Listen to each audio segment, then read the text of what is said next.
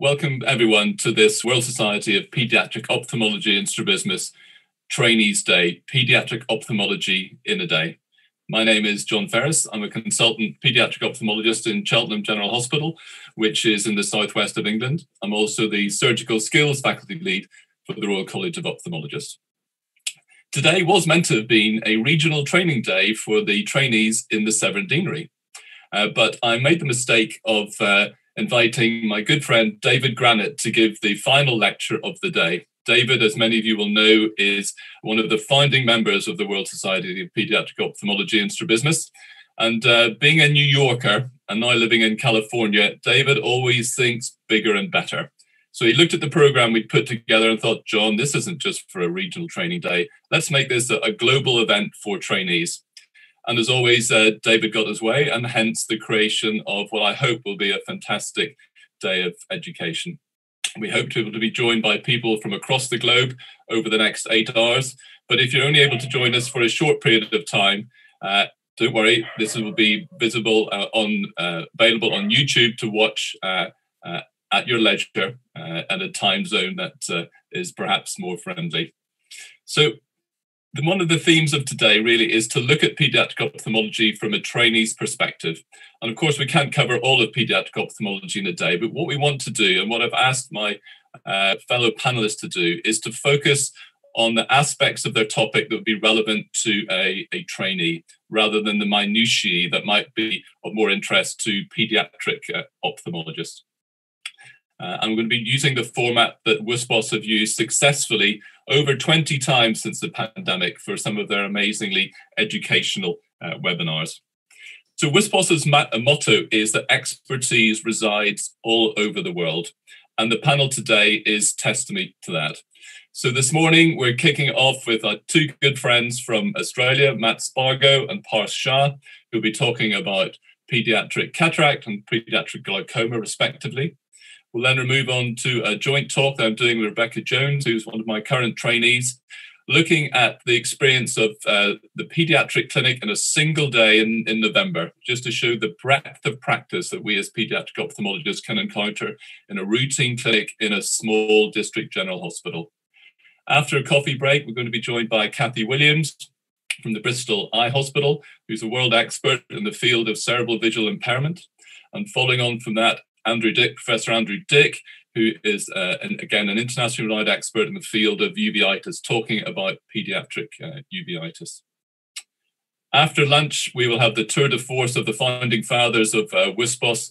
Ramesh Kekunnaya from uh, Hyderabad will be talking about the burden of uh, global blindness uh, in children and how the LV Prasad and their sister hospitals have been uh, addressing the sort of high volume of cases that uh, they encounter in that part of India.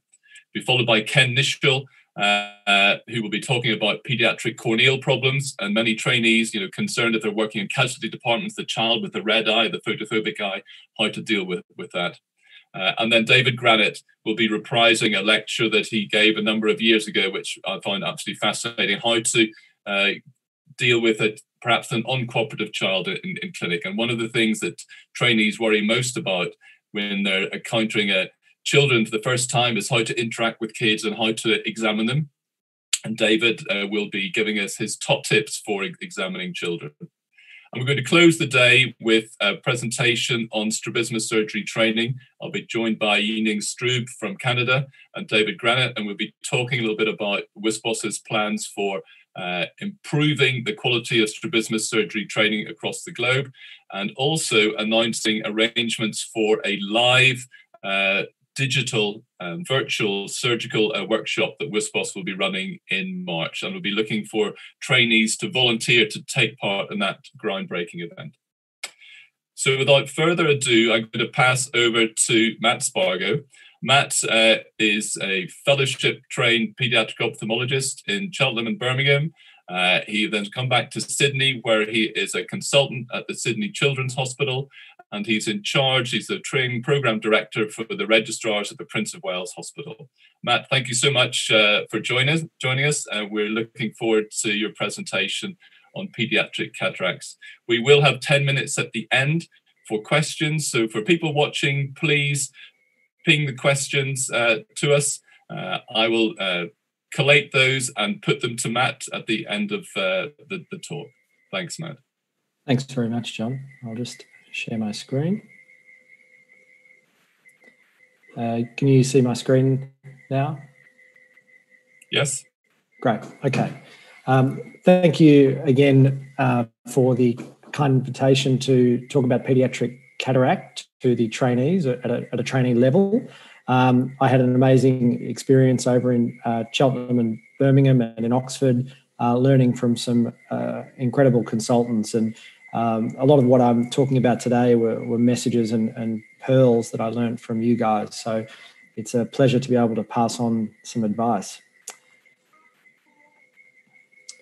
So, just some disclosures and acknowledgements. Uh, no financial disclosures. I'd just like to acknowledge Mr. John Ainsworth. Some of the images from this uh, PowerPoint are from him. Uh, and I thought I'd start with a case. So, you're in your clinic, and the GP gives you a call and tells you that there's a little baby, four weeks old. Mum and dad have brought the baby to the GP because they're worried about seeing some white things in the eyes. And uh, the GP says that there are some reduced red reflexes, being worse in the left eye. Uh, you bring them in the next day, and mum and dad are pretty anxious. This is their first baby. Um, and you open the lids, and this is what you see. So you can see here there's a pretty dense opacity um, in the middle of the lens. Uh, this child's been dilated with uh, a partial red reflex surrounding the opacity. And so this child um, has a cataract.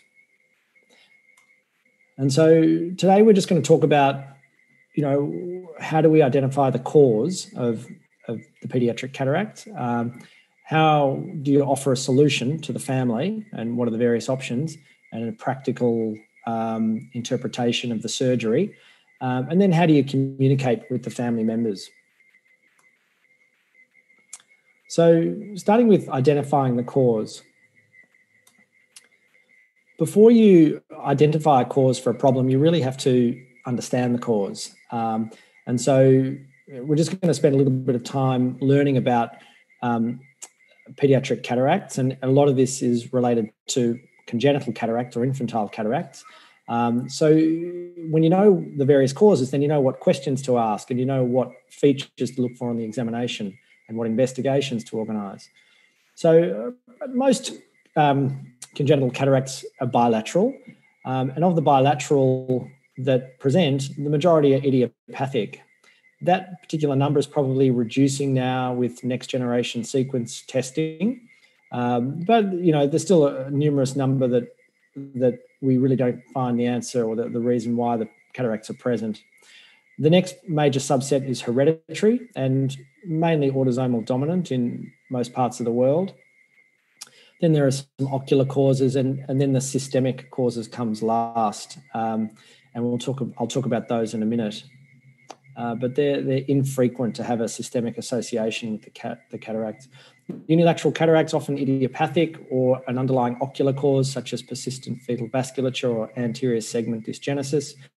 Um, and then some unilateral cataracts uh, have posterior lentoglobus or lentoconus, and those terms are often interchanged, and that's an, an outpouching at the posterior aspect of the crystalline lens. And then rarely unilateral cataracts are systemic. And so, of the systemic causes, again, you sort of want to have a bit of an idea in your head what are the major subgroups of, of children or problems uh, who present with bilateral cataracts, um, almost always bilateral. And most of the time, the child already would have one of these diagnoses because most of these diagnoses lead to a child who's either failing to thrive or has a developmental problem or is obviously syndromic. But they can essentially be categorized into chromosomal causes, metabolic causes, maternal infection. And so that's quite important um, to ask about the antenatal history, craniofacial syndromes, um, renal causes, and musculoskeletal. And then from an acquired perspective, so they're all the congenital or infantile cataracts. Um, the acquired causes typically can be categorized into these um, subgroups, and they usually occur in older children. So, inflammation and most commonly being JIA, and you, you've probably seen children with JIA and, and cataract. Um, iatrogenic causes, so steroids, radiation, laser, or surgery. So, uh, for example, ROP laser occasionally causes cataract. Uh, trauma, children obviously suffer from trauma, and, and that's a common cause of cataract. And then never forget tumor. So, like any um, approach to working out what's going on, you want to start with the history. And you've got the family there with you. Um, and in, this case, it's a four week old. So, you can ask the parents about the visual function. But remember, a four week old hasn't yet acquired the fixation reflex. So, the visual function is not very helpful at that young age. But if the if the baby was a bit older, then visual function would be really important. You'd ask, you know, did, did your baby smile at six weeks or have you noticed any funny eye movements, such as a turn in the eye, or uh, do the eyes wobble? And have you noticed any funny photos with the reflexes in the eye? And so you, you want to use terms with the family um, that they can understand. So even though you understand the technical terms of strabismus, nystagmus, and leukocoria, uh, you really want to use plain language.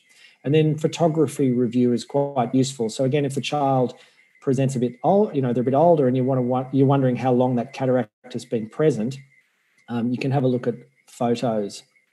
Uh, family history is extremely important given the uh, how common hereditary cataracts are. Pediatric history. So with every child you see, they should get a pediatric history. Um, you want to know about the antenatal course, the perinatal course. Um, is the child developing well? What's their growth like? Nutrition um, and immunization status. Uh, and then medical history. So, are there any known diagnoses? Are they known to a pediatrician already? Um, history of trauma, surgery, laser steroids, or radiation. And then you move on to the examination. And, and the first step with the examination in children is your, your general inspection. And so much can be acquired just by looking at the child. And, and children, you really want to be least invasive to most invasive. So often your your examination doesn't follow this particular um, sequence, and you, you really want to gain the key pieces of information first, so that if the child's getting upset, you, you've got the key answers. But in a little baby, it's um, not so difficult. But uh, general inspection, so you're looking for signs of systemic disease, obviously nystagmus and strabismus. Look for microphthalmia, particularly in unilateral cataract. Um, and that can be associated with persistent fetal vasculature. If the child's again older than six weeks or so, and you expect them to have a reasonable fixation reflex by that stage, you'd want to assess their visual function. Um, you, these days, with the iCare, doing the intraocular pressure is fairly straightforward in the clinic. You want to check the pupils to make sure that the retina and the optic nerve is functioning. So, just because there's a media opacity, you want to ensure that the rest of the globe is is working or the, the other major structures. Um, red reflexes, so very important. So you really want to check the red reflexes when the child's undilated and also dilated. Uh, and so you can use your direct ophthalmoscope or your retinoscope um, or a combination. A portable slit lamp, looking at the cornea, looking for any uh, signs of enlarged cornea or changes at the cornea, looking at the iris for features of anterior segment dysgenesis. Um, and then you're going to look at the cataract morphology once the child's dilated, and I'll talk about that specifically in a minute. We always do a cycloplegic refraction with children, and then a dilated fundus exam. And if the um, if there's no view to the posterior segment, then you're going to do a B scan and, and check the anatomical structures, or check that the anatomy of the posterior segment is um, normal. And then don't forget to examine the parents and the siblings. So just a bit on morphology of, of cataract, and, and you'll you'll understand soon why this is important. But um, the morphology can occasionally suggest the diagnosis. Uh, it sometimes can predict whether a cataract will progress, and it can often predict the visual prognosis, particularly in these little babies where you're, you're not sure of the visual function yet, based on its size, location, and how dense it is. And the easiest way to think about the morphology is to break it into three locations. Is it an anterior cataract, a central cataract, or a posterior cataract? And so when you're assessing cataract, it's you know it's relatively straightforward if it's a complete cataract, but most of the time it's not a complete cataract; it's an incomplete cataract. So you need to give have some assessment, and that also helps the geneticist as well. And so the, the different types of cataract, and I'll show you photos in a few minutes, so you you get a bit of a feel for what they look like, um, can be categorized into those three locations. And you don't really have to know this at this particular level, but it's just useful to know that um, as cataracts become more posterior, they typically become more visually significant. And so, generally, the non progressive cataracts are the anterior polar, assuming they're a reasonable size, a cerulean or a blue dot cataract, which you've probably seen in, um, in adults, um, or the pulverulent, and I'll show you a photo of that. So, this is an anterior polar cataract. Uh, you can see that it's not very large, um, maybe two millimeters, maybe three. It's hard to tell. So uh, you, would be very in- interested to see what the red reflex was like undilated. This is a pyramidal cataract, cataract and this is a another form of a essentially an anterior polar cataract. A nice picture of an anterior segment OCT.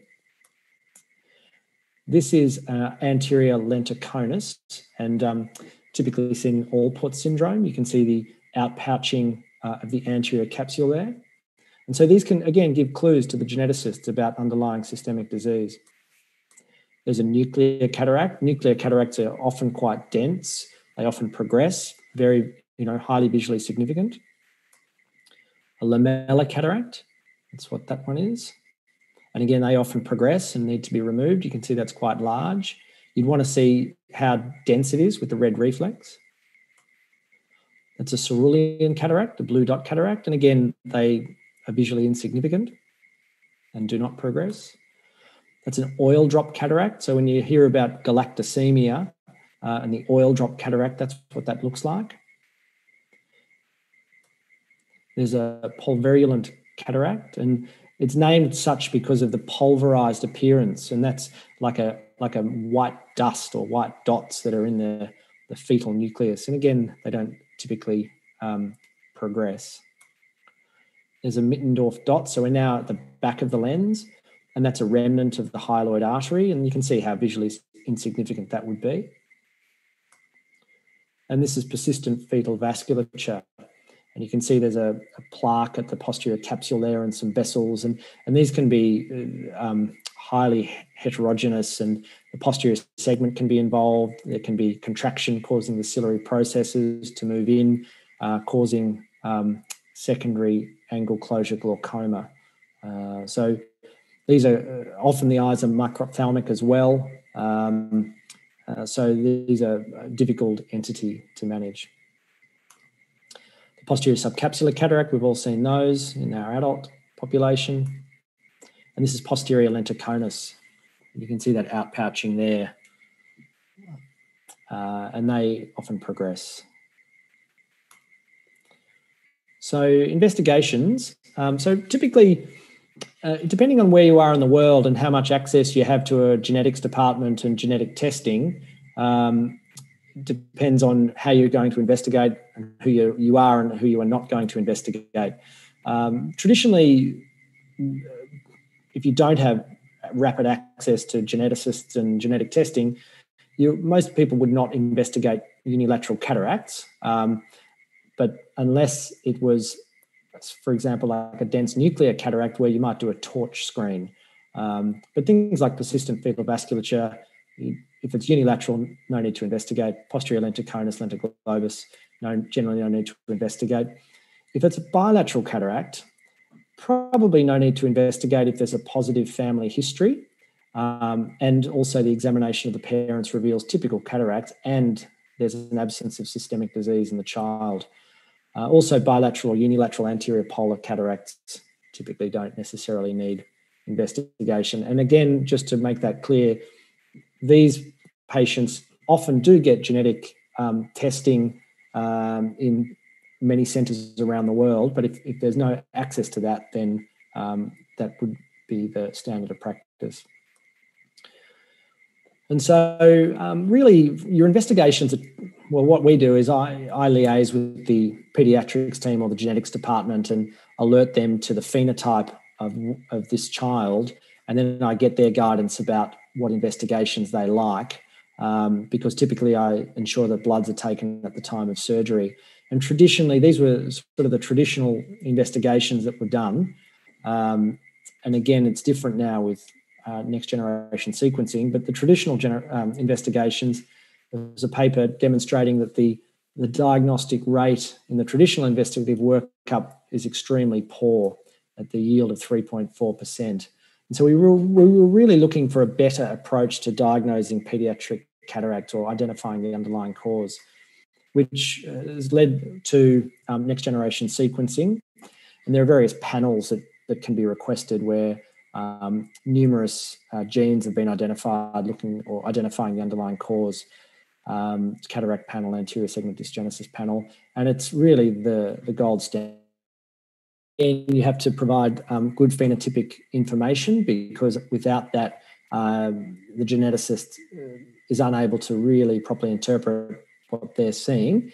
Um, and really, the rates of pickup have just skyrocketed with this approach. I was reading that for isolated cataract, um, the pickup rate's now 70 to 85%. Um, and then there's a 63% pickup for underlying syndromic causes. And the other thing is that they're picking up inborn errors of metabolism that are amenable to treatment um, through diet or other therapies. So, um, by identifying the diagnosis, then then pediatricians um, can offer uh, the appropriate uh, treatment for these children. Okay, so that's find the cause, and that that's you know that's key. That's really important. And then at the same time, you're going to offer a solution.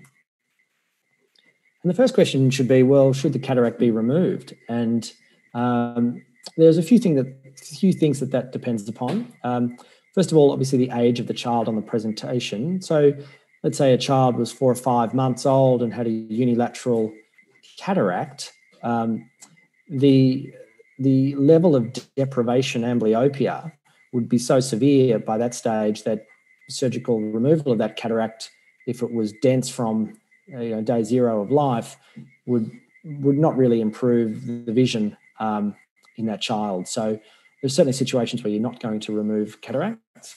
Um, is it unilateral or bilateral? Obviously, um, bilateral cataracts are much more significant.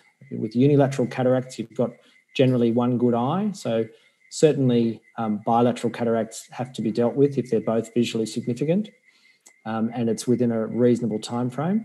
Obviously, safety of anaesthesia is paramount. So, if a child is uh, extremely unwell or has lots of comorbidities, may not be safe for an anaesthetic at that time. Um, what's the visual prognosis? Are there other ocular anomalies? Um, so, B scan is so important. Um, and then obviously you also need to think about, well, what happens if I don't remove the cataract? So there are certain situations um, like mixed post, um, persistent fetal vasculature where if the cataract's not removed, there's a reasonable risk of angle closure and suddenly an eye that doesn't see well turns into a painful eye that you know may need to be removed down the track. Um, and then uh, you, you're really guided by the density, size, and the type of the cataract in those incomplete cataracts. So our non-surgical options are glasses.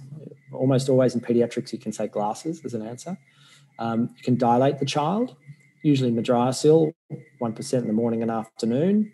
You always want to check the pupils and the visual behavior while you're doing so, though, just to ensure that it's working and making a difference. And these things are often temporizing measures for borderline cases. So you might want to string out a child a few more weeks to reduce the risk of glaucoma, um, an infant. And then obviously patching and penalization. If there's any sort of media opacity, the brain is typically going to um, prefer the other eye if it's a unilateral or even asymmetric bilateral. And so that moves us along to surgery. And the in congenital cataract, so in our example of the four week old, the surgical decision is not driven by the vision. You know, the you need to make a decision about when to operate. Do I need to operate? How quickly do I need to operate based on how the cataract looks? And generally, if you can't see the fundus um, with the direct undilated or indirect undilated, then that's probably pretty significant. Um, obviously, you're going to check the red reflex. dilated and undilated. As a, as a general rule, most cataracts over three millimeters, assuming they're in the center of the visual axis, axis um, require removal, assuming they've got relative density to them. And then, um, and by density, I mean on the red reflex, you've got a very poor red reflex within that, you know, three or four millimeter um, cataract. And the smaller cataracts, less than two millimeters, um, you know, usually do not. And that, that's this is a, a, rule of thumb. Obviously, there's always going to be exceptions to the rule. And then again, I mentioned before the location. Um, the more posterior cataracts are, are more visually significant, and knowing which ones progress, which ones don't progress, can often be useful. So, when to operate? So, the reason we operate early, you know, as early as we can, essentially, would be to avoid irreversible deprivation amblyopia. So, every week you wait in these little babies to operate, you are inducing more amblyopia and um, reducing the visual potential for that child because the sensitivity to amblyopia at that stage of life is is the highest essentially and if you've got a unilateral cataract um, that is even more uh, important because of the dominance that's created by the other eye however early surgery increases the risks associated with general anesthesia but also with secondary glaucoma so every week you wait, the risk of that child getting glaucoma uh, reduces. And so you can see here, this child has got unilateral glaucoma and has got ophthalmos in that eye. Um, and once a child or an infant gets glaucoma, the prognosis for the vision uh, in that eye is significantly reduced. And the family starts on a pretty difficult course with often multiple um, interventions uh, and um, it can be quite a torrid time, really. And you can see how this child is suddenly a child that probably that a unilateral cataract that eye didn't have a, a, an amazing visual potential, for example, in a, in a left eye that sees very well, now looks quite different as well. So the psychological impact uh, that that can create down the track as the child gets older. And there's no clear evidence guiding the perfect timing of, of surgical intervention.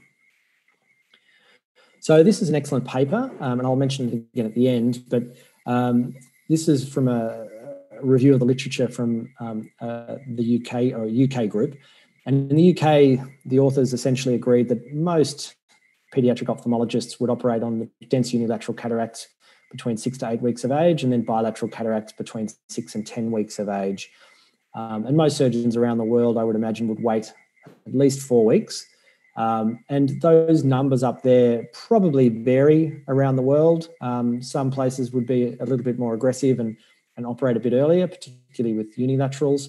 Uh, but again, you're, you're, taking on that risk of, of glaucoma the earlier you, you operate. Um, often bilateral cataracts, I think eight weeks is a potentially a good sweet spot there. And then I can talk about um, some places we do simultaneous surgery, some places sequential surgery, and uh, just some advantages and disadvantages of each. So with a simultaneous surgery, the child only has one general anesthesia, um, particularly important for infants with comorbidities. Obviously, there's a rare risk of bilateral endophthalmitis, and the operations need to be treated as two completely separate events. So trays, draping, different irrigating solutions from different batches, just to minimize any risk of bilateral endophthalmitis um, or TAS. Um, and then sequential um, cataract surgery, a more traditional approach, um, typically no more than a week apart. It's good to operate on the denser cataract first so that um, uh, if there's some asymmetric amblyopia, that gets treated while the other eye is waiting. The reason I say no more than a week apart, the um, significance of having one eye that's seeing well, well, reasonably well, compared to the dense cataract. Um, again, incredibly amblyogenic. Um, it reduces the risk of bilateral endophthalmitis, but you've exposed the child to two general anesthetics and the mixed evidence on neurodevelopmental outcomes in that young age. So I'm now going to talk a little bit about um, some more practical aspects of the surgery. Um, and I think before we do that, or before I do that, it's important to understand what it is about the infant eye that makes the surgical approach different to adults. So if you can understand these concepts, I think you'll understand why the steps are different. So uh, essentially, the, the eye is significantly smaller. And you can see the capsule diameter is seven millimeters in a neonate versus 10 and a half in an adult. So that's the first thing. You're operating in a smaller space. The access to the globe is often difficult, getting the lids open, getting a speculum in. Um, rarely, uh, the lateral canthus has to be extended to, to um, get better access. And sometimes there's microphthalmia. Uh, the AC is extremely shallow and there's a lot of posterior pressure. Uh, there's a hypoplastic and vascular iris, and you can get um, significant microcoria, as you can see here. Uh, so you have to deal with that intraoperatively. One of the major things about the infant eye is the lack of scleral rigidity, and I'll talk more about that. And children, uh, particularly very young children, have dense inflammatory reactions. And so post-operative management um, is different. So I'm just going to go through the steps or how each of the steps are a little bit different. Um, so if you can picture that you're doing a normal adult, adult cataract case, um, and I'm just going to highlight sequentially, as you would normally do in an adult cataract case, the various steps and which ones are particularly different. First is general anesthesia. So, obviously, not like an adult, which is under local, but you've got to put this child to sleep. And so, you have to have an awareness um, of this child's safety for anesthesia. And you might need preoperative medical assessment and liaising with the geneticist, knowing what bloods to order. And once the once the baby's asleep, you do an EUA, and you want to check the biometry, even though typically we don't put a lens in, but often you can use that to predict the contact lens that you're going to put at the end. Um, and also for some baseline glaucoma parameters. So you want to measure the length of the eye and the that's the AL axial length and the HCD, the horizontal corneal diameter, and the intraocular pressure. And the horizontal corneal diameter and axial lengths in a in an infant, if they get high pressure in the eye, their eye blows up like a balloon. And so if you've got a baseline measure of how wide the cornea is and how long the eye is, you you know or you can tell um, what's happening with the pressure over time when you measure again. And obviously, you want to look at both eyes very carefully. The wounds are different. So we typically just in a baby just create two small corneal incisions. We use an MVR blade. There are various gauges um, you can use. And there's two main approaches. You either you've got two wounds. Um, you can either have a bimanual technique where you've got an irrigator and the vitrector in the other hand, or you can have an AC maintainer where the AC maintainer stays in one wound and you've got the vitrector um, in your hand. You don't typically need a keratome uh, unless there's an IOL to be implanted. And typically, if you are putting an IOL in, it's it's easier if you can avoid making that larger incision until after you've removed the cataract. And the reason for that is um, uh, the anterior chamber stability. You don't want to have large wounds with um, areas where the fluid can come out. So moving on to anterior chamber stability, um, this is quite different. Uh, and again, it's due to a few factors, um, particularly scleral rigidity or lack of. Uh, and the AC will just want to collapse. Uh, the iris prolapse is more common, particularly if there's a large wound. So if you if you've done your wound, you've done quite a large wound for your IOL very early, and um, the iris can come out. And there are a few tips to avoid these problems. So you use higher um, viscosity ophthalmic viscosurgical devices. Uh, obviously, we use an AC maintainer if that's the surgeon's preference. You want to minimize entry and exit from the eye. So if you are coming out with an instrument, um, you can inject some viscoelastic in the other wound or in the other side port so that you maintain the chamber because otherwise it'll just collapse. And you can ask your anaesthetist to keep the PCO2 at or below 30 millimeters of mercury, and that can reduce that posterior pressure. The capsular capsulorhexis is the next major thing to deal with in pediatric cataract. Um, the first is access to the actual capsule, and I you saw that microcoria before, so you want to make sure that the pupil's big enough. Um, lots and lots of drops preoperatively. You might need intracameral phenylephrine, and then in a pupil such as that, you would need mechanical dilatation with stretching the pupil. Um, you can't use Malyugin rings in these little babies under six months; uh, they're just too small um, iris hooks as, as a possibility, uh, but um, that can be tricky to manage the, the pupil. you can maximize visualization with trypan blue, and, and, maybe that stiffens the capsule because these capsules in these um, infants are incredibly elastic and the forces are, are totally different.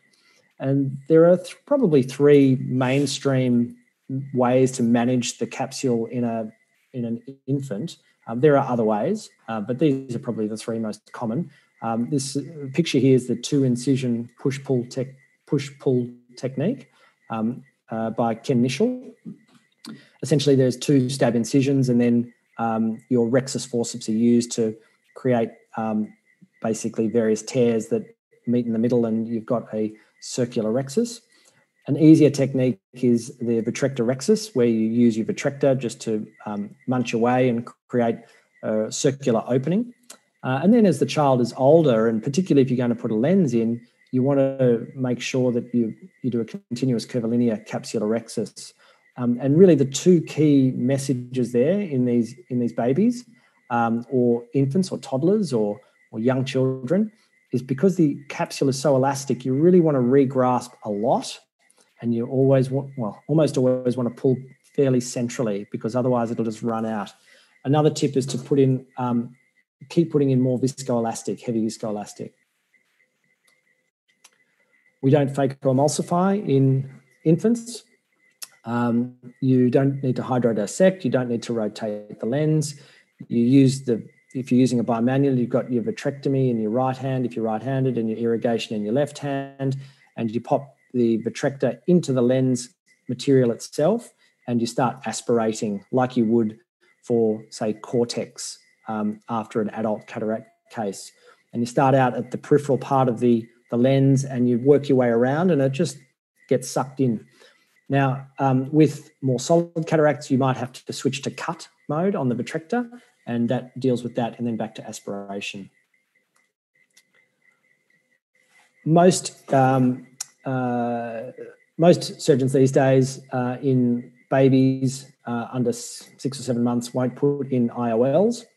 Um, and many surgeons won't put in IOLs under two years old, and there's reasonable evidence out there, um, you know, backing that up. Um, the infant aphakia treatment study and the IOL under two study.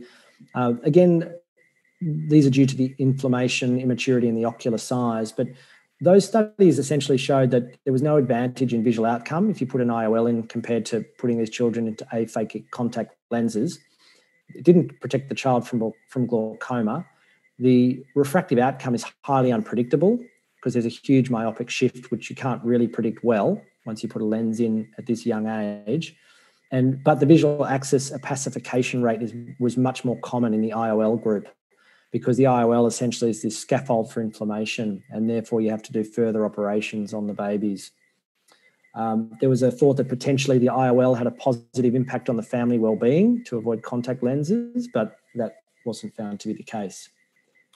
However, there's ongoing controversy um, about this two-year-old mark because there are some other, you know, there's other other research um, suggesting that once the children meet seven months old, this was the these were the kids um, uh, who were operated on at the time of the infant aphakia treatment study uh, by a similar group of surgeons or the same group of surgeons who were slightly older, and they retrospectively looked at this data, this case series, and they effectively found that um, in this group that those problems that you get in the younger babies you don't tend to get at any higher rate in these slightly older babies and there was no difference apparently in the 7 to 12 month group versus the 12 to 24 month group. So um, you can have a read of that paper uh, and um, see what you think. But we did probably need more well designed randomized controlled trials to, to really answer that question. Um, there are a few assumptions about all this. You know, you've got to, you, assuming you're not going to put a lens in, well, you've got to think, does, depending on where you are in the world, do I have access to contact lenses? You know, can I afford them? Is the distribution available? Do I have access to clean water, access to the specialist optometrist, orthoptists? Um, uh, can the parents be educated and supported? And is there an ability to even insert the lens? Um, some parents aren't able to do it. Uh, some children can't tolerate it. Um, and certainly that occurs as they get a little bit older. And then there's always aphakic spectacles. And remember, when an IOL is in place, the child still needs specs because you know for near vision requirements and there's almost always an anisometropia. So essentially, the well, the message is that IOLs are not this one-stop shop where you just put them in and forget about them, because they often lead to visual axis opacification in this very early age group, um, and there's definitely a refractive shift over time that needs active management. Um, so moving on from the lens after we've not put a lens in, um, we have to manage the posterior capsulotomy and, and, do an anterior vitrectomy. And the reason for that is again from the inflammatory um, nature of, of, of, pediatrics. So if you leave the capsule intact, it's going to opacify, so it needs to be removed. Uh, you can do it manually or you can do it with the vitrector. Um, but then if, if you do that and you leave the vitreous face in place, that also acts as a scaffold for opacification. So you need to do an anterior vitrectomy. And the vitreous is different to adult vitreous. It's much more, you know, it's, it's well formed. And so you don't typically get that, that terrible situation of vitreous coming up, you know, to all the wounds after you've, you've made a, a PCT or posterior capsular tear in, in, um, in an adult. It's a bit different. And you can approach these from the anterior approach through the corneal um, incisions that you made or, or through the pars plana um, posteriorly. And so that's often done if, if a lens has been put in the eye and you need to do the posterior capsulotomy and anterior vitrectomy. If, uh, if the child's older, you know, six, seven year old, you think they'll tolerate a, a YAG laser, posterior capsulotomy, then you can avoid doing this. But if the if the lens does start to opacify, you want to jump onto that laser quickly um, because it, it will progress and it's quite dense. And so then the laser can't deal with it and then you're back in theatre. Uh, getting closer to the end of the case now. So um, we're going to suture the wounds because if you don't, the AC just collapses, the, they'll just leak. We use Vicryl typically because it absorbs, so you don't have to remove the sutures with a further general anesthetic. And this step takes some time. So suturing um, often takes time because as you're filling the eye to get the pressure right, the suture breaks and you've got to do it again. So you just want to take your time here. And then by suturing the wounds, you can sleep well at night. Um, ocular steroids and atropine right at the end, again, because these eyes are so inflammatory, some form of ocular steroid. Um, and then atropinize the child at the end of the case because you just want to minimize any risk of pupillary membrane or posterior synechia formation. The post-operative care is different to adults. Um, again, you really want to treat these children with uh, a much more um, intensive regimen of steroids. Uh, so it might be something like two hourly of, of um, prednisolone acetate. Um, or, and you're going to might do that for a week uh, and then start to back off. But you have to be a little bit aware that even with topical steroids, uh, you are going to potentially induce growth suppression, Cushing syndrome, and hypothalamic pituitary adrenal axis suppression. And that's been well shown now in, in a couple of studies. So punctal occlusion may reduce this risk, but you always have to be aware of this issue um, and have a bit of an understanding about that.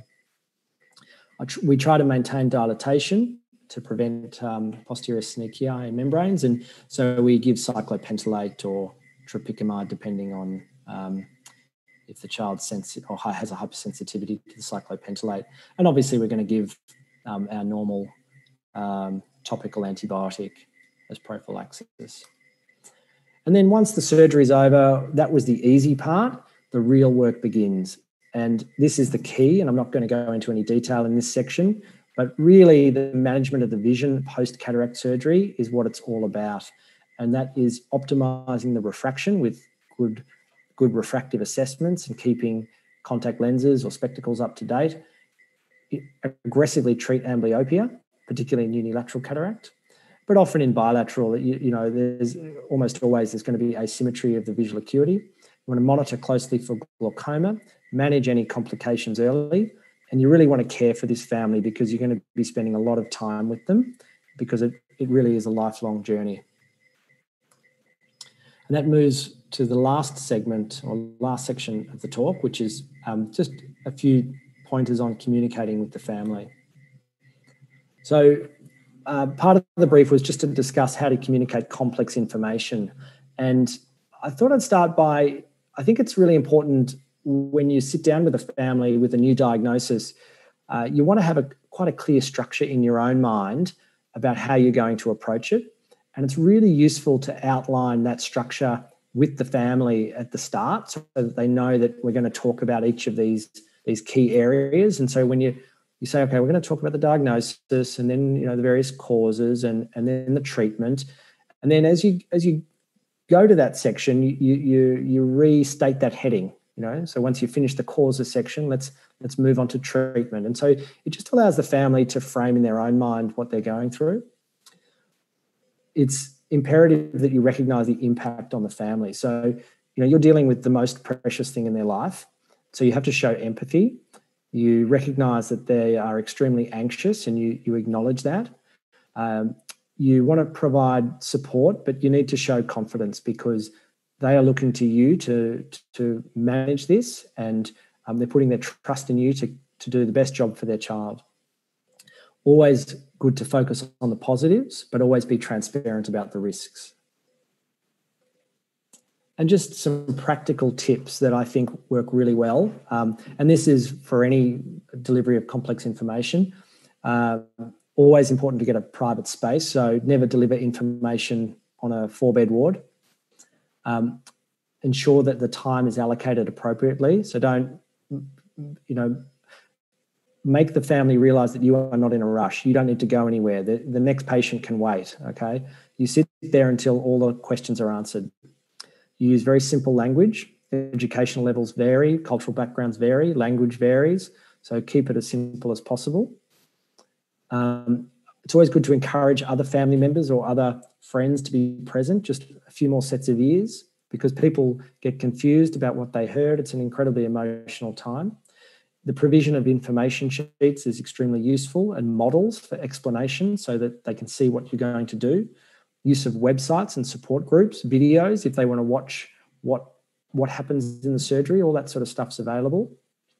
If the patient's from a non-English speaking background, then obviously you need formal interpreters and information sheets, ideally in that language. Um, utilize other health support staff. So hospitals are full of people um, who are there to help um, uh, cultural liaison officers, social workers. You know, use these people. That's their job. Like I said before, you want to answer all questions, and um, you really want to make sure that this family can readily access your clinic uh, in the future.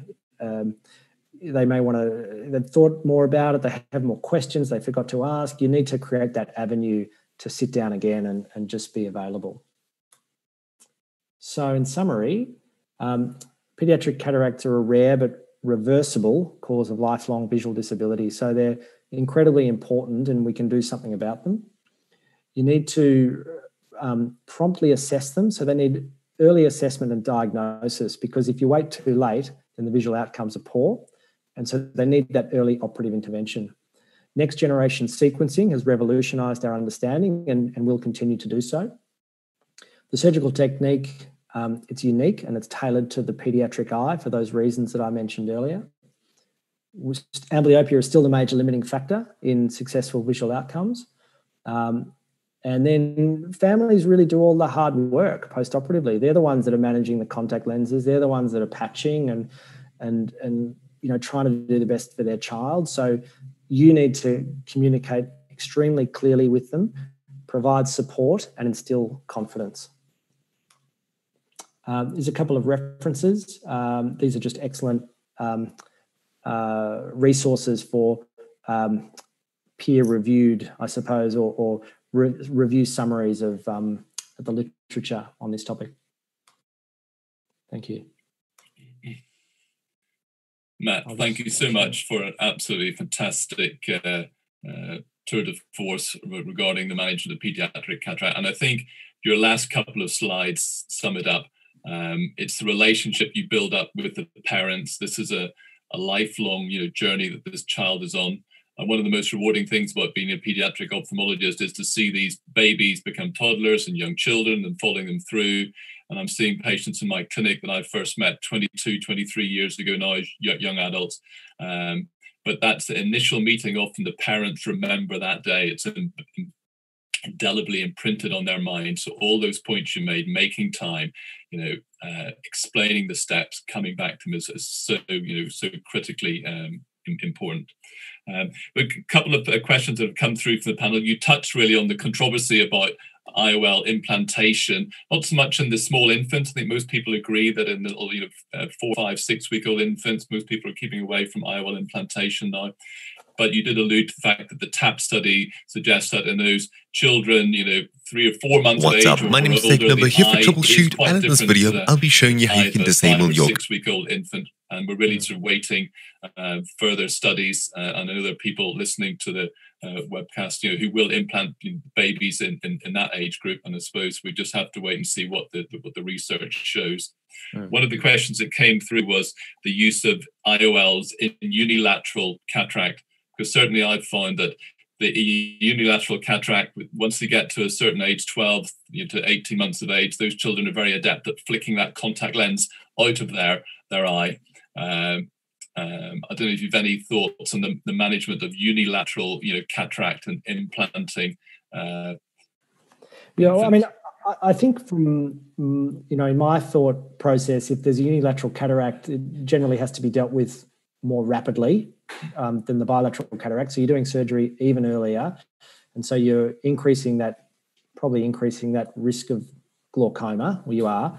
Um, and if you put a lens in really early, then um, you're also, you know, making that child prone to multiple operations with the evidence of increased risk of visual axis opacification for an eye that has a relatively poor visual potential because um, it's it, even with the best patching, it's never going to be as good as the good eye. Um, and I think if you're running into contact lens issues later, you've always got that option to put in a, a secondary IOL, um, where you're going to have greater prediction of the refractive outcome once the eye's grown a bit more, because that you know, as you know, that first year of life, the rapid growth of the eye um, is is you know can be quite I think the other thing we have to bear in mind is that a really aggressive patching, if you're chasing a good result, can actually uh, adversely affect the uh, visual development of, of the better eye.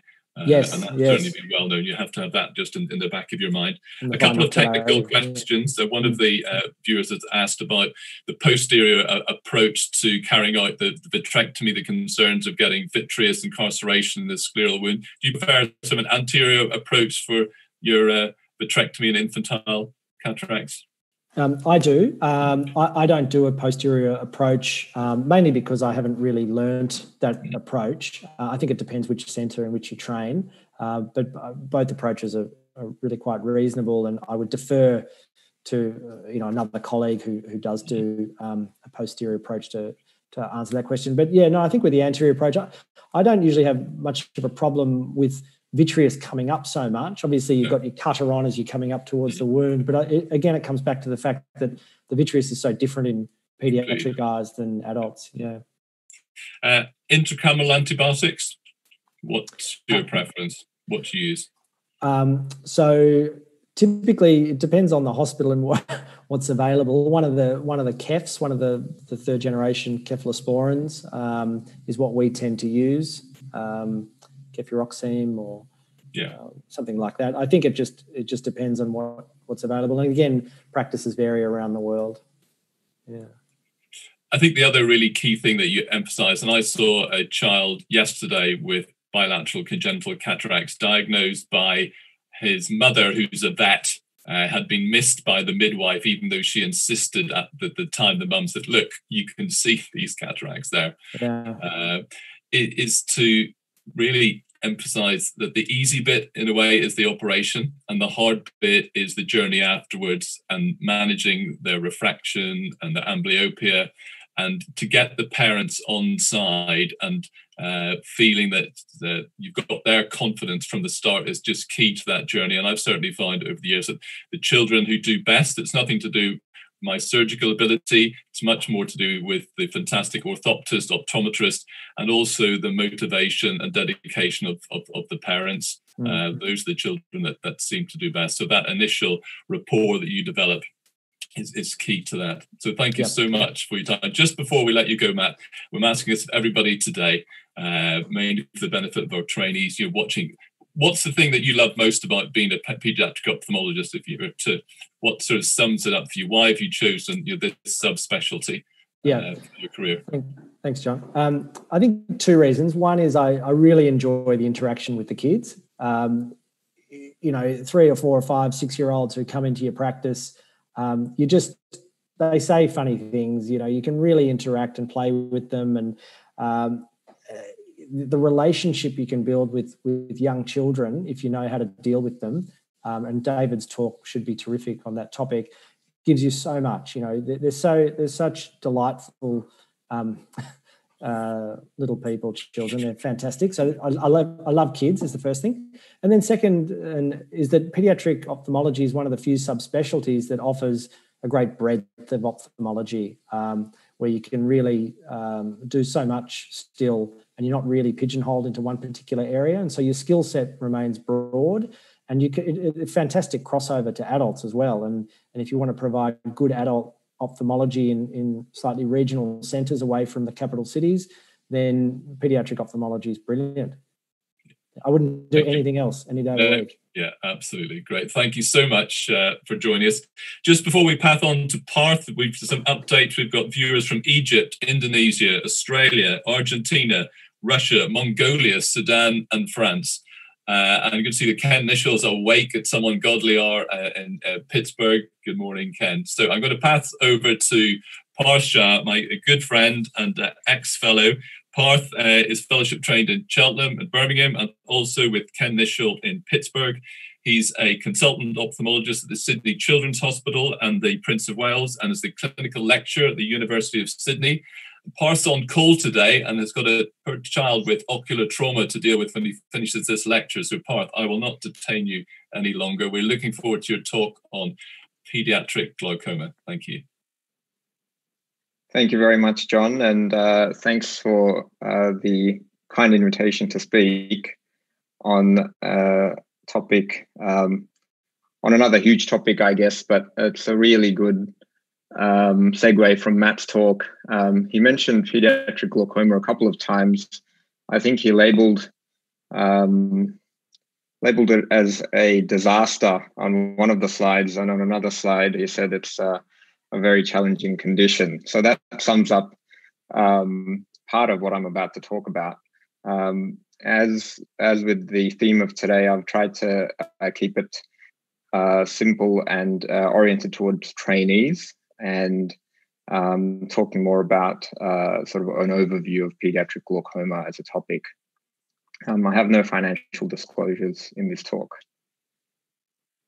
Uh, pediatric glaucoma, um, an overview of my talk. So I'm going to go through the various causes, um, highlight uh, the differences with adult glaucoma. I think trainees um, go through uh, learning a lot about and seeing many, many patients with adult glaucoma uh, and they have a system in their heads about um, managing and assessing and managing patients with glaucoma. But um, unfortunately, uh, pediatric glaucoma is a completely different uh, kettle of fish. Uh, some practical tips about how to diagnose, um, including some tips uh, on assessing a child in the clinic and getting some clues about whether or not they may have or glaucoma. And I'll touch on some treatment. And um, as requested, I'll, I'll, try to include tips and um, ideas about how to communicate with parents and the older child about this chronic condition. I'd like to acknowledge uh, some of the uh, mentors who I've worked with, um, uh, in particular for uh, some of the slides, as well as uh, teaching me about uh, management of complex pediatric glaucoma. So Ken Nischal from Pittsburgh, Joe Abbott from Birmingham, and Kim Tan, uh, my mentor and colleague here in Sydney. Uh, pediatric glaucoma is a relatively rare disease, but it does contribute to overall about 5% of all childhood blindness worldwide.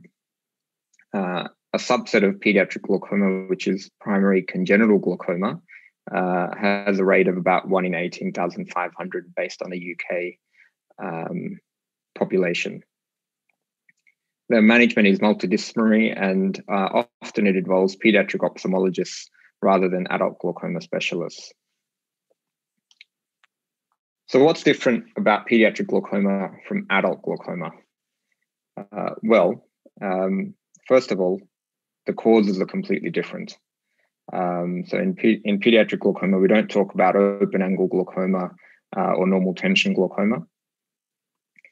Uh, pediatric glaucoma is really all about pressure. Uh, we don't really talk about normal tension glaucoma in a child. Um, but the issue with pressure is that measuring pressure accurately can be tricky and often misleading. So, although it's all about high pressure, the actual number is not as useful. The examination parameters that we use are also quite different. So, uh, one important uh, thing about the physiology of the growing eye is that the sclera is very elastic. And with high intraocular pressure, the globe enlarges, and this process can occur until about age four years. So the presence of high pressure in an infant will lead to enlargement of the globe, and that's both the sclera and the cornea. And this, uh, when it affects the cornea, can lead to rupture of Descemet's membrane. The reason why Descemet's membrane ruptures uh, is because it is not as elastic as the corneal stroma. So the stroma tends to stretch, whereas Descemet's membrane ruptures, and this causes a characteristic Haab striae. The uh, term that's often used uh, to describe a large eye in childhood from pediatric glaucoma is buphthalmos.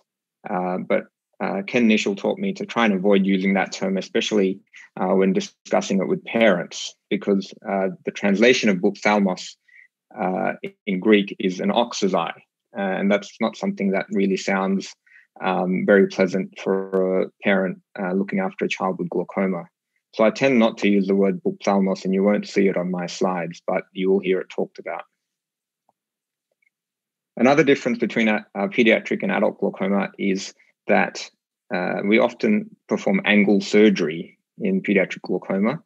Uh, and up until recent advent of uh, minimally invasive glaucoma surgery in the adult world, angle surgery used to be uh, primarily reserved for pediatric glaucomas. And finally, we don't really rely on visual fields uh, in pediatric glaucoma, and we don't have much of a structure function correlation. We rely a lot on the structure and the signs that we see. The classification of pediatric glaucoma um, this is the system from the World Glaucoma Association. Um, so the first uh, is primary congenital glaucoma, which I'll talk about a little bit more. And then the secondary forms of glaucoma, there are four subsets. So there's one subset dedicated to glaucoma following cataract surgery. And Matt, in his previous talk, uh, alluded to uh, this in a few of his slides. Uh, another classification is non acquired ocular anomalies. And this can include common causes of glaucoma, such as Axenfeld-Rieger anomaly, aniridia, and other anterior segment developmental anomalies, uh, often termed Peters anomaly. It can also be secondary to non-acquired systemic diseases or syndromes. Uh, and in these, we think about connective tissue disorders, uh, familial tumor syndromes like neurofibromatosis. And finally, acquired conditions such as steroid induced, uveitic, traumatic, tumor related, or retinopathy of prematurity. There is another condition called juvenile open angle glaucoma, which has a specific gene called the myocilin gene, uh, which is a separate entity. Uh, there is uh, this excellent consensus statement from childhood on childhood glaucoma by the World Glaucoma Association, uh, and it's available online. And I'd recommend um, trainees to have a look at that as it provides a really good summary of uh, childhood glaucoma. So primary congenital glaucoma, uh, it's characterized by a specific look of the angle.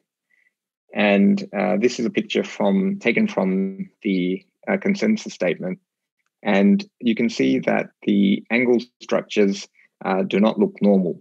In particular, uh, the ciliary body band uh, is not visible, and therefore the trabecular meshwork is also um, hidden behind this amorphous tissue uh, that's uh, present here in the angle. the term congenital uh, can be misleading because primary congenital glaucoma does not always present at birth and often presents in the first or second year of life.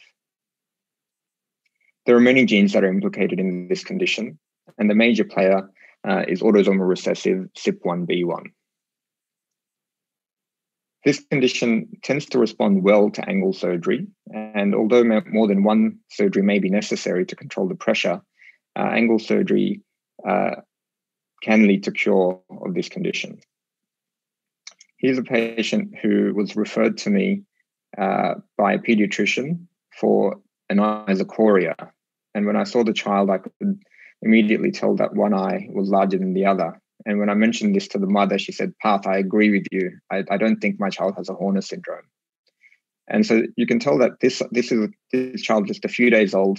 This eye is clearly a lot bigger than the other eye.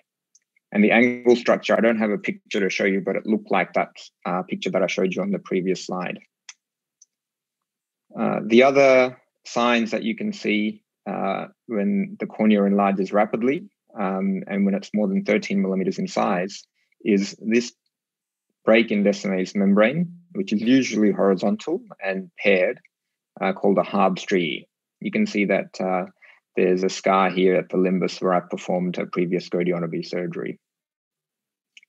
Uh, and so it's important uh, to look for these clinical signs. And this is a, the same eye uh, with the transillumination anomalies. The most important ones to think about are Axenfeld-Rieger, which are associated with FOXC1 and PITX2 genes, uh, aniridia, which is a panocular condition related to the PAX6 gene mutation, uh, and anterior segment developmental anomalies, previously known as Peters anomaly.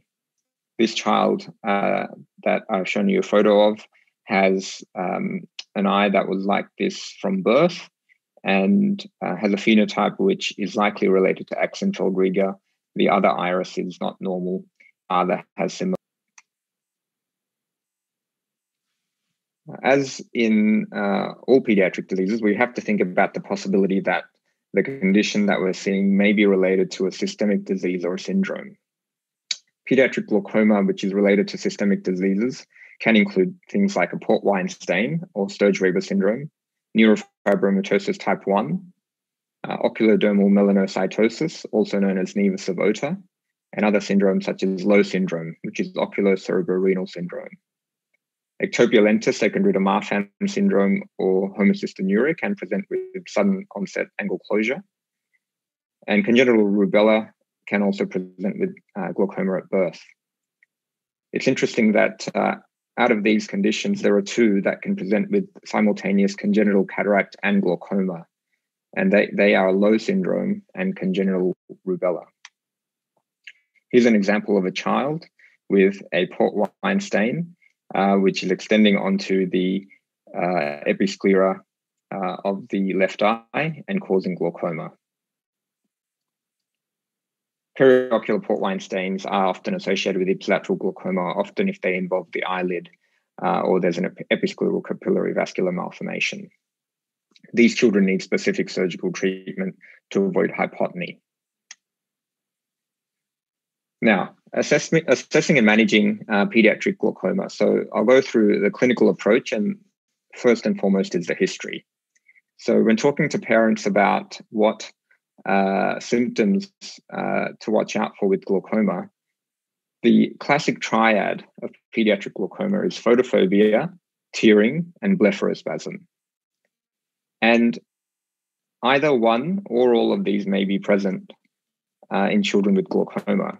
But it's important to remember that all of these symptoms, photophobia, watering, and blepharospasm, have a huge differential diagnosis. So a child who comes in with a watery eye um, is not always going to be a blocked tear duct. So any child with the watery eye, um, don't call it a blocked tear duct until you've checked that they don't have glaucoma. But if a patient comes in with the classic triad of photophobia, tearing, and blepharospasm, glaucoma has to be right up there. You ask the parent what they think, what you think, uh, what they think the child's visual function is, and that helps us to determine um, potentially how long the disease has been going on for. In terms of the family history, uh, any ocular anomalies or known uh, history of glaucoma is helpful. but often I see patients who have Axenfeld-Rieger syndrome, and you look at one of the parents, uh, and they have the ocular phenotype, but are unaware that they have this condition.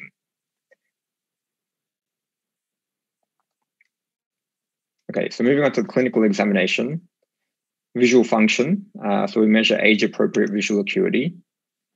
We look for an enlarged eye, including an enlarged cornea. The corneal edema and haze is a critical factor of the examination and can often tell us about uh, the pressure. So the degree of iris detail that you can see tells us um, is a proxy of what the pressure might be.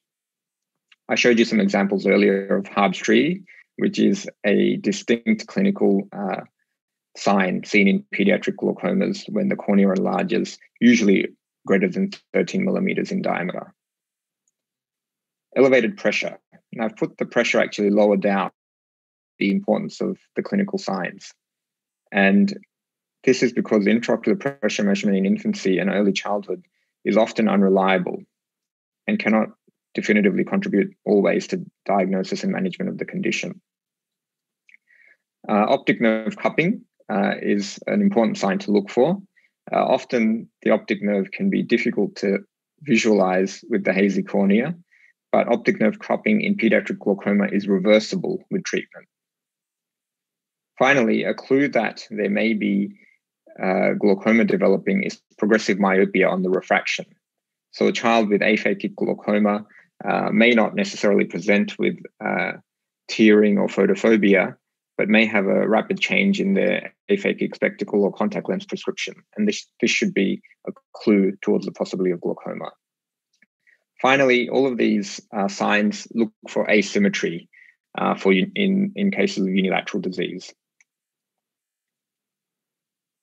Just to talk a little bit more about measurement of intraocular pressure, it's important that the child is relaxed and they're not crying or squeezing their eyelids uh, when you're taking the measurement. The most common method of taking pressures in children now uh, in most centers around the world that have access to it is the iCare uh, machine. Uh, and the newer models um, also allow measurement uh, against gravity. Uh, applanation may be possible if the child is sedated or in the operating room, but often in abnormal eyes, digital tonometry uh, with uh, both index fingers may be the most useful method of measuring pressure in children. So these children who are at risk of and who have glaucoma require serial examinations. And this can be um, quite traumatic for the child. Uh, they're often in the clinic every few weeks or months, and they know what's coming their way. So, if in a cooperative child we can examine them awake, then that's ideal. But I often find that uh, the child who's asleep um, may be easier to examine. So, a longer wait time in the waiting room uh, or ideally um, ask the parents to uh, bring a bottle and feed the child or breastfeed the infant uh, and examine them immediately after. Uh, if the mother's comfortable, you can even examine the child uh, when they're actually feeding. Often, an exam under anesthesia is, is required uh, for the diagnosis and the treatment of this condition. So I put in a couple of slides on the exam under anesthesia because that's something unique to pediatric glaucoma. And a lot of these children require multiple exams, and it's important that trainees be familiar with the signs to look for and become slick at doing it. Preoperatively, you may or may not wish to put dilating drops into the eye. If you're considering angle surgery, um, you may not dilate the pupil at all. If you want to have a better look at the posterior segment, then one single drop of phenylephrine may be enough uh, to achieve that. And then you can install pilocarpine. Measuring the corneal diameter, then assessing the anterior segment, so the corneal clarity, anterior chamber, and iris and lens. Uh, this can be done with a portable slit lamp or a direct ophthalmoscope. Reviewing the optic disc with an indirect ophthalmoscope or the direct, and performing a cycloplegic refraction. It's really important to be comfortable performing gonioscopy in infants. We all become comfortable with looking at angle structures in adults, but uh, if you examine a child who's uh, in the operating room for any other reason, um, have a look at their angle because it gives you an idea of what's normal and what's not normal. Infant angle um, does look quite different to a normal adult angle, even in normal eyes. Uh, what we're looking for is the ciliary body band to uh, differentiate um, uh, primary congenital glaucoma from other um, causal or normal eyes. But the, as I mentioned earlier, if there's primary congenital glaucoma, the ciliary body band will be absent. We measure the axial length uh, to measure axial to look for axial elongation of the eye. And if there's no good view of the posterior segment, then a B scan may be necessary. Again, another point about intraocular pressure. IOP under anesthesia is not reliable unless it's done at induction. Inhalational anesthesia rapidly reduces intraocular pressure. Asymmetry between the two eyes may still be helpful in cases of unilateral disease if you're measuring the pressure after the child is asleep. So here's an example of the setup um, from the Children's Hospital in Pittsburgh of an EUA. Uh, so there's an indirect ophthalmoscope, a direct, a retinoscope, portable slit lamp, a Perkins applanation tonometer. Um, these are really useful um, discs uh, which can help you measure the uh, horizontal or vertical corneal diameter. And uh, they're designed in a way that um, allows you to in a newborn with a horizontal corneal diameter of more than 11 millimeters, or in a one up to one year old child with a horizontal corneal diameter of more than 12 millimeters, uh, it is likely that they have glaucoma. It's important to just remember some differentials for the signs that we associate with congenital or pediatric glaucoma. So, a child with a cloudy cornea may have a corneal dystrophy, such as congenital hereditary endothelial dystrophy, um, or posterior polymorphous dystrophy. Uh, and an enlarged corneal diameter in the absence of Haab's striae may be related to megalocornea, which can be X-linked. One thing that I uh, often find myself reminding the trainees uh, is to remember to examine the parents and the siblings. Whenever you have a child with uh, complex ocular disorder, uh, which may be genetic in origin, always remember to examine the parents and their siblings. So you may be looking for syndromic facies and a specific ocular phenotype, which may be either related to uh, an asymptomatic disease state or a carrier state. For example, this is the mother of a child who I had treating, who I'm treating with glaucoma, who uh, had not been diagnosed uh, as having Axenfeld-Rieger syndrome. Um, just briefly on Axenfeld-Rieger syndrome, it's a condition uh, that causes iris abnormalities. Um, the hallmark of the condition is a posterior embryotoxon, which is an anterior displacement of Schwalbe's line with adherent iris strands. This condition has a 50% risk of glaucoma, uh, which can be challenging to treat. Another condition that uh, we briefly mentioned earlier was aniridia, which is a panocular disease uh, despite the name being aniridia. Uh, these children develop glaucoma um, months or years after birth from progressive angle narrowing, and this may be uh, prevented by prophylactic goniotomy surgery. They also develop limbal stem cell failure and cataract, foveal, and optic nerve hypoplasia. So, now to talk about management of pediatric glaucoma. Uh, as with adult glaucoma, uh, there are three main arms medications, laser, and surgery. Uh, unfortunately, um, in pediatric glaucoma, we often um, have to surgery as a definitive treatment options. When talking to parents about medications, it's important uh, to go through with them a few basic things. Uh, one of which is that all medications, when instilled even onto the eye as eye drops, can have uh, systemic penetration and side effects. So, whichever medications you prescribe, it's important to alert the parents of the potential side effects to watch out for. To reduce systemic absorption, it's helpful to demonstrate nasolacrimal occlusion uh, and asking them to remove any excess that um, has not gone into the eye with the tissue. The mainstays of drops that we use in children are beta blockers, uh, and for the young infants, preferable to use the small, the lower dose of 0.25% timolol rather than 0.5%. Uh, and in some centers uh, and countries, a gel formulation may be available. Uh, Betaxolol um, is also an alternative. Uh, these children may develop a nocturnal cough rather than a wheeze, and it's important for the parents to be aware of that. Carbonic anhydrase inhibitors can cause metabolic acidosis and growth suppression, uh, but can be useful in the management of pressure in these children. Prostaglandin analogs uh, are also safe to use, but can be pro inflammatory, and I tend to avoid them in the post operative setting. One important thing to remember is that alpha agonists are contraindicated in infants and young children due to central nervous system suppression. So please do not use brimonidine uh, or apraclonidine in young infants with glaucoma. Oral acetazolamide can be used as a temporizing measure uh, until you get the child into the operating room. Uh, laser surgery, um, slightly different laser to adult glaucoma. So we're not talking about um, uh, selective laser trabeculoplasty, which we do with a lens um, into the angle. We're talking about transscleral cyclodiode laser. And this is a destructive form of treatment uh, to reduce intraocular pressure by reducing the ciliary body's production of aqueous. We tend to do this treatment for non seeing eyes um, uh, as a heavy treatment to shut the eye down completely or to delay definitive surgery, such as a glaucoma drainage device, until the child is older.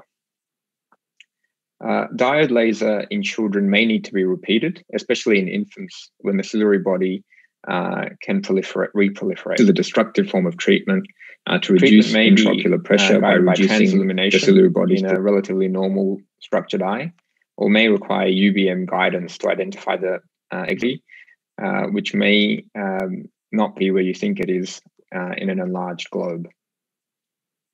A new entity um, called micropulse laser. Micropulse um, is actually a trademark term by one of the companies, but it is uh, a slightly different way of delivering the same cyclodiode laser energy. Um, it's delivered also transsclerally, but it is gentler on the eye and is thought to increase uveoscleral outflow rather than destroying the ciliary body. This may be uh, useful in some certain situations in pediatric glaucoma, uh, but it has not been widely studied.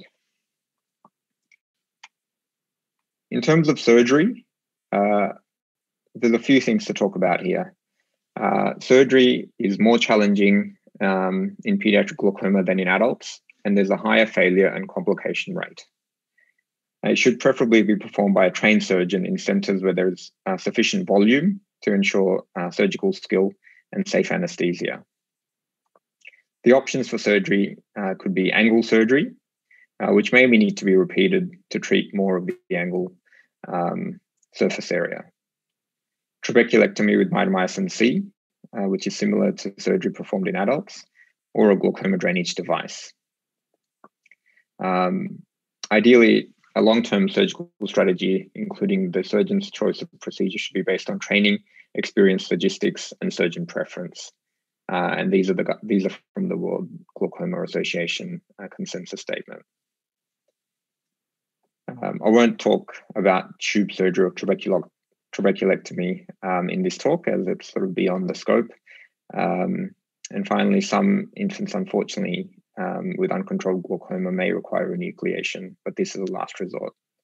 The main thing to tell the parents um, and the older child is that multiple procedures are often needed and lifelong follow up um, is essential. And um, it can be quite a big burden. So, just a couple of slides on angle surgery, as you may not have seen these, and it's unlikely that you would have the opportunity to possibly perform this sort of surgery um, in many centers around the world, unless you're a pediatric, unless you're uh, training to become a pediatric ophthalmologist. So goniotomy surgery um, requires a relatively clear cornea. Uh, my preference is to use a direct goniotomy lens. The positioning is critical, um, and uh, the microscope is rotated and the head is rotated as well, uh, so that uh, the angle structures can become visible while holding the gonial lens. So the positioning can be quite awkward and it takes time to get used to um, the, the correct position to perform this surgery. Viscoelastic um, may or may not be used uh, depending uh, on surgeon preference. Uh, a 25 gauge needle or an MVR blade is used to incise uh, the theoretical um, or what's described as Barkan's membrane um, across the angle, uh, and you visualize the iris root falling away. You tend not to feel anything with the surgery. If you're feeling the needle um, going through tissue, then you're probably going too deep. Uh, in terms of the uh, needle itself, um, I've started using the newer disposable lenses, uh, which have become available following the widespread take up of uh, angle surgery in adults um, as these disposable lenses uh, give quite a good view of the angle structures. It's helpful to have a reliable assistant who's not looking through the microscope to cyclorotate the eye uh, without pushing down or pulling up on the eye. And this allows more treatment area. I'll see if this video works. Um, so one of the um, things that I learned uh, when learning uh, goniotomy surgery is that it's really quite challenging.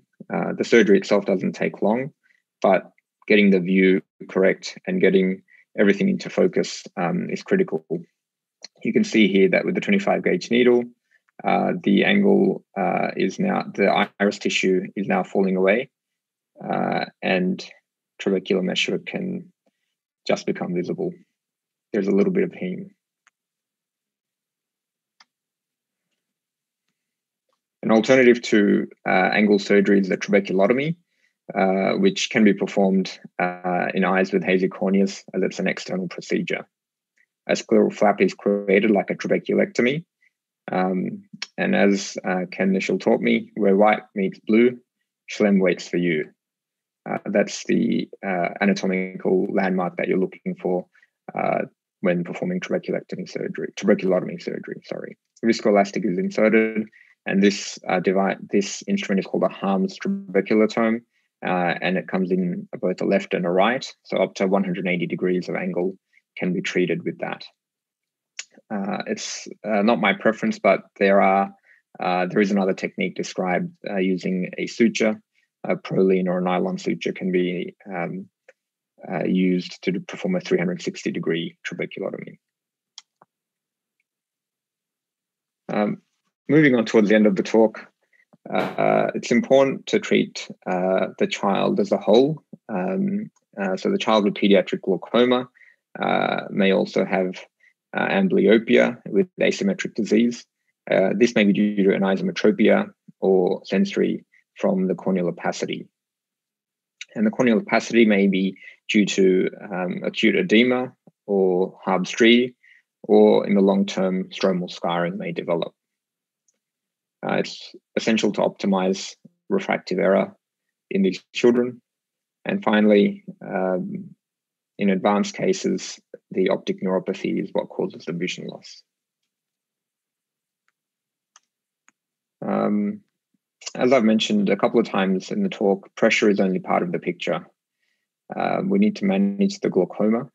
The prognosis is related largely to severity or delay of presentation uh, and the older the child presents um, with the condition, the poorer the prognosis is.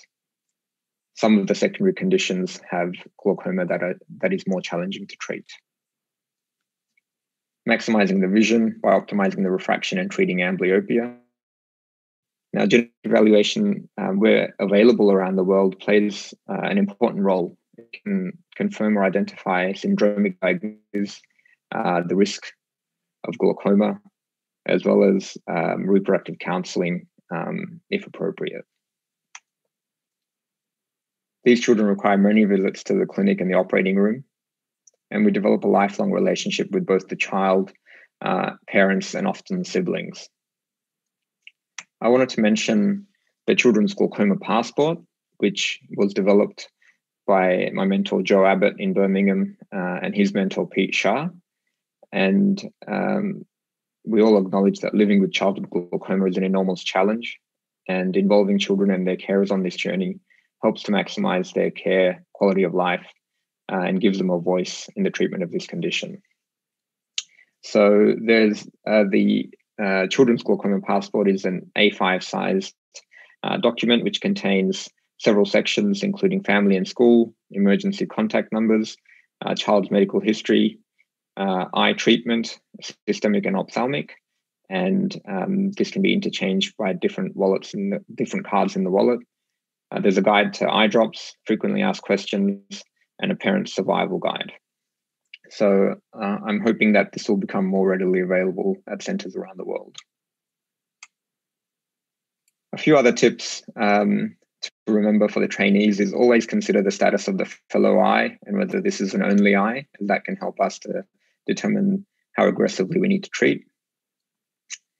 Uh, social circumstances. So, in a child who has a chronic condition, um, just like any other chronic medical condition, we need to consider where they live, how easy it is for them to get into the hospital uh, for multiple visits and multiple surgical procedures. And in the older child, it's important to involve them in the decision making as much as possible. So, in summary, in the last half an hour, I'm hoping uh, that uh, I've been able to tell you that pediatric glaucoma is a different disease to adult glaucoma. There's different causes, different pathophysiology, and the treatment is different. Uh, it's important to look at the entire picture. Uh, there are several parameters that we consider, and we rely less on the intraocular pressure as a uh, single measurement. Always look for a possible secondary cause, which could be genetic and could have systemic implications for the child, and examine the parents to look for an underlying genetic condition. Once again, manage the child as a whole. Remember to refract them, treat their amblyopia, uh, and this is a long term relationship. Um, pediatric glaucoma is a chronic condition, and these patients are with us for life. Thanks very much. Parth, thank you so much for a fantastic uh, talk. Uh, great insights into the assessment of children with glaucoma, uh, highlighting the differences between adult and uh, childhood uh, disease. Um, and the, the, the, difficulties, the practical difficulties you have in trying to assess children multiple EUAs, uh, and also that that I hadn't uh, come across the uh, glaucoma passport. What a fantastic idea, Pete and uh, uh Joe have used, and I think if that was to be taken up across, you know, more widely, uh, that would be a, a great uh, benefit for children and, and their, their, their parents. Uh, when it comes to the, the practical aspects of things in in Sydney, um, children presenting with congenital glaucoma, are you seeing them you know, at a relatively early stage? How does it compare maybe with your experience in Pittsburgh and Birmingham? Are you noticing a similar pattern of presentation for that uh, idiopathic congenital glaucomas? Yeah, I think we're, we're lucky here that we um, have a fairly easy pathway into the clinic children fairly early on. Um, which is helpful to the long term prognosis. Um, the earlier we can get on top of treatment, um, we can salvage both um, some hope for vision as well as keeping the eye.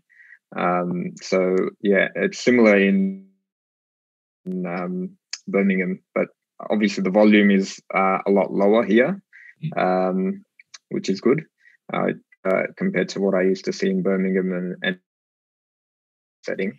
Uh, but um, relatively good access. Uh, I was just, I mentioned to you earlier, John, I was in Broken Hill uh, this morning, and unfortunately, there's a child there with bilateral aphakic glaucoma.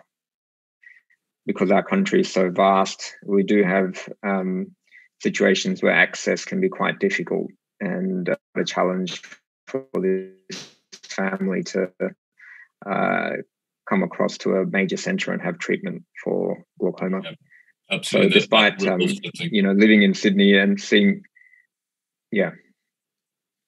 Some of the questions coming through on the from the webcast uh, viewers said seeing adults who've had pediatric glaucoma uh, surgery uh, as, as, as children and increasing tendency towards rupture with relatively minor trauma in playing sport. What sort of advice do you give children who've had maybe drainage surgery, perhaps more tubes and trabeculectomy than goniotomy, um, yeah. or just advice in general for children maybe with an only eye, a poorly sighted eye when it comes to contact sports, racket sports, and things?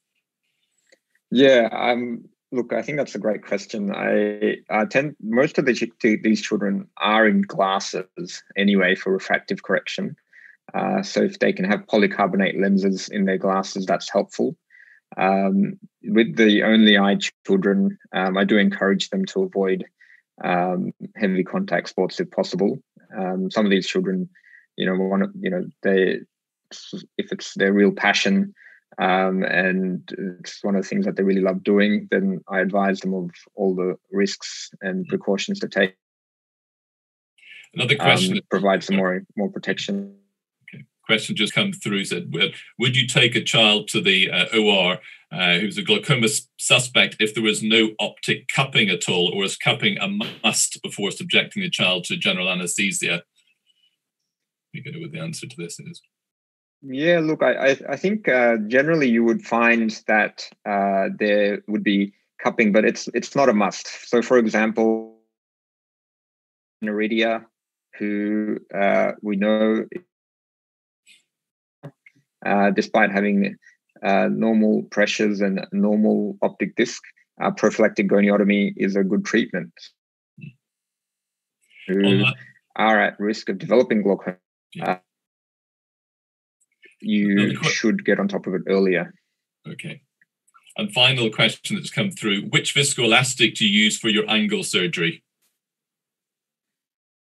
To, um, uh, if needed, use Healon um, and um, it's usually easy to wash it out at the end.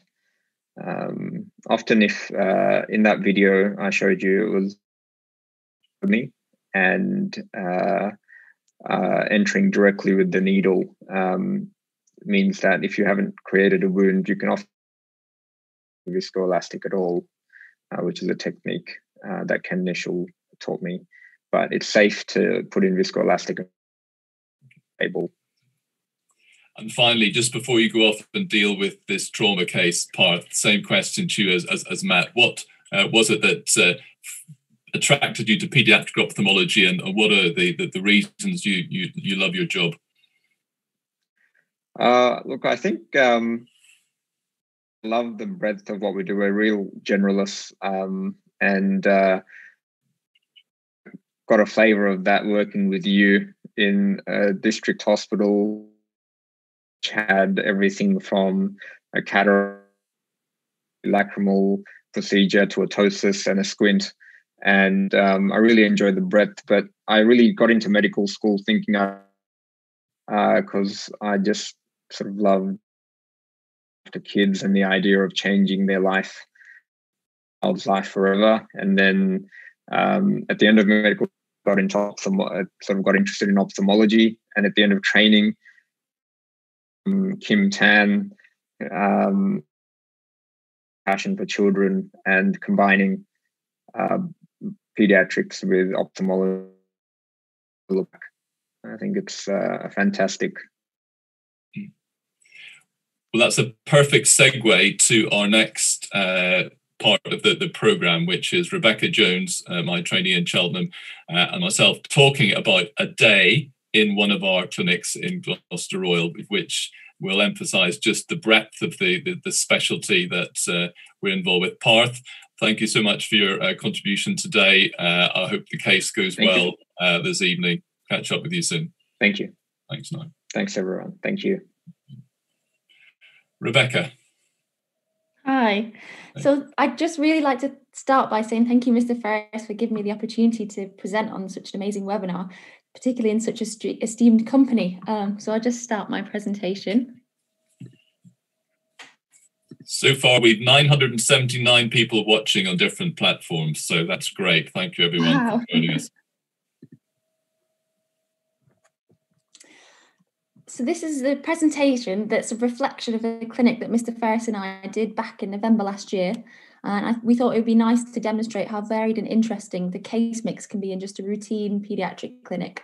And Mr. Ferris, I hope you'll be comfortable with uh, just chipping in with your insights throughout this as well. I'll try to. so to make this more interactive and interesting, we'll be using the Turning Point app to host a live quiz. Uh, you can join in the quiz and get anonymously marked on your answers you go through. It's free to download from the App Store, and this is the icon at the top here that you're looking for.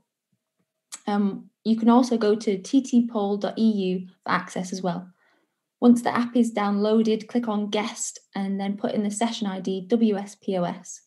If you're on the website, put in WSPOS as the access code. You shouldn't need to put in your name or email, but you can if you want to. Uh, my very kind colleague, Sonia Mamtour, is running the quiz for us this morning. So I'll just wait to hear those people logging in okay.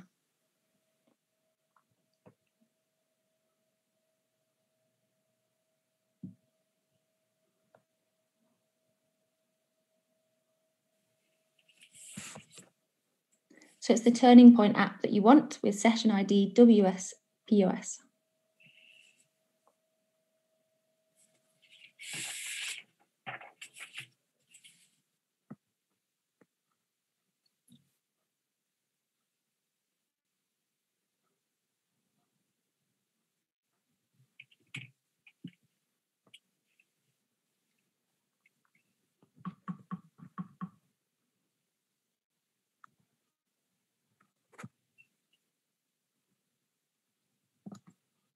Great. So to begin with the polling, a few questions to help us get to know our audience a bit better this morning. So to start off, what stage of ophthalmology training are you at? Are you a medical student, intern, a junior resident or senior resident, a fellow or consultant, or are you an orthoptist or optometrist or another colleague in the field? I'll just give you a few minutes to answer just the first question here there's a bit of delay between the different platforms, so I'll have to leave a gap to for allow yes. people. To... We've worked out there's about a 15 second delay between Rebecca speaking live on our Zoom uh, call, which the speakers are on, and the YouTube and Facebook feeds. So we will try and allow for that as we go through this talk. So just for anyone that's joining, if this is an interactive polling. So if you go to ttpoll.eu and then type in the session ID WSPOS to get the questions. So the next question, where are you watching from? Closer to home with us here in the UK or elsewhere in Europe or in Asia, North America, South America, Africa, or with Mr. Spargo and Mr. Shah in Australia?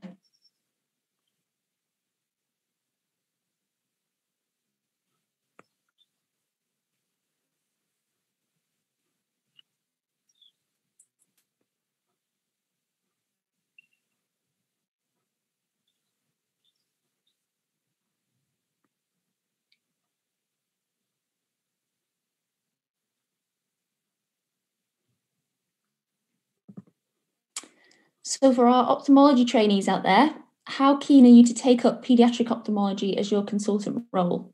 You can rank this one from one to five. One, you'll be you're you know you're definitely sold on pediatrics. To five, you're certain that it's not for you.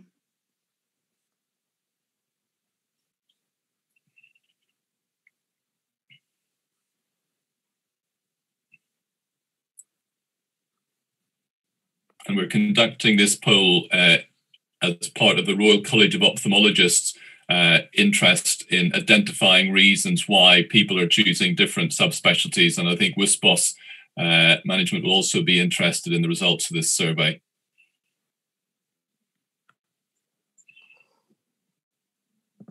So to look into that a bit more, the next question is what are the things that make you more keen on doing pediatrics? You can rank the choices in this question to reflect your particular opinion. So Number one, is it the flexible way of working that you like? Or is it the widely available consultant job opportunities? Is it an interest in research in pediatrics? Is it the financial incentives that come from this subspecialty? Or is it that you like being part of the MDT with orthoptists and optometrists and nurses? Or do you like the fact that you just can't predict on day to day what's going to show up in your clinic? You can rank all those options, you know, with what's most important to you first.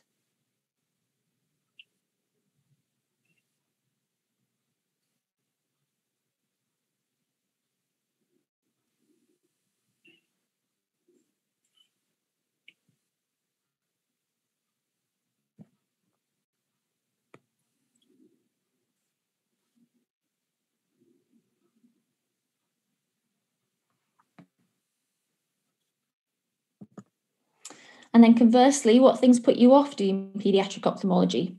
Is it having difficulty examining children? I know we've got some tips later coming on from David, David Granet, so hopefully that shouldn't be an issue after this afternoon.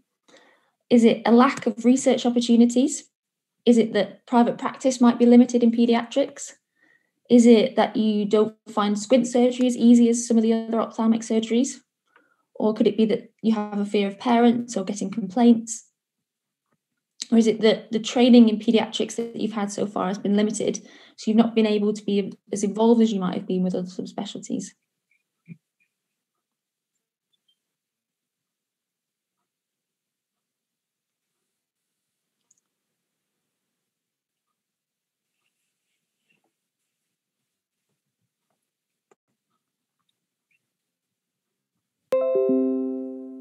Hope that everyone's worked out how to use the Turning Point software now. Uh, so we can go into some live quiz questions about the cases that we saw in our pediatrics clinic. So if you've just joined, we're working with the software Turning Point. So if you go to ttpoll.eu to join our live quiz and join with the session ID WSPOS, you can join in with our questions. To begin with our cases, the first one that came into clinic this, morning, this morning in November was a 13 year old girl with JIA. Her vision on that day was 6, 7.5 in both eyes. She was first diagnosed with JIA in 2017, with her wrists, hips, knees, and ankles affected. She was found to be ANA positive and had just been started on methotrexate. She didn't have any signs of uveitis at that point, and she hadn't had she hadn't had any uveitis on subsequent clinic follow-ups either, up until we saw her in clinic that day. She'd had that day in clinic, um, 2.5 plus of cells in each eye, not quite as much as you can see in the photo, but still quite significant. But it was interesting that she was just about to be started on Humira for her joint inflammation. I think Professor Dick will speak on this later, but Humira is also really great treatment for uveitis in JIA. So we might not have been as aggressive as we would otherwise have been with the topical steroids. Uh, Mr. Ferris, do you want to talk about a bit about what your thought process was in the case? Yeah.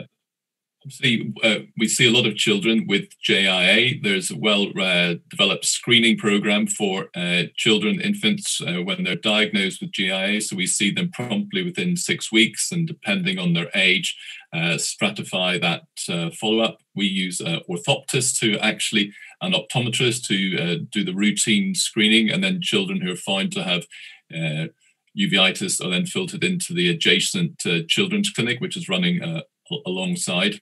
The advent of methotrexate has totally revolutionized the management of these children. As a medical student in Bristol, I remember seeing these poor teenagers with fixed flexion deformities, blind from their cataract and glaucoma and hypotony. Uh, so methotrexate uh, usually takes about two months to kick in and have an effect on the uveitis, but the second line immunosuppressants that Andrew Dick, as you alluded to, will, will be talking about, are just giving it that extra layer of protection and preventing uh, the steroid-induced complications of cataracts and uh, glaucoma. Uh, unlike methotrexate, can take several weeks for the effect of the Humira to kick in.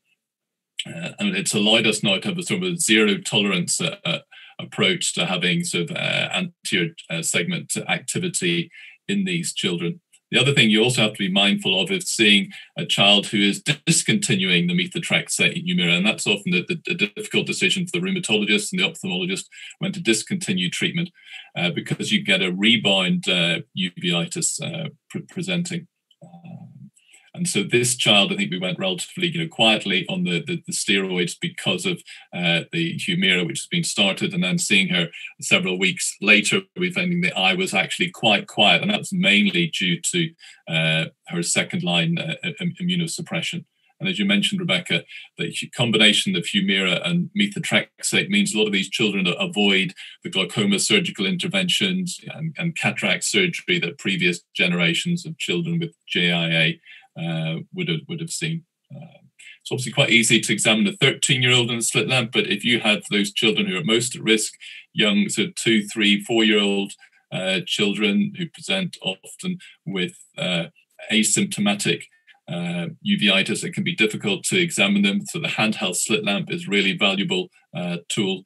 Uh, but quite often the, the, children, if you make a game and make it fun, uh, some of our children just love coming to the eye clinic. They bounce up onto the slit lamp, even little three and four year olds, and hold on there. They're happy having their pressures checked.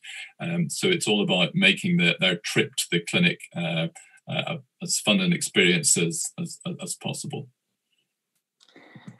So we'll just go on to our first question uh, of, of these clinic cases. So, which of these is not a poor prognostic feature of uveitis in JIA?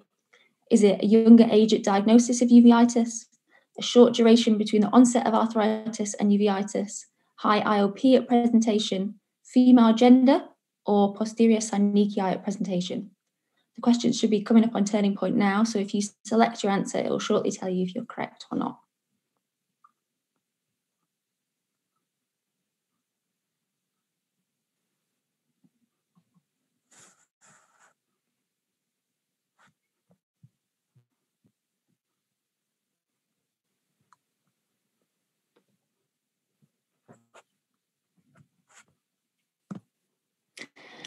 So the correct answer is actually female gender. Developing uveitis is much more common in girls, but the prognosis is worse in boys if they do go on to develop it. So, um, as we've mentioned, Prof. Dick will be talking about this later, but just as a bit of an introduction to anterior uveitis in JIA, it's the most common cause of uveitis in children. And if a child presents to you with uveitis, it's so, you know, obviously then worth taking a history of joint pain and being aware that in the minority of cases, the uveitis can present before the arthritis. It's uncommon that these children would present to an ophthalmologist, though, because they don't get the classic symptoms of aching or photophobia and they can have quite significant signs of uveitis without noticing any any you know symptoms. As Mr. Ferris mentioned, there's quite a well-validated screening protocol for uveitis, and in Cheltenham, we're really lucky to have an excellent bunch of orthoptists who run all our screening clinics. The risk factors for developing uveitis in JIA are younger age at onset of arthritis, uh, and those two to three year olds can be difficult to examine, but it's definitely worth trying to get the, the best view of the anterior chamber to rule out the inflammation. Girls and those that are ANA positive are also at higher risk. At presentation, if they just have one or two joints involved, then that's a risk factor for going on to develop uveitis. And it's worth being extra vigilant with these children with the risk factors, as there are many sight threatening complications to an undertreated uveitis, like cataract, glaucoma, band keratopathy, and macular edema. Glaucoma in children with uveitis can be particularly difficult to manage, as children are more likely to be steroid responders, so checking their IOP is essential to preserve sight and to act promptly, particularly if there's any signs of optic nerve compromise. Our next child into clinic was a five year old little boy who we'd been seeing regularly since 2017. He was first referred due to a left esotropia, and when he was refracted, he was found to be highly myopic at minus 12 and minus 11 diopters with no significant astigmatism. His birth history and early life had been unremarkable, and there was no family history of myopia. So, what could be the cause of an extremely high myopia in an otherwise well two year old? Options for this one are Alport syndrome, Stickler syndrome, Axenfeld-Rieger syndrome, X-linked retinoschisis, or FEVR.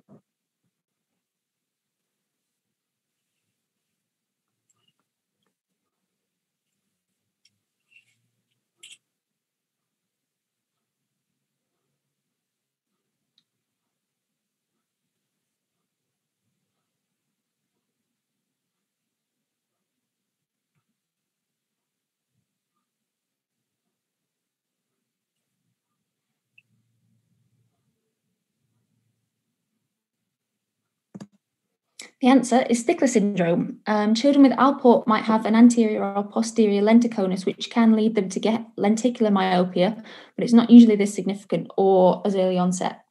Axenfeld-Rieger is this rare condition that causes bilateral anterior segment dysgenesis and leads to difficult to manage childhood glaucoma.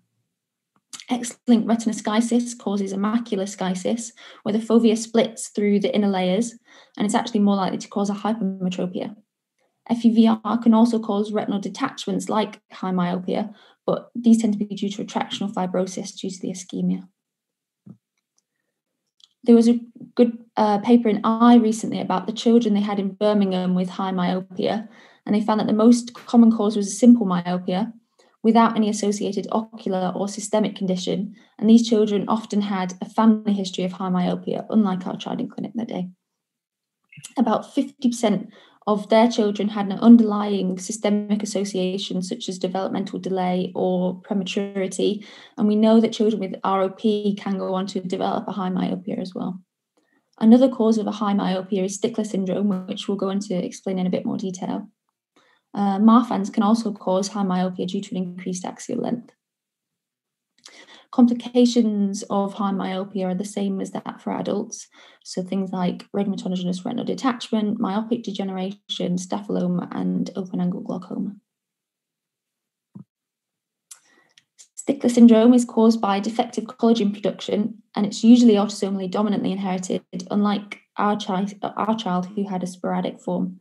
There are also other connective tissue features like the flat midface, deafness, and cardiac valve abnormalities.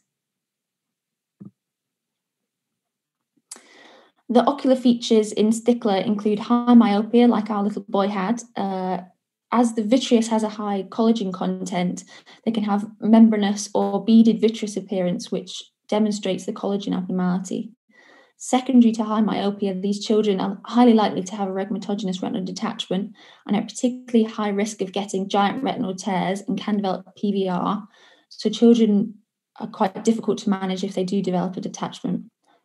Children with Stickler can also have a congenital cataract, but they usually aren't significant enough to require surgery.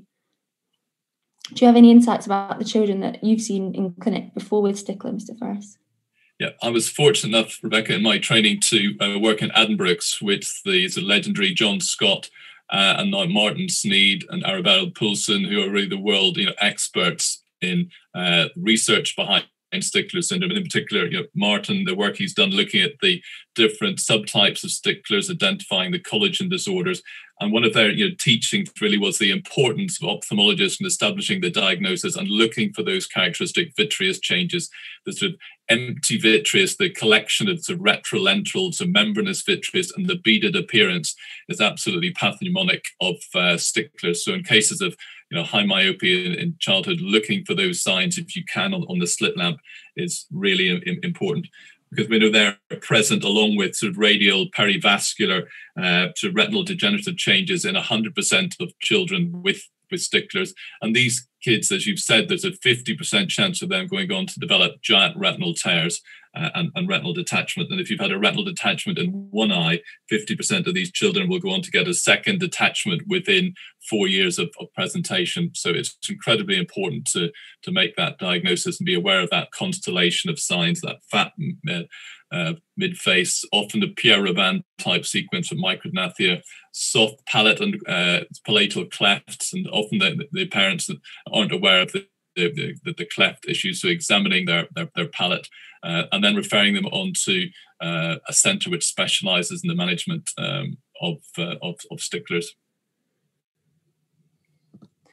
Okay, uh, thank you. So um, back to our child. Later in 2017, he was refracted again and found that he'd now gone from minus 12 to minus 6 in the right eye. And then on examination, found that he'd got a retinal detachment in that eye, unfortunately. So he was seen by Martin Sneeden in Cambridge, where he had a retinal, um, he had a scleral buckle with um, silicone oil. Both eyes were treated with cryotherapy as well, the left eye prophylactically to reduce the risk of future retinal detachment.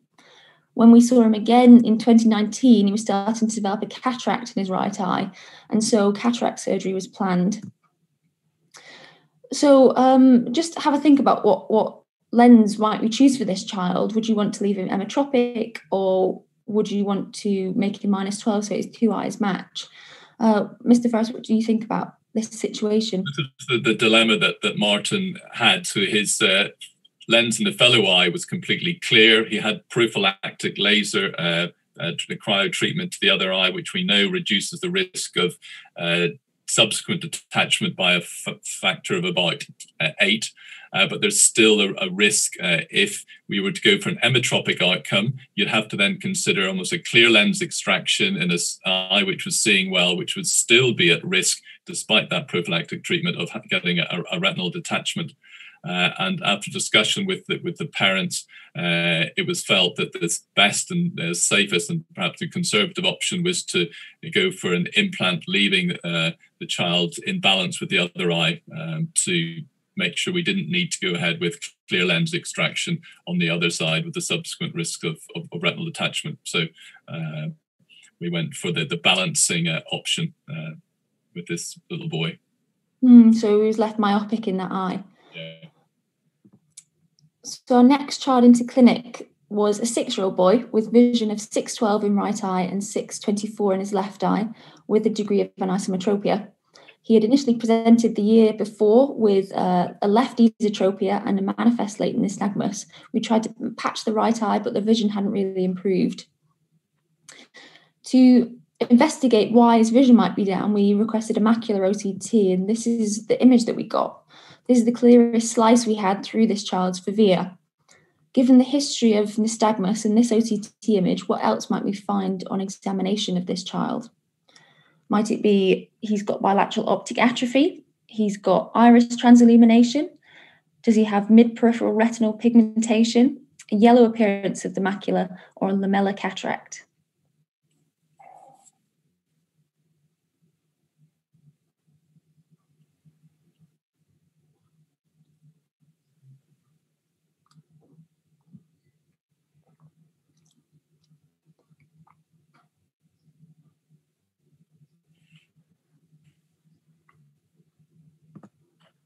Those that got it right probably worked out that the OCT here shows foveal hypoplasia.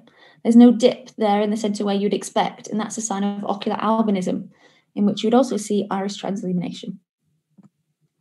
When we spoke to his mother about this, she worked in the hospital as a biochemist and she wanted to know what the inheritance of ocular albinism was.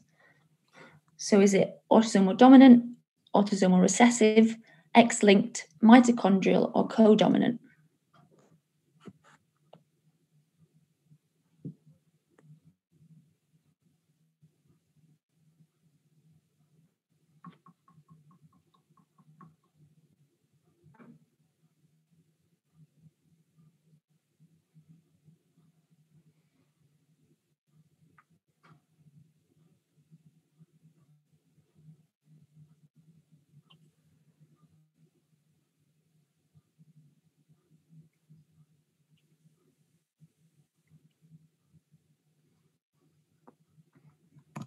So, ocular albinism is inherited in an X linked fashion. So, the children that you see in clinic will all be boys.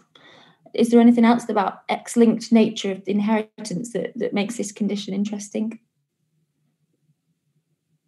Mr. Vice, do you want to give some um, input about, about X linked well, the, again, you're asking the, the history of uh, males on the maternal side, whether there's a, a history of uh, people who have either nystagmus or, in the case of ocular albinism, uh, photosensitivity, reduced vision, uh, which there wasn't in this child.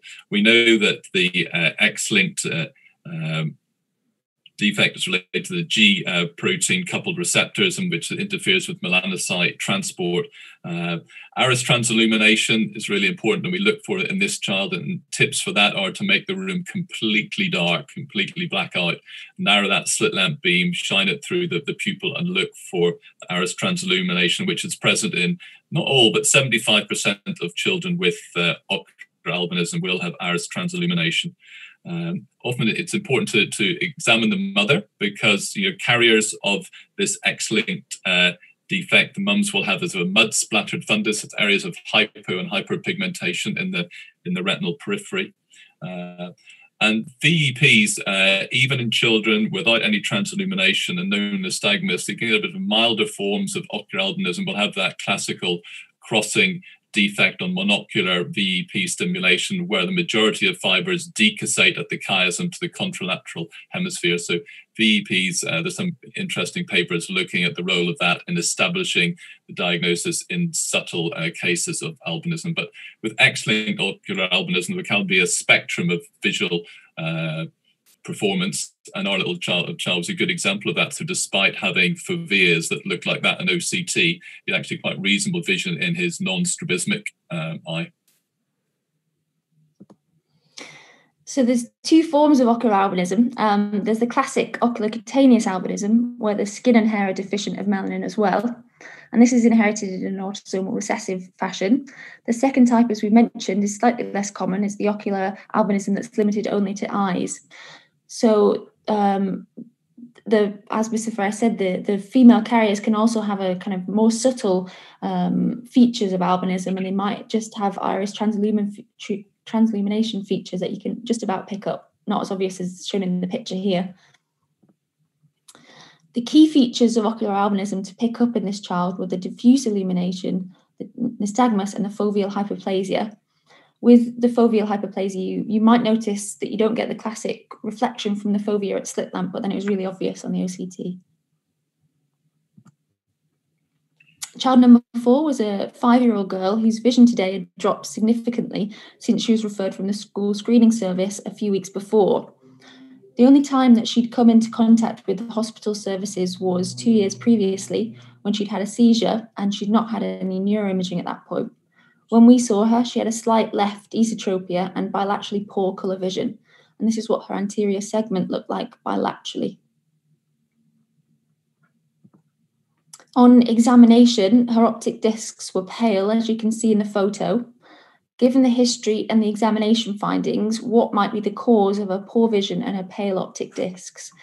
Could it be that she has dominant optic atrophy, Leber's hereditary optic neuropathy, juvenile Batten disease, post infectious pale optic discs, or an optic pathway glioma?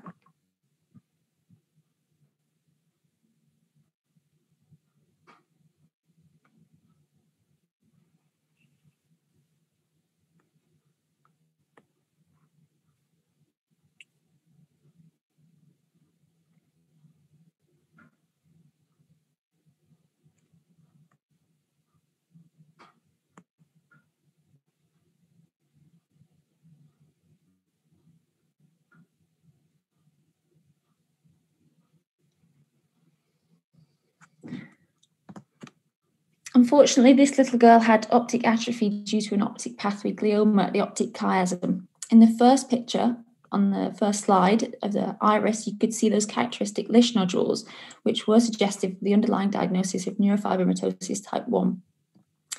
The diagnostic features of NF1, other than the iris Lisch nodules and the optic pathway glioma, are these cafe au lait pigmented patches that you can see in the picture, as well as freckling in the armpits and groin, and the classic neurofibromas, which tend to develop a little bit later. As NF1 is inherited autosomal dominantly, there's often a family history of neuro- neurofibromatosis. The treatment options that are available for OPGs are limited, unfortunately, and we had to explain to her mother that the visual prognosis was not good. Once the OPG starts to affect the visual function, the only treatment that we really had available was a chemotherapy, which is weekly intravenous vincristine, which doesn't really tend to recover any visual function and is just given to stabilize her decline. Radiotherapy is not recommended in these children because it can cause more aggressive secondary tumours. And had this tumour been detected at an earlier stage, often these children are just closely observed for signs of visual compromise. Obviously, it was too late in this case for that. For that. Difficulty wasn't it, Rebecca, for this uh, child? Her mother has NF1 her mm. older brother, who was only eight, had NF1 with bilateral optic pathway gliomas. And her mum was almost in denial that uh, her child, that this, her daughter had neurofibromatosis. And of course, she knew then exactly what this diagnosis entailed, having been through the investigation and treatment of her little boy, who was actually doing pretty well uh, with his, his, chemotherapy. So it was a really tragic case of another child with exactly the same um, condition. But I'll let you mm. talk a little bit about the screening protocols because this is problematic uh, mm-hmm. how we screen these children uh, to try and pick up OPGs. Yeah. So it just made me think that, you know, if we hadn't suspected that this child had NF1, would she have been screened for optic pathway gliomas? And um, we spoke about how screening in NF1 is really under debate at the moment. And there's been an excellent article recently in the Eye controversy section arguing for and against screening um, it's not really been decided what the best screening protocol is for OPGs. Um, visual acuity is obviously the easiest method, but it's not that accurate, particularly in young children, particularly those with learning difficulties, which are quite common in NF1. Colour vision or visual fields might also be un- unreliable in these small children. Um, VEPs are probably more sensitive to the change, but it's difficult to routinely perform electrodiagnostics on all these children. For you know, it's quite a, a common condition actually. Yeah, and in the as you say, when you read the papers, they blithely say mm-hmm. visual acuity, visual fields. Well, visual fields in a three-year-old, you know, mm-hmm. how reliable is that? It's just not a reliable way of checking things. And the other good point you make is that these children often have learning difficulties or attention deficit problems, some of which can actually, the attention deficit can be part of the spectrum of the optic pathway glioma. And so trying to uh, have reliable visual acuity measurements with an experienced orthoptist is probably the most important parameter. There have been some interesting studies looking at OCT, again, often handheld OCT in the younger infants, looking at declining in retinal nerve fiber layer thickness on two consecutive visits. And that's thought to have about a 70% sensitivity and about 100% specificity for uh, progression of the optic pathway gliomas. Because 15 to 20% of children with NF1 will have an OPG, but only half of which will go on to cause a visual uh, deficit. Um, mm. And the, the difficulty is trying to work out when to, to intervene. What are your criteria for subjecting a child to potentially long course of chemotherapy, which has got a still has a guarded uh, um, outlook? I guess one reason to screen is that we just don't know a lot about OPGs in NF1 and what the natural course of them is and whether they actually might spontaneously regress. So if there was screening, you know, a baseline MRI to pick them up, then perhaps we would know more about what the best treatment is and when to intervene in these children.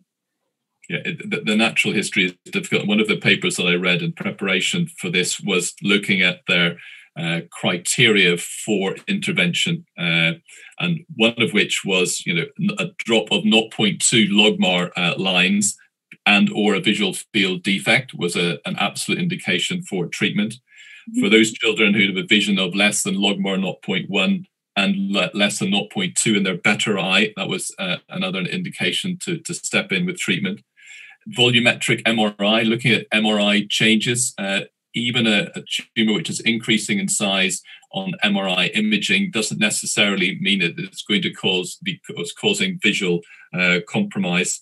Uh, and it's a liaison with the pediatric neuroradiologist, with the pediatric oncologist, and again, it's that collaborative uh, team team approach that's essential for these uh, children, and having good channels of communication with the oncologist, the radiologist, uh, and with the the, the parents is, is key. Yeah, and then it's difficult to screen for a condition that you don't actually have that good a treatment for. I remember the discussion you had with the mother who obviously knew what the chemotherapy would entail, um, and it doesn't actually improve outcomes in most of the children. So it's quite a difficult thing to to then put forward to the parents.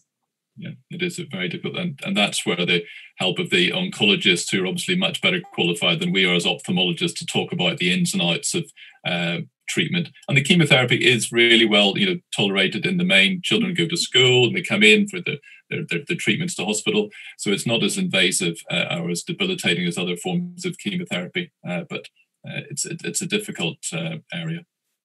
Mm, yeah, definitely interesting. The next child that we had was a one year old boy who had bilaterally poor vision, who'd been referred by the paediatricians after a diagnosis of a multisystem condition called Joubert syndrome. Earlier in 2020, he developed a third nerve palsy, which was related to the Joubert, and he started patching to try and improve his vision. The sign that's shown here on the MRI scan is this molar tooth sign, which is pathognomonic of Joubert. Next question then. So, which of these conditions is not a systemic ciliopathy? I'll give you a short amount of time to answer. Hopefully, the questions are coming out synchronized with the app.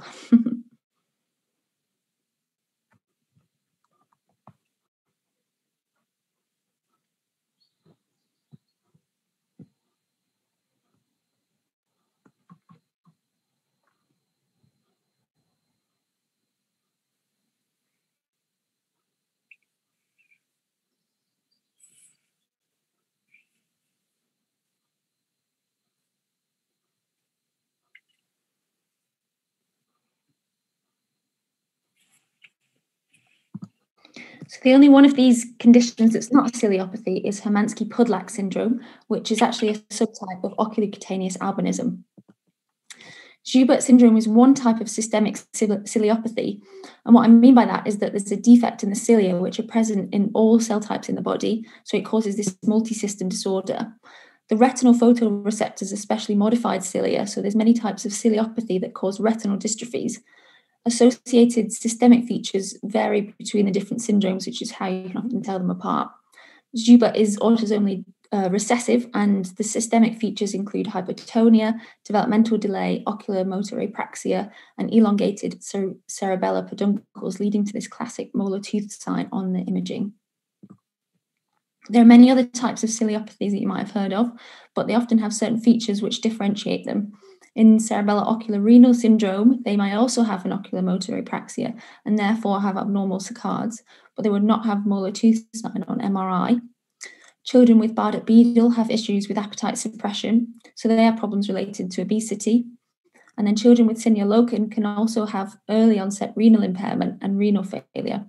Each one is related to a different gene encoding proteins involved in the formation or function of cilia.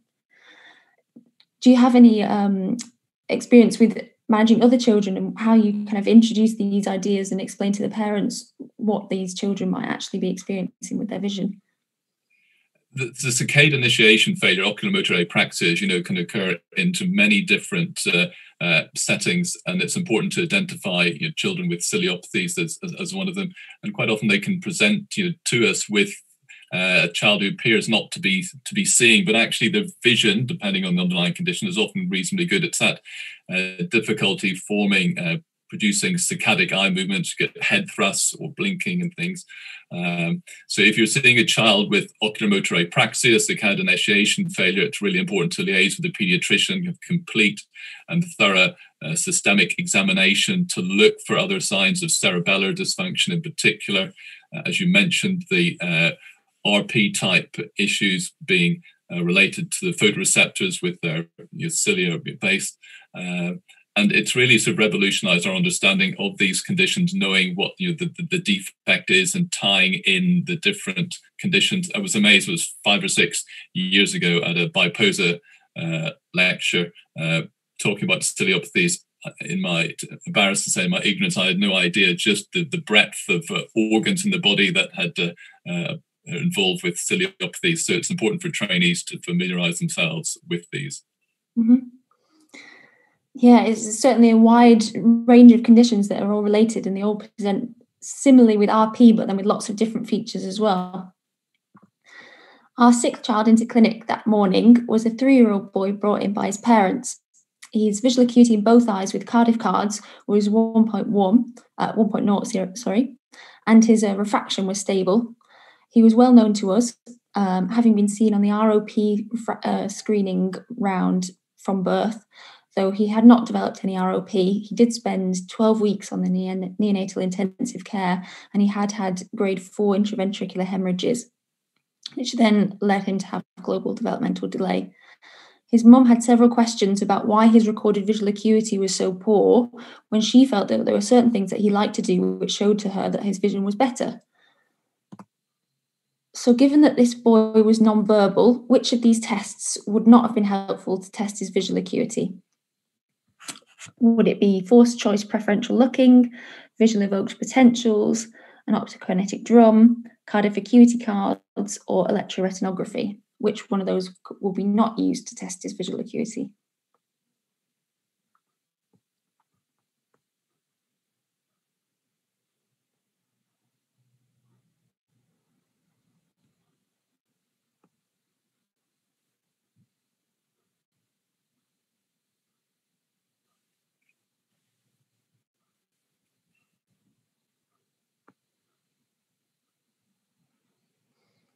The correct answer is ERG testing, which is used to assess retinal function but can't be used to get a measure of the actual visual acuity, whereas VEPs can be used to get an objective assessment of possible visual acuity.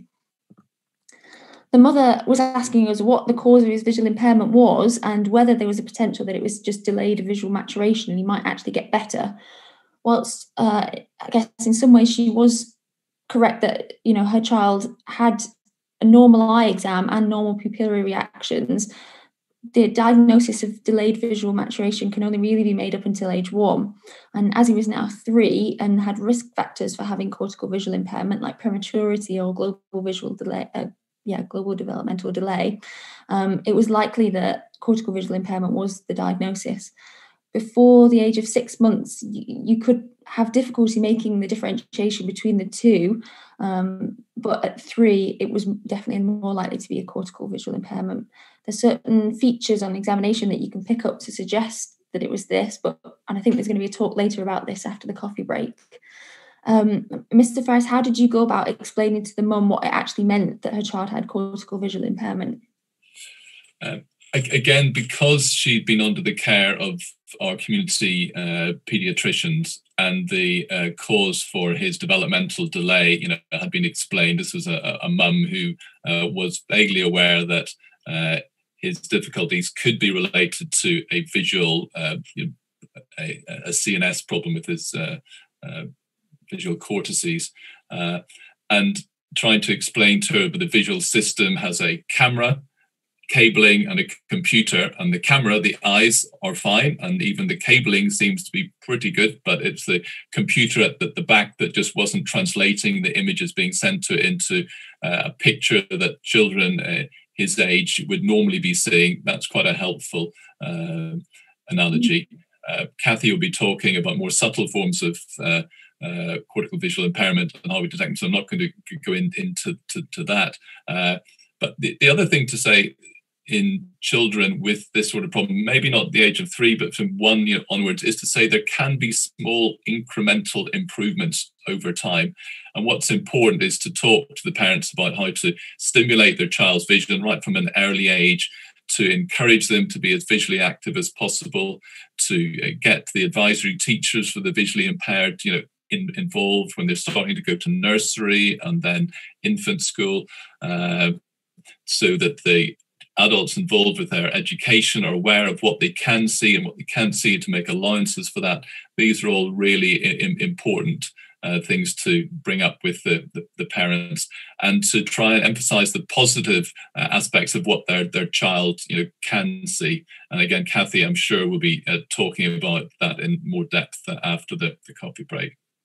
Mm, yeah, I remember the mum was happy, you know, because she could tell us about some of the things that she felt that he was able to do that showed that his vision was, you know, he enjoyed looking at things and the things that he enjoyed to do that related to his vision. And we were able to have a chat, chat to about what kind of things we could do more to help stimulate him. I think she really appreciated that and quite often the vision which we record in, in, in clinic, you watch the child in, in front of you and how they're mm-hmm. playing and interacting, behaving. You think well, they must actually be mm-hmm. performing at a higher level than we can detect in the in the in the in the tests. And the parents are they're always the best arbiters of what the child you know can can see. We're only seeing them at a set point in time. So getting that feel from visit to visit of how their child may be progressing and encouraging the the, the parents uh, and you know. Uh, being pleased with them when there has been an, an, improvement, incremental improvement, even if it's only small in their child's visual performance is, important, really. Mm. Yeah, exactly. The, the next child that we had in clinic was a three year old girl brought in by her mum who had noticed this slight droopy upper lid on the right side for the past couple of months. Mum hadn't been worried about any other symptoms and she'd been fit and well up until the, the concern about the droopy eyelid. Have a look at the photo and think what might be the cause of her ptosis. And then let me just share with you this video. Hopefully it will run okay. Uh, you can get a better look at lid position and any other features of the examination, which I think might be useful.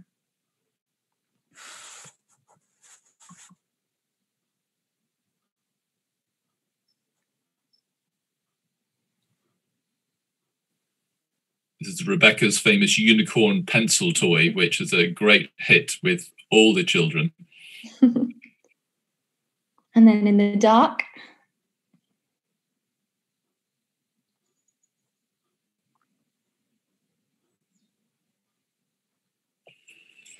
And then we put some drops in, uh, and this is the same child looking a lot happier about half an hour later. And just see what's different from this video to the first video on photo.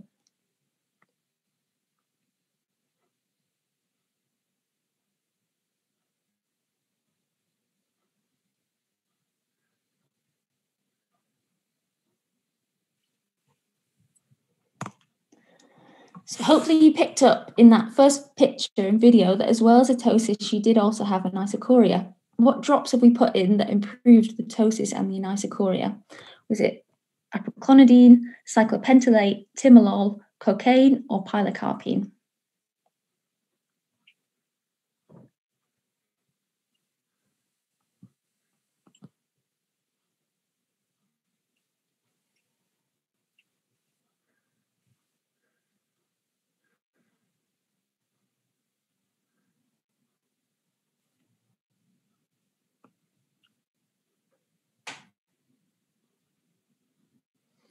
So the correct answer for this is apraclonidine or iopidine. I'm sure you've worked out the, the cause of ptosis was a Horner's syndrome. So apraclonidine will be useful to cause pupil dilation in a Horner's pupil due to the denervation hypersensitivity. I guess whilst cocaine eye drops could also be used to diagnose a Horner's, we aren't in the habit of keeping them in clinic or giving them to children. so the features of a Horner's syndrome to look out for are the subtle ptosis and the miosed pupil, which is more obvious in the dark if you've got a clear history from the parents of this being new and there's no signs of any iris heterochromia to suggest a congenital Horner's, then you really have to refer the child to paediatrics for further investigation. In children, the most common cause of Horner's is a birth trauma, but it could be a presenting feature of neuroblastoma. The RCOphth produced this really informative update recently on assessing children with a suspected Horner's, with a particular highlight on the use of apraclonidine because it can cause a potentially life-threatening bradycardia and apnea in young children, it, they recommended that it be avoided in those under two years. Um, after this child was referred to paediatricians, they will have investigated her. I don't know if Mr. Ferris, you want to talk about the results of her investigations. Yeah, she had urinary VMA testing, and again, the article in the RCF uh, emphasizes the small number of false negatives you can get with that, and an MRI of the head and neck, which didn't reveal you know, any uh, sinister cause for her uh, acquired, seemingly acquired Horner's syndrome. She does remain a bit of a mystery, but we haven't didn't uh, find any sinister underlying cause for her Horner's, which is obviously fortunate for her. But I would really recommend people going onto the Royal College of Ophthalmologists website, and I think you can download this and their, their guidelines. It's a really useful uh, tool for investigating Horner's syndrome in, on all age groups, but in particularly uh, the children. And our use of 0.5% apraclonidine, uh, beautifully illustrated in those videos, the, the, how helpful it is in establishing the diagnosis. So these are the well, just some of the the cases actually that we saw in that routine paediatrics clinic one November morning last year. But I think it really demonstrated how varied and interesting just a routine paediatrics clinic can be. So um, I'd just like to thank my co-presenter, Mr. John Ferris, for inviting me to talk on this amazing platform, and the WSPOS for hosting this great day for us ophthalmology trainees. And I'd also like to thank my backstage colleague, Suno Mamtora, for running the quiz side of the presentation, and I hope it worked out for all of those involved. Rebecca, thank you very much. Impeccable timing, 11.30 on the nose. Uh, will, uh, that was just a lovely overview of what Parth and Matt was talking about, that breadth of practice that we see. We are sort of the last generalist, really. You know, there's all neuro-ophthalmology there, oncology there, genetics, liaising with the pediatricians, uh, and that is not a completely atypical day. It was you know, quite a variety of things, but that, that, you never know what's going to come through through your, through your door. So thank you so much for that and for the quiz. We're going to break for 15 minutes for coffee and then be joined by uh, Cathy Williams and Andrew Dick uh, taking us up to lunch. So uh, everybody get some refreshments and we will catch up with you in 15 minutes time.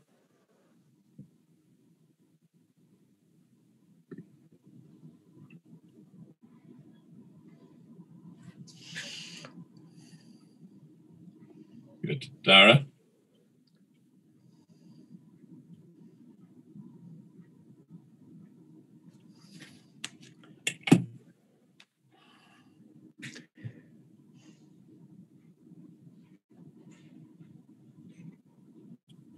Are you, Andrew?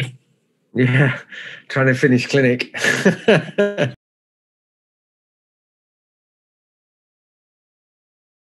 uh, we are today very much thankful to Santen for giving us this opportunity to have a presentation. And uh, it's going to be a very important topic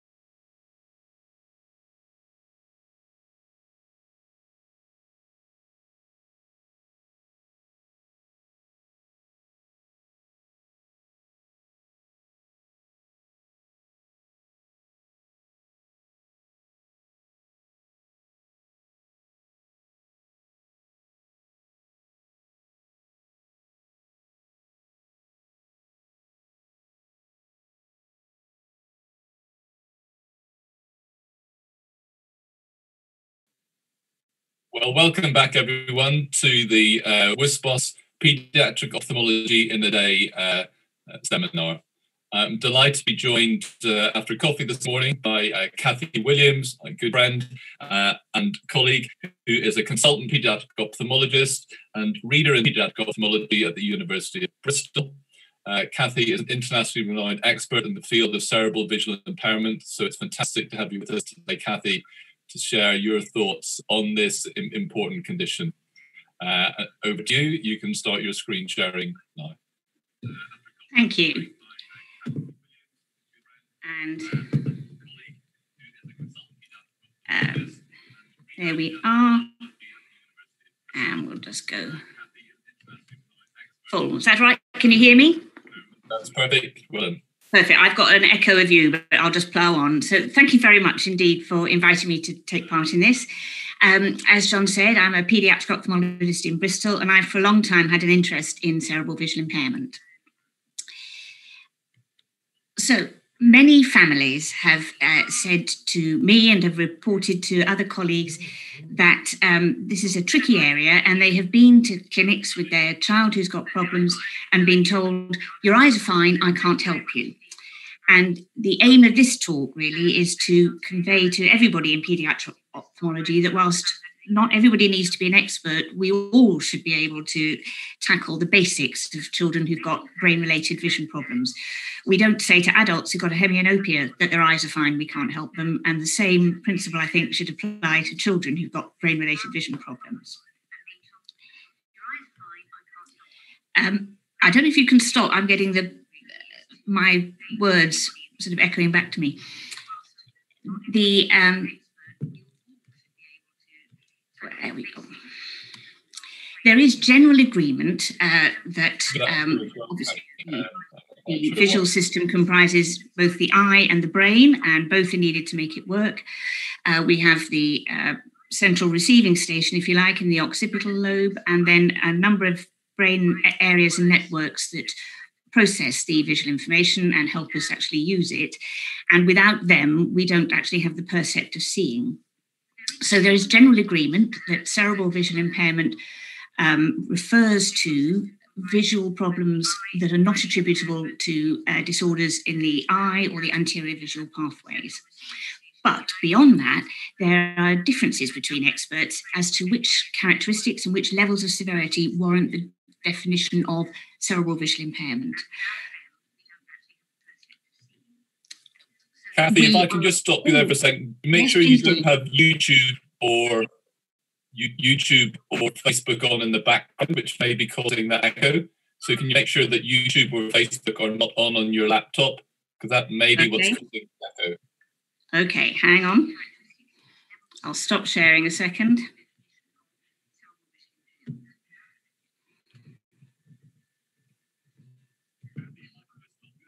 Because if you've got YouTube or Facebook open on your computer, and you would be that may be the reason why you're getting the echo and the audio. Is that better? That's yes, certainly better. Yeah. Joy. okay. Interruption. Okay. Back. Sorry about that. We're all aware that vision is actually a, a multimodal sense. Um, there are lots of different domains of visual. There is clearly visual acuity, uh, which is um, the most commonly uh, amongst people not ophthalmologists recognized uh, domain of vision, but there's visual field, there's contrast sensitivity, uh, there are a whole range of functions related to our, our uh, visual cognitive or visual perceptual um, abilities, and there's eye movements, which uh, the supranuclear eye movements, the pursuits and saccades and convergence, which are absolutely key, again, to us uh, acquiring visual information. And the phrase cerebral visual impairment is, in fact, an umbrella term relating to deficits in one or more of these domains. But as you will be aware, there are differences between experts as to which of these domains uh, should be the, the lead uh, and essential for the diagnosis of CVI, or indeed how severe a deficit has to be and particularly whether visual acuity has to be impaired or not, is uh, not something that is broadly agreed between groups. For some groups, uh, definitely visual acuity has to be reduced, but many other groups have uh, written about children or adults who have normal or near normal visual acuity, but quite marked impairments in one or more of these other domains, and they can also be regarded as having cerebral visual impairment, if that's your definition. Uh, so, just on. So, to basics, the epidemiology of cerebral visual impairment is uh, a growing area. It's uh, hard to tackle. The data we have at the moment are based on population uh, studies and use, understandably, the WHO criteria for um, uh, uh, blind registration because that's something that's easy to find and quite reliable. But as you will know, the WHO criteria for visual impairment are related to visual acuity and field. They don't uh, cover other domains of vision. But we can see from these papers here that studies that have looked at the numbers of children with registered, uh, re- registrable, certified uh, severe visual impairment or blindness is, is very small. Uh, small numbers of children per 10,000. And more recently, uh, there's been uh, another national paper from uh, Rahi's group looking at children with certified visual impairment that's uh, of a lesser ca- category, so visual acuity worse than 618 rather than the severe visually impaired of 660. So bigger numbers, but still 0.1% of the population, still generally quite small. However, I've been involved in looking at brain related problems in children for many years, and my clinics are full of children, such children. And I appreciate that that is maybe just my practice, but I did want to know on a population level how many children have brain related vision problems, including those with good acuity, so children that wouldn't be captured by this kind of research. So, what we carried out, and I'll mention briefly, is a study to try and find this out. We recruited primary schools and we uh, used questionnaires to try and uh, sift out which children were kind of going to be most at risk of having brain related vision problems uh, based on the literature and planned to examine those children and a sample of children just selected at random from the rest. So the questionnaires we used were um, Gordon Dutton's five uh, questions, uh, specifically trying to target children with cerebral visual impairment, but also general questionnaires about uh, behavioural difficulties, as it's reported that uh, such children have a higher rate of CVI. And we looked at children who had already been recognised as needing extra educational help. So they had, uh, in England, you call it um, a statement of educational special needs or equivalent. So uh, we recruited all these children and, as I say, planned to examine all of those plus a sample of uh, randomly selected children. Um, in the UK, we have a recommended visual acuity screen for children in the reception year, which is when they're age four to five. So we planned our study to be the year above that, uh, years one to six. So that's five to six year olds up to uh, 10 to 11 year olds, because we didn't want to clash with this uh, vision screening program. We also went to a special school where children with uh, recognized uh, developmental and educational needs attend to uh, test them as we assumed they would have a higher rate of CVI. So the testing protocol that we worked out uh, was based on my practice in uh, Bristol, all done binocularly with the child's glasses if worn, and the basic aim was to investigate any signs of brain-related uh, visual problems. So we did do routine tests of visual acuity, cover tests to look for strabismus, convergence and accommodation, but the specifically brain-related functions we also examined were supranuclear eye movements, pursuits and saccades. And we have evolved a very simple uh, one to five scale where five is perfect, one is they can't do it at all. And the observer makes a subjective judgment in between those, and it's moderately repeatable with between experienced observers. We also did uh, fields to confrontation and some vision processing tests.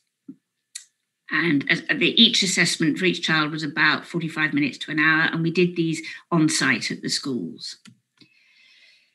So we recruited 11 mainstream schools and one special school, over 2,000 children. The families had the option to opt out their child, and we so we still had uh, over 2,200 children participating. The questionnaires we sent to the teachers, we had a very good response for, so this enabled us to sift out the at risk children. And we also sent questionnaires to the parents, but we didn't get such a high response from them. And what we found, in a nutshell, was firstly that we invited a huge number of children, more than I expected, because so many children were having extra educational help. And only about half of the children actually turned up with a consent form from their parents, and so we were able to examine.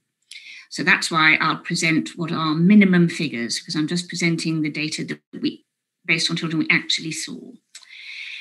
And if we classify children as having either a problem with routine tests, the, that's the strabismus and the visual acuity, or the brain related supranuclear eye movements and peripheral visual field, or visual cognitive problems, you can see here that we found 84 children who had at least one brain related vision problem and 25 that had two out of the 248 children we examined if we assume that all the children we invited but didn't come with a consent form were normal with no problems, and all the children in the rest of the population who we didn't invite were normal, then those 84 and 25 children, respectively, would add up to 3.5 and 1.1 of the whole school population.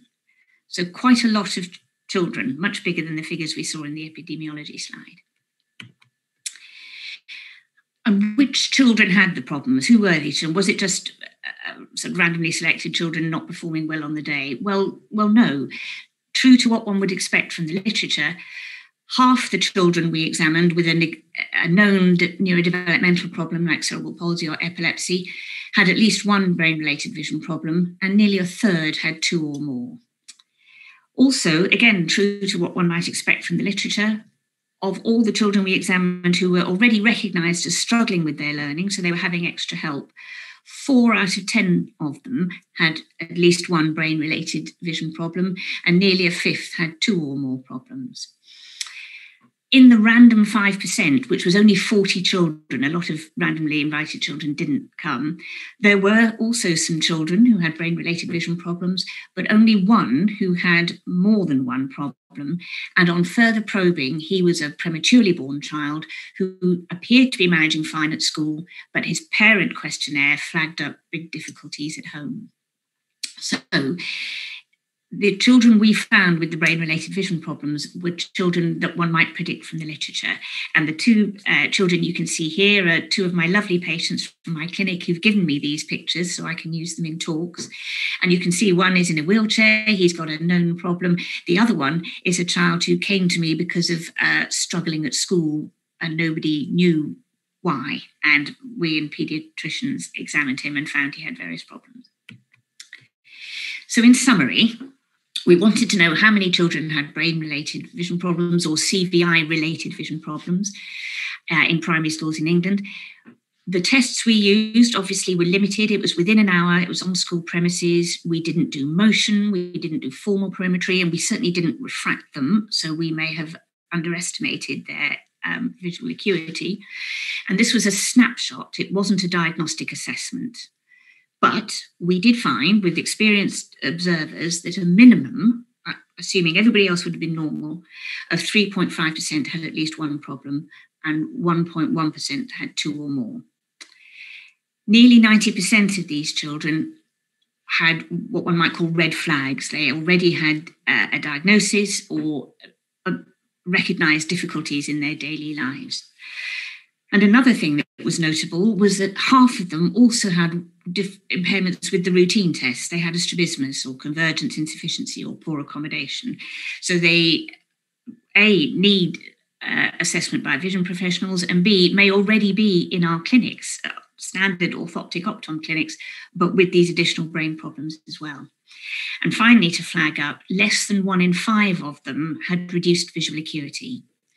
So this again echoes that there's so many more of them than what one would pick up by looking at registrable visual impairment. And it speaks to the uh, people, uh, groups who write about the need to recognize these children with good visual acuity, but other vision problems.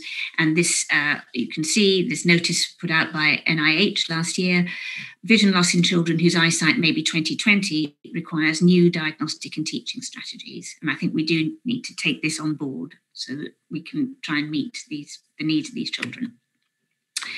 So, what about a clinical approach? As I've said, the aim uh, of this talk is to try and uh, encourage all paediatric ophthalmologists to be able to at least have a have a go and a, do a basic assessment of such children, and not ever feel the need to say that they can't help.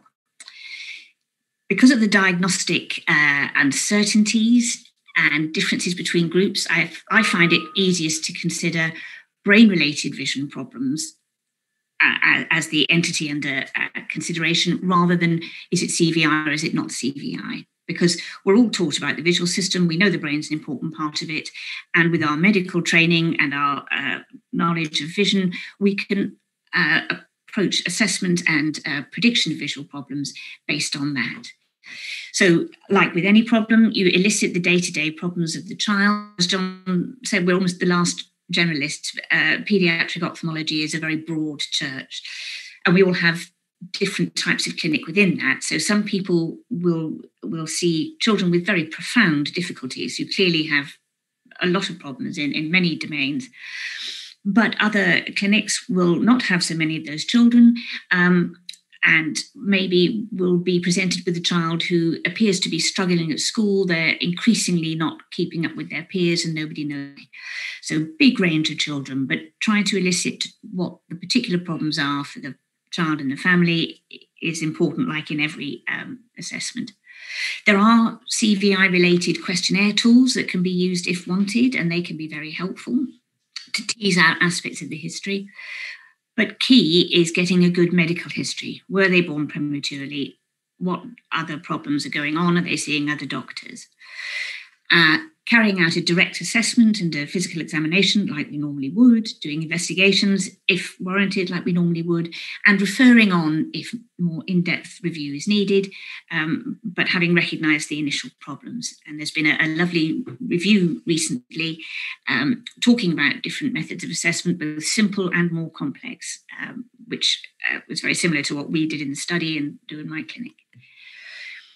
The risk factors are very well described, as we've talked about. There's uh, congenital or very early acquired disorders like developmental brain disorders, syndromes, including the ciliopathies, like John mentioned, huge. Uh, um, great deal more information now because the, the study of genetics and um, multi-system disorders, we're learning a lot more about these conditions. And they can present to us or to the paediatricians, and we need to seek out um, uh, multi-system disorders in these children. Premature birth, more children are surviving born prematurely. Those of you who are involved with ROP screening, like, like I have been for many years, know that children can do really quite well after being born, born at 22, 23 weeks, but a lot of them will carry uh, difficulties into their um, childhood and later life. Things like cerebral palsy and epilepsy also can be either acquired or, or um, due to inherited conditions. And then there's later required uh, risk factors, things like meningitis, uh, mitochondrial disorders that maybe present with epilepsy uh, at a later stage in, in, childhood, or terrible things like trauma, um, hydrocephalus for uh, various reasons, and um, acute hypoxic events. All of the anything really that can give you neuronal injury can cause cerebral vision impairment or brain related vision problems the children with behavioral or developmental uh, disorders uh, and various labels applied, these are tricky, and these are particularly uh, children in whom we need a multidisciplinary approach because it is we can contribute a lot, but other professionals also need to contribute. Um, but there are many descriptions of how brain-related vision problems feature in children with uh, autism, with other uh, conditions that are diagnosed on the basis of behaviour. So, after taking a history, finding out about the risk factors, finding out what the problems in day to day life are. Um, I am religious about the need for refraction in all children with cycloplegia uh, wherever possible. And these children, even if the family is worried about cerebral visual impairment, it, it's no excuse for not doing the basics, just so you know where you are. But then visual behavior and visual acuity and routine tests uh, are what we would normally do depending on the level of ability of the child, just their their head posture, their consistency of viewing, their their working distance, and things like color preference can be very informative. If it's the kind of child that you'll never be able to get a formal acuity test on, you can still build up a picture of, of abnormal versus normal viewing behavior. But a very useful test in clinic, uh, I have found, um, is comparing acuity with single optotypes versus acuity with crowded optotypes, because there are norms for this, and basically a difference of three lines or more in acuity is abnormal and suggests a child may be abnormally sensitive to crowding, which is a hallmark of brain related vision problems. Visual fields might be just uh, to confrontation. We know how inaccurate that is compared to formal perimetry, but yet it can be informative, particularly children who, who just fixate on a central target, um, as well as children who perhaps have obvious uh, delay reacting to things on one side or another or inferiorly. And pursuits and saccades, the supranuclear eye movements, are, are quick to assess if you uh, don't have much time in a general clinic. And they're not very specific, but they are frequently abnormal in children with these types of problems with abnormal neurology. And that can be a good sign that there's something going on. If you um, have uh, time or, or a, a, longer clinic like we do, there are additional quite simple tests like Lea's postbox and rectangles matching test that enable you to look at uh, vision processing skills more accurately in um, conjunction with having assessed their motor skills. Can they turn their pronate and supinate their wrist? You need to know that to then judge whether a child can accurately orientate a letter through a letterbox and whether they can match uh, patterns accurately. And it's very informative if you've seen a child who's got, say, normal crowded logMAR acuity, but they can't do this sort of test despite normal motor function, you think, okay, why? What's going on here? Another uh, thing that we've uh, discovered and has, has been very helpful is repeating assessments of pursuits and saccades, but with an auditory distraction, because whilst uh, some children can manage perfectly well when it's absolutely calm and quiet and they don't have to do anything else. If there is a bit of noise going on, their pursuits and saccades become much, much worse. And that's more like day to day life in the classroom. And low contrast vision is also another relatively simple test that there are norms for. And if that's uh, abnormal, that's also a flag that the child may have um, difficulties in day to day life and maybe due to their uh, neuronal problems. Then there's a whole host of more specialized tests that are available um, that you may uh, be able to and want to adopt and use, or you may want to refer to another unit if uh, that kind of assessment is needed. So there are lots of visual perceptual test batteries around. Some of them uh, specifically for adults, some uh, more child friendly, and a more recent one is this CVIT 3 to 6, which is very child friendly. And uh, it's also useful because the parents can see what you're talking about if, you can show that the child just can't find a particular shape in a crowded picture. Then eye tracking is also something that increasingly some centres are using and is additionally a potentially very uh, promising tool. There's a lot of data about normal uh, eye tracking uh, measures in uh, normally developing people, and therefore you can use that to pick up quite objective measures in uh, children and adults with abnormal neurology. Other investigations we use a lot of and that have become um, in ophthalmology generally, and that uh, can be helpful with this group of children, is OCT if the child will uh, sit at an OCT uh, machine. Uh, there's a lovely paper from last year showing that lesions in the visual pathway, which can cause field defects, may be reflected because of retrograde transsynaptic degeneration in thinning of either the RNFL or particularly the ganglion cell layers. And uh, this paper from Lena Jacobson's group showed uh, in teenagers old enough to do all the tests examples of this.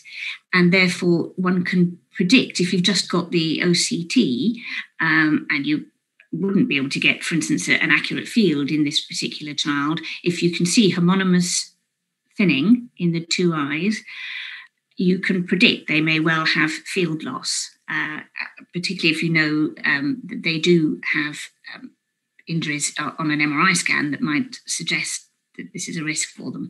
And that can be very useful. This is from the same paper. It shows it doesn't work for all children if you've got very widespread uh, changes on the MRI.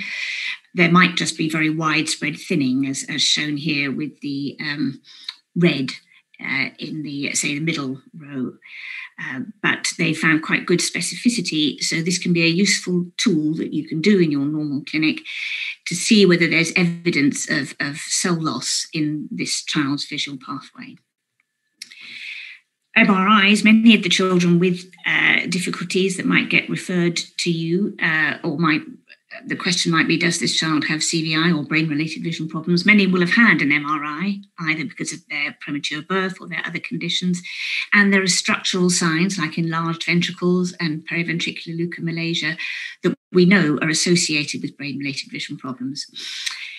Um, newer techniques like uh, the row at the bottom of the functional MRIs can really show us now the kind of networks, brain networks uh, involved in, in vision and how they may be normal or abnormal, even when the structure looks macroscopically normal, the way it works and the way the messages uh, are transmitted in the brain uh, is not normal. And you can see um, on the left hand side uh, the normal brain uh, uh, with the normal networks and far fewer networks in the middle uh, child who's got the PVL enlarged ventricles and, and much less arborization uh, of the networks in the functional MRI scan. And the child on the uh, far side uh, has later acquired cerebral visual impairment. Uh, this was a group, a lovely paper from the Harvard group. And similarly here, same paper, broadly what they've labeled as the SLF and the ILF might be considered dorsal and ventral visual streams, and they can be visualized using this technique of white matter tractography. Now, this isn't going to be available to all of us, but it does back up uh, and show very beautifully and clearly that um, specific behaviors and clinical signs are associated with predictable abnormalities of the central visual system. So, if you've done all this assessment, is recovery possible? Eh, what, should we do for these children? And that's something that many colleagues, uh, I think, worried about. Well, the first thing to say is to treat the treatable, give them the glasses, discuss the amblyopia. Is there ptosis? Try and sort that out. Treat the treatable. And for the more brain related functions, there may not be a cure at the moment, but evidence is building. For some things like eye movements, there is some evidence that practice, uh, like in other areas of, of motor uh, rehabilitation w- will improve. There's also evidence that enriched environments, multisensory environments, can help some children. Um, early intervention, very early intervention, uh, the middle picture here of the baby with all the tubes, that's a very early intervention to try and prevent uh, not just CVI, but uh, cerebral palsy in children who've had a bleed in the brain by washing the the abnormal fluid out of the ventricles. So treatments are being developed, but for the moment, the mainstay is recognition of the brain related vision problems and providing what support is available. It may be even quite simple support, like making things bigger or using a felt tip rather than a crayon to make the to, deal with poor contrast. Um, that's the mainstay of what we do, and that really helps. So this uh, little diagram is meant to summarize some of those things. Ideally, a multidisciplinary approach involving eye professionals, pediatric doctors, neuropsychologists, and educational professionals is necessary. That is definitely what we would like, but it's a counsel of perfection for some children. And I would suggest that if we just tease out the elements like profiling a child, i.e., testing them, seeing what their visual function is, diagnosing a child with all these clever tests and the multidisciplinary input, and providing support for the child, these can all be considered as linked but slightly separate uh, aspects of caring for the child. Profiling, I think, is essential to do for children who are struggling and need help to see how much visual problems may be contributing to that. And once defects and visual problems are discovered, some initial support, telling the family that, yes, we found this, suggesting positioning, making things bigger, wearing glasses, and so on, is a good start, whilst the process of diagnosis is ongoing, so the child gets help as soon as possible. Now, things like who gets certified and who gets access to a QTVI, that's a specialist vision teacher, they differ in different areas of England, let alone different countries, and requires all of us to kind of share knowledge and discuss what resources and skills are available in different areas to agree an equitable solution, and we don't have that at the moment. So I try very hard to squeeze out any visual acuity or field loss in the children I assess so that I certify them if appropriate. But different people have different ways of approaching that, and different QTVI services have different resources, and so we're not there yet. But if we can improve communication between ourselves and different professionals involved with the children, we're all working towards an equitable service for children.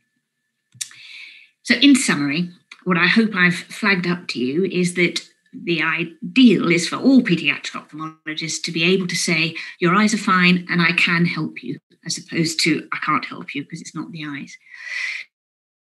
Brain related vision problems, whether they fit with a diagnosis of CVI or not, are more prevalent than has been suspected. And this fits in with the well described risk factors, which are themselves, many of them, becoming more prevalent. Children of whatever ability can be assessed with direct tests. Yes, you have to adapt to the child's ability and age, but you can do observing their visual function, uh, their, their looking uh, behavior, their acuity, their eye movements, and their fields to confrontation in almost all children. There's a range of new uh, tests and uh, questionnaire uh, tools and classification tools that are now available to help you uh, if you're going to develop a service. But the basics, and then referring to a, a unit that has more resource, should be uh, uh, available to all. and the we're waiting for diagnostic consensus, but recognition of the children's problems is absolutely key. And so, my two lovely children, as I've said, uh, one uh, was clearly recognised as at risk of cerebral palsy, and the other one came up through the ranks, if you like, of primary school of having more and more problems, but now um, is getting support both for his vision and other. Uh, uh, systemic problems. There are initiatives both within uh, England and international to try and um, gather up the evidence and work out a consensus statement and guidelines for diagnosis and management of these children. Um, but as I keep saying, in an initial assessment, a recognition that there are brain related vision problems needn't wait for that, and some very basic support can also be very helpful for families, even while they're waiting for more formal diagnosis of whether it's CVI or not and what it's due to. So, just to show this is up to date, um, with uh, the message is with perseverance, if we plough on, we will get to um, effective and equitable care for all children with brain related vision problems if we work together. And for those who think I've gone mad, this is a picture from yesterday's news of the um, probe that's just landed on Mars after a seven month journey. So we probably won't quite get there in seven months, but hopefully we will um, by all working together with webinars like this and international initiatives to improve care for these children. And I'd like to thank uh, who have funded me to do the research, the lovely John and all my other uh, lovely uh, colleagues in paediatric ophthalmology and the orthoptists who worked on the study, my research team and my uh, the clinically the Bristol special needs team who've taught me everything I know, and other uh, world experts who've uh, added a great deal to the research and that I've learned a great deal from, and particularly obviously the children and families and staff at the schools where we did our study. And that's it. Sorry, overran by five minutes.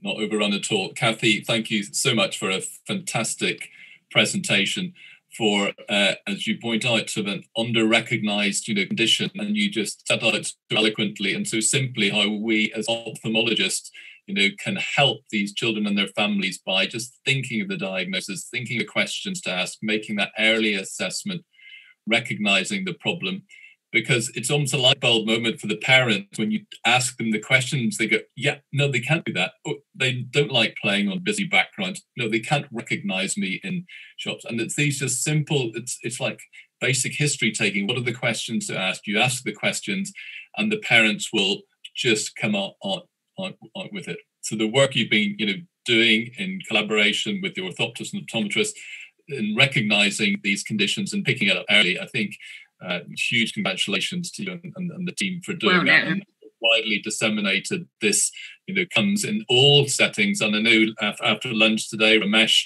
will be talking about uh, their L, the low vision setup that they have in the LV Prasad in, in Hyderabad and the importance they put on visual rehabilitation and helping these children and, and really getting over that positive positive message. You know, this is what we can do to help.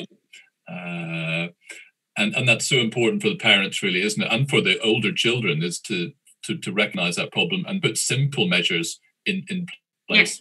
uh, I think that that's very true. Recognition uh, aspect you've been told um, is key, as opposed to being told, well, it's you know nothing to do with us, go away, and families feel bereft. So recognition is a huge thing, even if you can't cure it. Uh, but the simple measure is just for schools. And what's the sort of feedback you've had from the teachers and the schools you've been involved with? What have what have uh, they said to you and your co-workers uh, when? Oh, it's it really it's quite um, emotional. Uh, sometimes uh, that lovely lady who's a, a SENCO, so a teacher who deals with the special needs fed back to us that after working with us and hearing what we'd had to say, they changed their practice. They made some of their worksheets bigger and so on. And they had a child who they had themselves thought had learning difficulties, but then they found no, he's fine. He can if you give him his own work and he doesn't have to copy from the board and cover half the page, and they've changed their thinking of him, he now manages as well as his peers. He just has these vision problems, and if they're dealt with, he, he can fly. And that kind of thing really makes a difference. So, with specific children, it can make a big difference. The teachers say the same as the families. Targeted intervention. and as I've been asking everybody uh, today who's joined us on the on the webinar, uh, what are the reasons why you became a pediatric ophthalmologist, and, and what do you, you find are the, the, the most rewarding parts of, of your, your work? We've got you know joined by 1,300 people today on the webinar. Many of them will be trainees. Many of them may be considering what type of subspecialty to go into. Um, what are the reasons you still love going to work in the morning? Or maybe you're like me, you don't really consider it work. It's it's. Uh, yeah, no, I, I know. Just well, I have to say, perhaps uh, counts against me. Initially, uh, neurology was what I was really interested in, but I, to be honest, couldn't face all those years of getting up all night every night. And I heard that ophthalmology was good because uh, there was a lot of neuro in that, but you slept at night.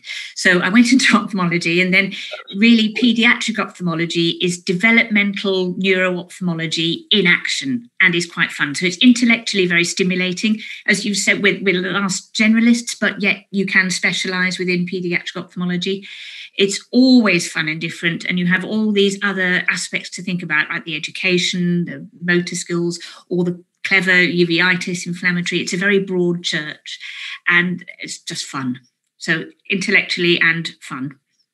And the other thing to, to point out in your particular career path, although you were trained up as a you full all the subspecialties and your surgery, you've elected to go into a practice which is a non-surgical pediatric uh, ophthalmologist. Yes, yes in, in the main. And I think that's an important thing to emphasize that not just in pediatric ophthalmology, but general ophthalmology. Certainly in, in the UK, there are pathways being developed within the Royal College for people to become non-operating ophthalmologists, medical ophthalmologists, neuro-ophthalmologists, but the same applies to, to pediatrics. Um, Yes, I think that that's that's very true. I, I enjoyed it, uh, and it was a wrench to give up, but it's because I always wanted to do research, and I just couldn't do clinical, uh, you know, um, medical clinical, and research, and enough operating. You know, it, it doesn't work. You have to do enough of everything to keep going. So, I, I've regretted in some ways giving up the surgery, but it was a, a, price worth paying because it's meant I've been able to carry on with research. Because as I say, intellectually, it's just such fun.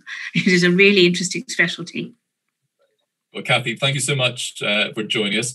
I'm now going to pass on to uh, your and my colleague, uh, Professor Andrew Dick, who is uh, hot-footing it. He's probably still in his uh, retinal clinic in the Bristol Eye Hospital. Andrew is Professor of Ophthalmology uh, at the University of Bristol. He's also the Director of the UCL, University College London Institute of Ophthalmology, an internationally renowned expert in the field of ocular and inflammatory disease, but uh, also a, a, VR surgeon as well as a, a, a, medical retinal specialist. So, Andrew, thank you so much for giving up your time this morning. I hope you finish your clinic and are not disturbed with uh, more cases as you do the talk. We look forward to hearing from you. If you just click your on mute button, uh, then we're ready to go.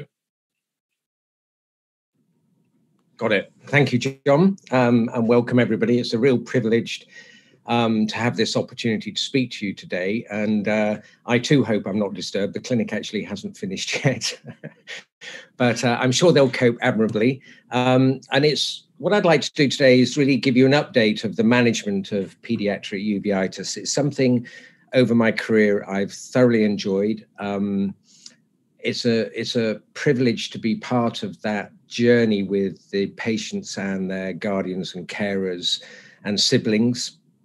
It's intellectually and academically a conundrum still, but we've made such great headway in evidence base about how to manage what is essentially anything from a simple to a very complex situation uh, with pediatric uveitis. And I hope I don't complicate it more for you going through this talk today. So, um, moving on, just trying to work out how to work the buttons. If we look at uveitis in children and young persons, uh, it, it is a plethora, probably even more so than, than adults. By far, and I respect the fact this is a global audience, so it depends very much where you are in the world as to what the most commonest causes of a patient, young person, or child walking through your doors would be. But indeed, and what is pretty common is, is the incidence of juvenile idiopathic arthritis associated uveitis, varying across the world, toxoplasma.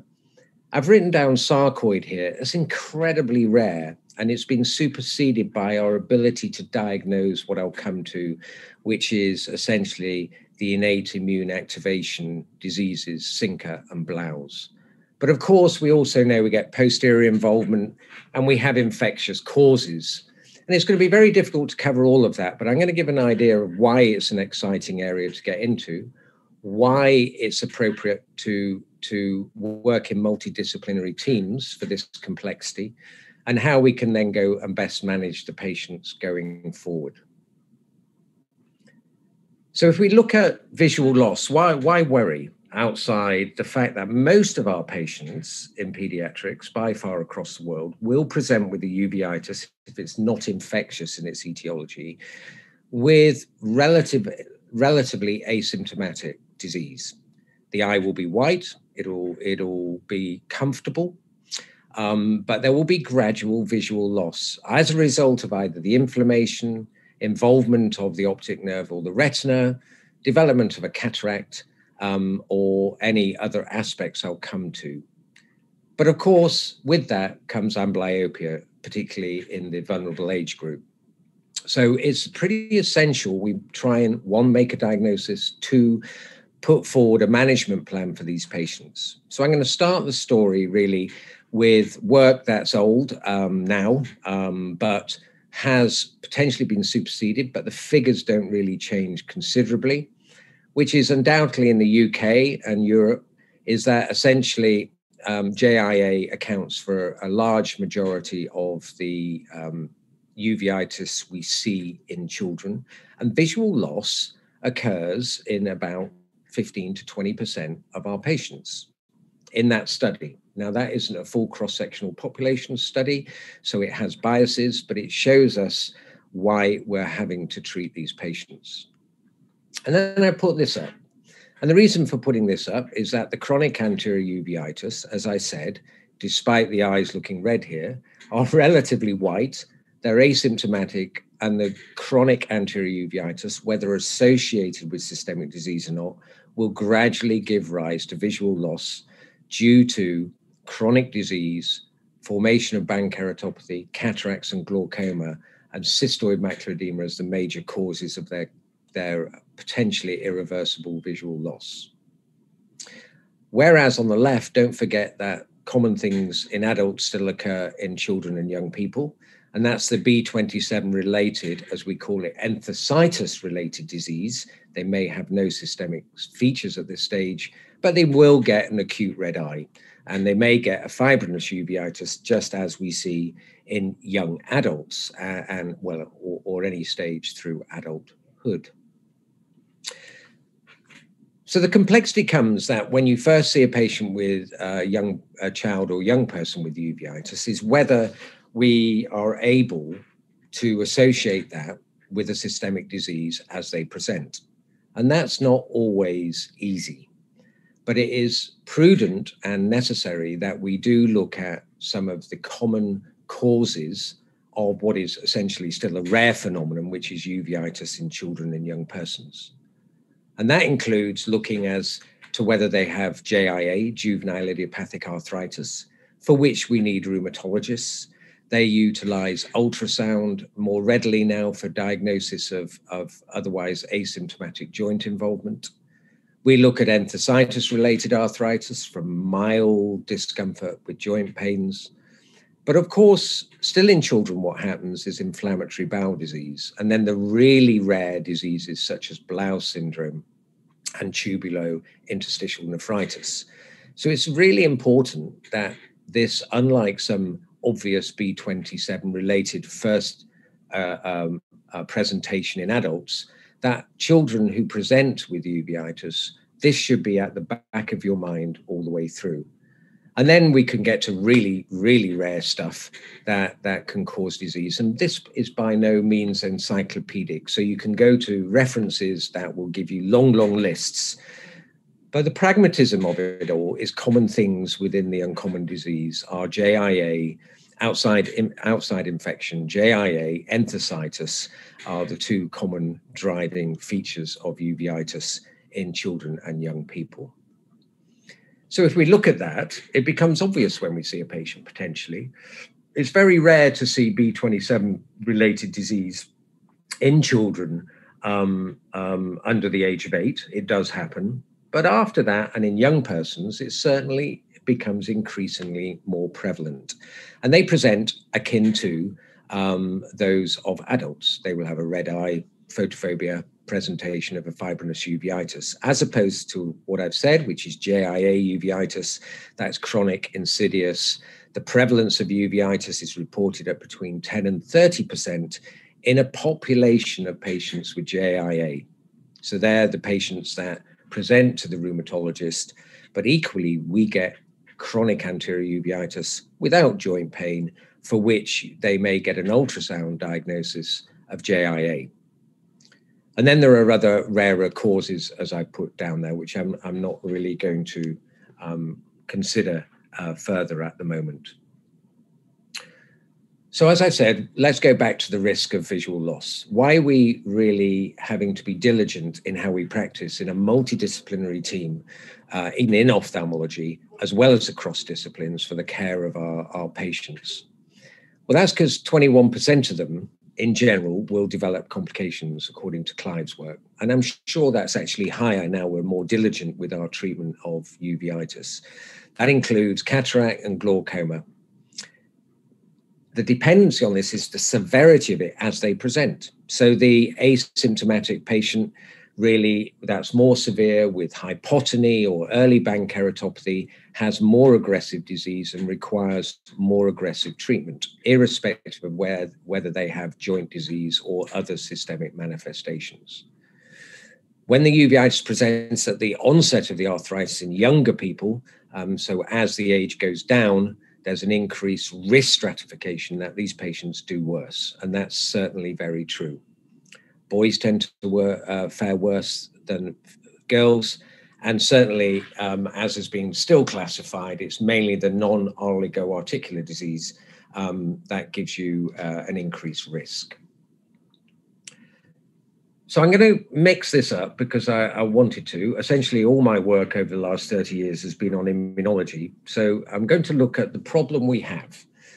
The problem we have when we see patients presenting and all of us, whether that's in a general pediatric clinic through casualty or in a in a um, specialist clinic, is risk stratification. How do we know one what the disease is, two what their risk is going forward?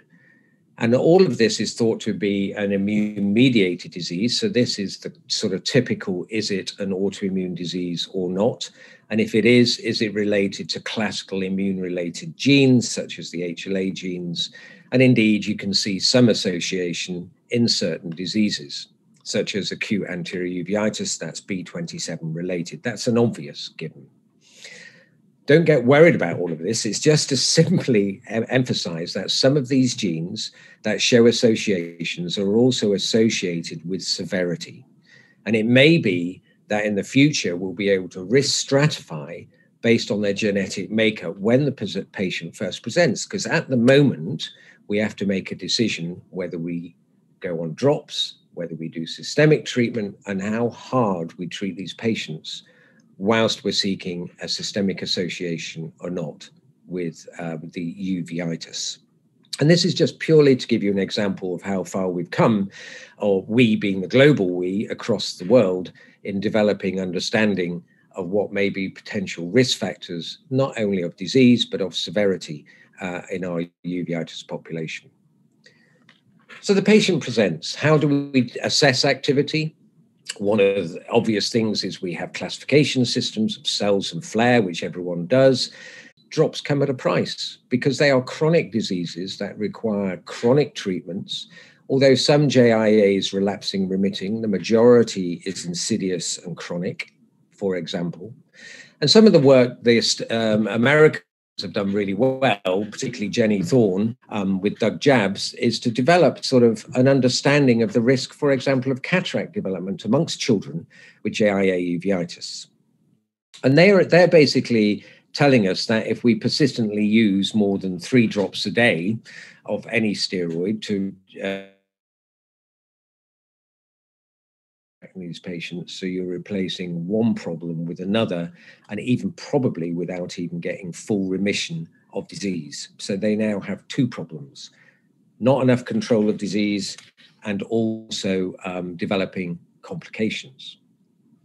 So there's been a lot of work done, and, um, and uh, Professor Ramanan, who I work with um, in Bristol, uh, with a whole group, has uh, created SHARE initiative, which is really the recommendations for how to manage uveitis associated JIA. Now, it's interesting that this has been driven by the rheumatologists mostly because they are really well connected to do this.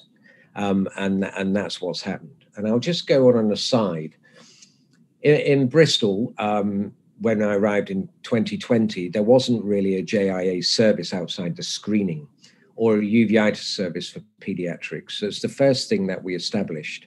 But very quickly, um, there was a young locum consultant called Dr. Ramanan, who then got substantive post. And in 2007, we established a joint clinic. Now, that joint clinic now runs for the care of all these complex patients that come through many ways. And it's only through that multidisciplinary action that we provided the evidence now I'm going to come to that um, allows us to know how to best treat patients going forward. We're still trying to provide more evidence as we go through. So, what did they come up to? Uh, come up with? So they said, sure, topical steroids are the first line of treatment. Consensus is yes, absolutely. Um, they concluded that topical and systemic NSAIDs really don't have a demonstrable effect as monotherapy, but may be used as additional therapy. And the reason that was put in was because the evidence for that to say it doesn't have a demonstrable effect is quite high. As an additional therapy, the evidence level is very low, but still it's there for people to consider. Systemic immunosuppression in active uveitis is recommended, particularly if poor prognostic factors are present at the first visit. So that's go reduction, and that includes the drops possible. So why are we doing this? Well, I know um, many of us uh, that deal um, with pediatric uveitis. Um, certainly, I don't want to see too much of this. An aphakic patient, because of severe disease and trying to overcome amblyopia, alongside high pressures, um, require ultimately quite significant um, glaucoma surgery and or cataract surgery whilst trying to control the inflammation. It is a dreadful storm to be in. Prospective study population, they're mainly males. Prospective study population, they're mainly males. It's early onset or early onset with arthritis. So how do you treat? Well, I'm going to cut to the chase and say limited evidence outside methotrexate which is certainly the first indication of systemic treatment for our patients with JIA when it's moderate to severe. And also remember that on this paper, a high number of patients with inactive uveitis relapse quickly when you withdrew methotrexate. And that is because we cannot detect, have a biomarker, are able clinically to, um, to predict outcomes. So, hence the comment that you have to be on immunosuppression for a significant period of time. However, if you fail methotrexate, we need to understand where we go. And therefore, you know, the excitement I've had is understanding the role of certain agents in uveitis, and we've done that from animal models. Are they good? Probably not. Do they help us with pathways? Yes. Do they help us with introducing drug development? Yes. So, with that, we were able to clearly show that common cytokines are increased um, in patients with uveitis and in children and young adults. And we were clearly able to show that one of the highest um, uh, cytokines for that is TNF, which is, of course, no surprise because it's similar in, in juvenile idiopathic arthritis without uveitis. So, if we were to introduce anti TNF agents, TNF neutralizing agents, agents that block TNF activity, all the same thing, by the way. Uh, was one of the first anti TNF agents to be licensed for rheumatoid arthritis, but really it's very poor in adults, um, showing no effect. It had some effect in some case reports, but that's superseded with high level evidence of no effect. It has no effect in a randomized controlled trial of JIA. And it had in an open label study some effect in treatment resisting JIA associated uveitis. But considering the fact it has no effect on the joints, this really hasn't gained any traction.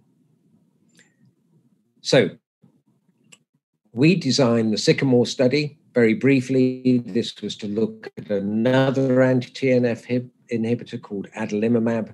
This is given subcutaneously every other week, and it was brought into patients with moderate to severe disease with uh, methotrexate resistant disease, which also required more than two drops a day in order to try and keep the inflammation inside the eye at bay. They were randomized two to one, and just a long story short, so pronounced that the trial was stopped early because of the divergence between the placebo and the treatment arm and the benefit the treatment was given.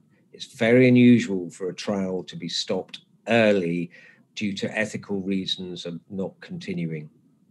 So the benefit was so substantial, as you can see from the p value and the hazard ratio, that the final analysis was undoubtedly in favor of treating with adalimumab for our patients with moderate to severe methotrexate and steroid drop resistant or refractory uveitis disease, a great, great um, ad- advance for the management of our patients with uveitis. However, 25 to 30% of patients who are severe fail. So we then undertook another study because one of the other cytokines that was raised was a cytokine called IL 6. You will have heard through COVID that tocilizumab is an anti IL 6 uh, receptor blocker and it reduces this innate immune drive that we see in uveitis and as we saw in COVID. So we did this study, which was open label, taking anti-TNF refractory patients in a in a single arm phase two study. I'm not asking you to read through all the busyness on the left hand side of the slide, but essentially um, what we looked at was a, a um, factorial design Bayesian statistics to look to see if there was any evidence we should do a larger randomized controlled trial. And at the end of the day, the endpoint was not met. So the results didn't support that tocilizumab would be useful going forward in uveitis patients that were refractory to um, anti TNFs. There was an indication that some patients responded, particularly um, um, if they had associated cystoid macular edema. But that is looking at a different subset of, of patients. So it shows you the fickleness, but the appropriateness of doing studies. One, it provides evidence like adalimumab to make our care better. Two, it provides the evidence of not just pushing forward where there is no indication um, of potential benefit. So, the dilemma for using what are called biologics, antibody treatments, excuse me, for the treatment of uveitis is that we could use other anti TNF agents maybe if adalimumab isn't working, why don't we go back to the older version, which is called infliximab, an infusion given every eight weeks? It tends to work in B27 associated anterior uveitis. It certainly reduces the attacks of associated anterior uveitis in spondyloarthropathies such as ANKSPOND. But we don't have that evidence in a controlled fashion for JIA. But we do still consider switching to infliximab if adalimumab is failing.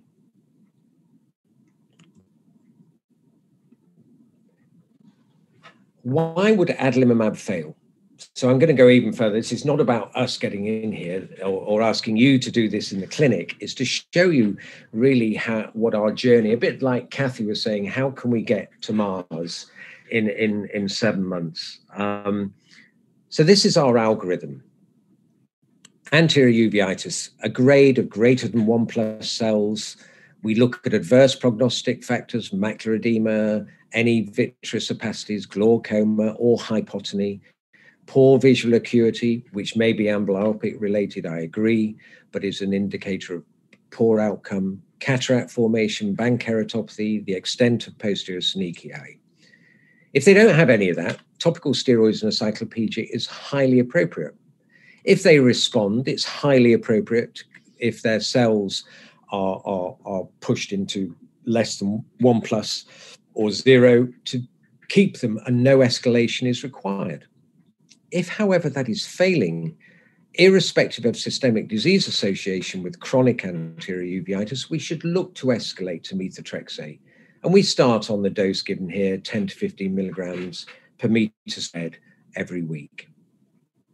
If we achieve remission as defined, and this isn't totally going to zero cells, this is about controlling the disease where we know the sequelae of less than one plus of cells through cohort evidence is less likely to cause complications, then we just maintain on methotrexate for a minimum of two years prior to withdrawal. If, however, they fail, then we escalate to adalimumab, as described here. The dose varies, and that's just taken from trials, dependent on the weight of the patient. Again, if they respond, you maintain that for two years. If they don't, before switching, we are moving to reasons why they may not be responding. If they measure, if we measure, as we do now, drug levels and what's called anti drug antibodies, we're able to assess whether one, they're on enough drug, two, whether they've developed antibodies against the antibody we're using, so we're neutralizing its effect. So let's take the fact they have high antibody drug antibody levels, which we can measure in a lab and is, and is commercially available. If they have high trough levels, we need to switch biologic agents. If they have macular edema, you could still consider tocilizumab. If they don't, you should consider infliximab, potentially. The evidence for that is low, but it gives us an opportunity. If they have essentially low trough levels um, of positive ADAs and a low trough level or um, of um, uh, or negative ADAs, so this is basically low amount of drug with minimal amount of ADAs, then let's increase the adalimumab dose or frequency to see if we can achieve remission. Now, we don't know whether this works yet. This is what we're doing ongoing, and to see if we can maximize, obviously, achieving remission um, to reduce the sequelae I talked about and maintain them on the treatment of methotrexate and adalimumab. Finally, the management. The reason I, I just adore this area um, and the privilege to work in it is because it's massively multidisciplinary. Not only are we required to understand the uveitis, that can go from mild um, and just one off episode to massive complexity, but also involves the multidisciplinarity within the uveitis field with glaucoma specialists and pediatric, for me, pediatric ophthalmologists for cataracts, but we have to work with our orthoptics and for amblyopia treatment and our rheumatologists for the general care. But really, what's been inspirational to me is the work we do with the patient the carer forums, the charities, and the privilege to be part of that whole network that helps the child or young person and their carers and, and parents um, for um, bringing out the best in the end for the patient.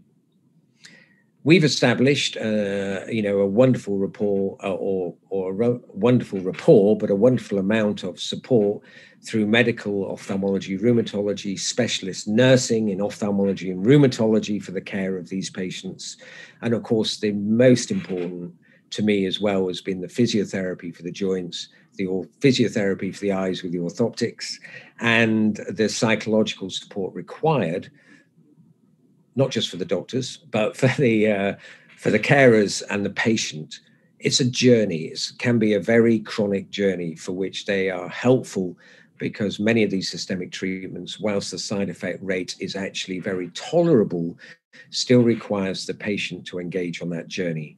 And that can start from the age of 18 months or start at the age of 14, but all of which we need to support throughout that journey.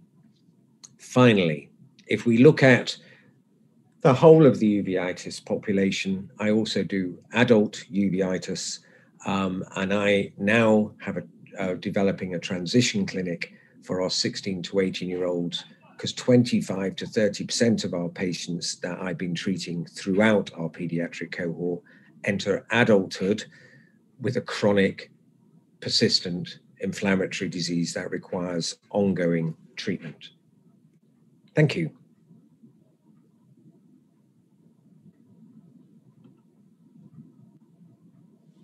Andrew, thank you so much for a fantastic uh, talk. Really, you know, people watching struck by the evidence-based practice, um, the trials you put together with the, your team and Professor Ramanan, uh, and the flow diagram there, just ex- explaining the rationale and the evidence base behind the decisions that, that you're, you're making. Uh, I think it's also worth saying, as somebody who works in a neighboring district, you know, general hospital, the fantastic relationship we have and surrounding hospitals have with you as the tertiary centre.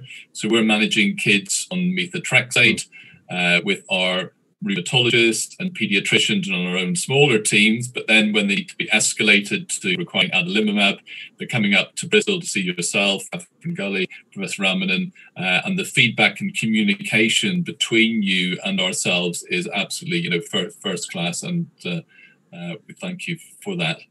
Some uh, questions cataract surgery is obviously something which fortunately we're seeing less of in these children. But I'm sure the people watching you know today who are interested to hear your thoughts on you know the child who is developing cataract either due to the uveitis or the topical steroid is coming visually significant. Um, what were your your sort of top tips on well if a cataract operation say you have a seven year old child um, let's make it six still in the amblyopic age range unilateral cataract coming on in one eye. Pressure seems okay but their vision's dropping. On methotrexate still on two drops of Maxidex. Um, yep. okay. through your mind with managing yeah, so- that? So, John, thank you so much for the very kind words. The the the the first thing is we do have some evidence base, and this is now into the territory of where the level of evidence is much less. So, um, but what I would say is control, control, control the inflammation as much as possible prior to going into doing surgery. Uh, so, obviously, sometimes we'll have a longer period to do that. Other times we'll will not. So there are two episode, two activities we do at the moment. The first is we will, uh, I will increase to adalimumab in order to get post-operative control of their inflammation, if not pre-operative control, prior to cataract surgery.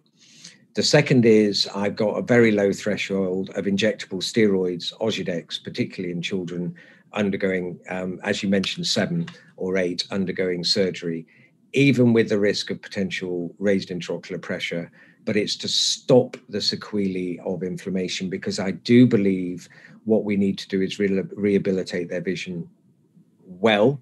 So I do believe in an intraocular lens implantation if able, because the disease is well controlled. I do believe in a primary capsular um, posterior capsulotomy um, and make your rhexis big.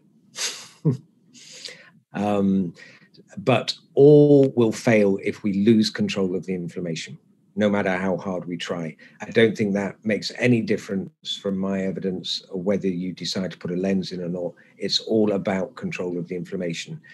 So if I look back at the notes, the ones that have failed more have been under immunosuppressed, or now we have the opportunity of, of injectables. We should use them. I'm not suggesting without further evidence we should use injectables for just general treatment, although those studies need to be done but of course the risk for glaucoma and cataract development is going to be significant in that age group. But as a one-off for cataract surgery, I think it's very justifiable. Uh, post-op drops regime for these kids, you know, they're on their second line immunosuppression. The, you had the luxury of having a period where the eye's nice and quiet. Pre-op, you know, surgery's gone well. Do you, you're, you're talking about, um, yeah. but topical steroids. So, yeah, so if everything's gone well and they have an Ozurdex in the eye, it reduces that dreadful issue about compliance, understandably, of getting enough drops in the eye post-operatively.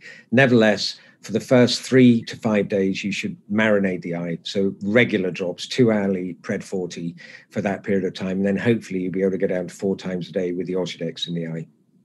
Yeah. Uh, just changing uh, tack slightly. You talked about the multidisciplinary team and the importance of, of that. So ongoing, the routine screening done by maybe the nurse practitioners yeah. for the methotrexate, you know, the immunosuppression. Um, can maybe talk a little bit about the systems you put in place to liaison with the families uh, for yeah. those children having yeah. that type of yeah, no, certainly. So we're, we're very fortunate to be able to do this with the systems we've set up. So first of all, the JIA screening, which um, uh, undoubtedly will, will, varies from region to region around the world. Um, whether wherever wherever will it ever become consistent? I don't know. Um, but certainly, I just want to take one minute to emphasize we work on a big consortium now called Cluster, this is to look at risk stratification of patients with JIA and JIA uveitis. The reason being, there's no need to screen patients regularly who don't need screened, but we need to have more evidence of who they are. And there's absolute reason to screen patients much more regularly uh, of higher risk. But at the moment, of course, we have a screening program that follows our guidelines. It's run by the nurses, the nurse specialists, um, who liaise with both the rheumatologists. So there's a constant dialogue between the rheumatology and the and the ophthalmologists and the ophthalmic clinic.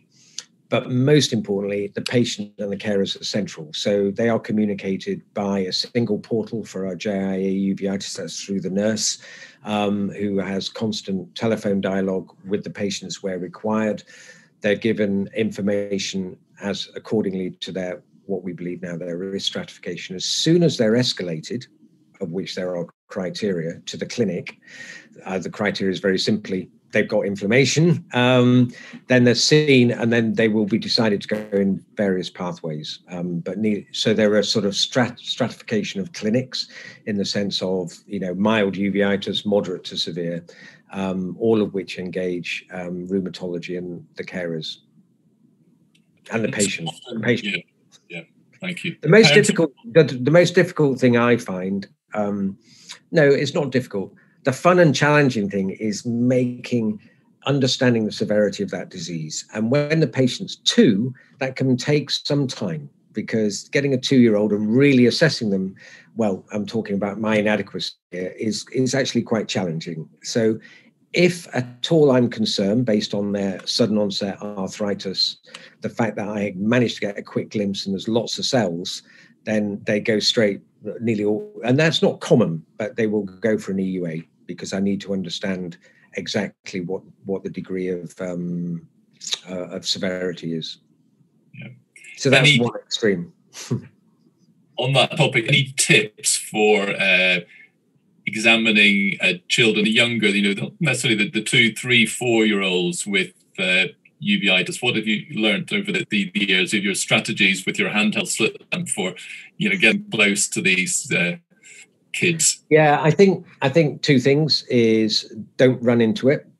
So so like we all know, build that rapport first. Um, and and I'm even happy to build that rapport first, show them the equipment, and bring them back.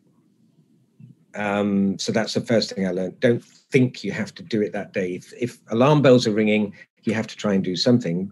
I understand, but in general, you could, and it's not great for the system, I know, and it squeezes everyone's time but you've got to buy the confidence of the, both um, the parent, carer, and and the patient. If they notice any anxiety, they won't get anywhere near looking at that. In my view, at that age, so I'm very happy to let them play with the equipment, um, and then if they're not ready to sit down, um, say we are going to do this. Be quite firm, but but we'll do it another day, uh, and you can do me first, and then I can do you. Um, that type of approach um, and have fun with it. Make it make it a bit of a, a, a game in that sense. Um, but they've got to. My view is uh, they've got to. Um, whether it's right or wrong, I get more. Um, they get on board more if they feel empowered and they're in control. Yeah. Uh, next question parents are often concerned when you tell them your, your child's going to be commenced on uh, immunosuppression, methotrexate, adalimumab. What are you've got a great data, long-term follow-up with the, these kids? What, uh, if any, are the, the, the longer-term side effects? We know about you know, liver function and methotrexate, blah, blah, blah, but what do you normally tell parents who have understandable concerns about starting on? Uh, no, that's a great question and one of the most trickiest ones. So I think for methotrexate, it's relatively straightforward. There's about a 40 year history of follow up, or 30 year history at least, of follow up with any form of patient with any disease as a child or young person on methotrexate. I think we can be satisfied say outside intolerance due to A, B, and C, or liver function that may go off but recovers, it's a very, very well tolerated drug in the sense of not putting patients at high risk longer term. We can't talk about 60, 70 years, but at today it looks a, a fair treatment if the patient is going to be on it for two to five years. Adalimumab is a different story, or anti-TNFs. It's it's not been used as much in children, only really over the past at a decent level over the past uh, 15 years. So the follow-up data is much less and of course it's a biologic that interferes with immunity. So there is always always going to be a concern of cancer development later on for which you know we're very honest about. We say to date there's been no signal um, but we can't take that risk away. So we i am very very honest with that as so is professor ramanan when explaining that. And it's true some patients some parents won't do it depends on the age of the patient, of course, um, because then you empower the patient who's 14, 15, they, they become into decision making of their own, so to speak. But younger ones, it's a very hard one. So there are times where where I think um, there have been a few occasions, thankfully not many, where when there's been a refusal, but I do think it's absolutely going to bring the patient to harm, that we go through the appropriate processes to treat the patient. Right, difficult. And that is really difficult, yeah. Very difficult, yeah. The other thing that you touched on, and please you did, that the psychological aspect of, of this condition. These are children who spend a lot of time away from school, coming to, to clinics, you know, in injections, which many of them, you know, but they grow to tolerate, but you know, the hate. What sort of you know psychological support if you find is is helpful in, in a younger group? But then we're dealing with the teenagers who are maybe coming off, you know, treatment and they've been off for a little while, and then they get a flare up and they get a heart sink and having to go back on immunosuppression and they're just in that awkward period in their, their life, you know, as teenagers, lots to contend with, especially at the minute, and COVID and being at school. But so psychological support for small ones and the, the teenage group. Mm. Yeah, so the small ones, we're very fortunate that we've been able to build psychological support through the pediatric community. I think if we led this as an eye specialty, we'd never have had the funding to get psychologists. But of course, it's inherent to how pediatrics treat in the in particularly in Bristol in the in the children's hospital. So we now have that pediatric support. The reason for that is that again, two things: uh, the way they teach. So it's a bit like learning and development psychology.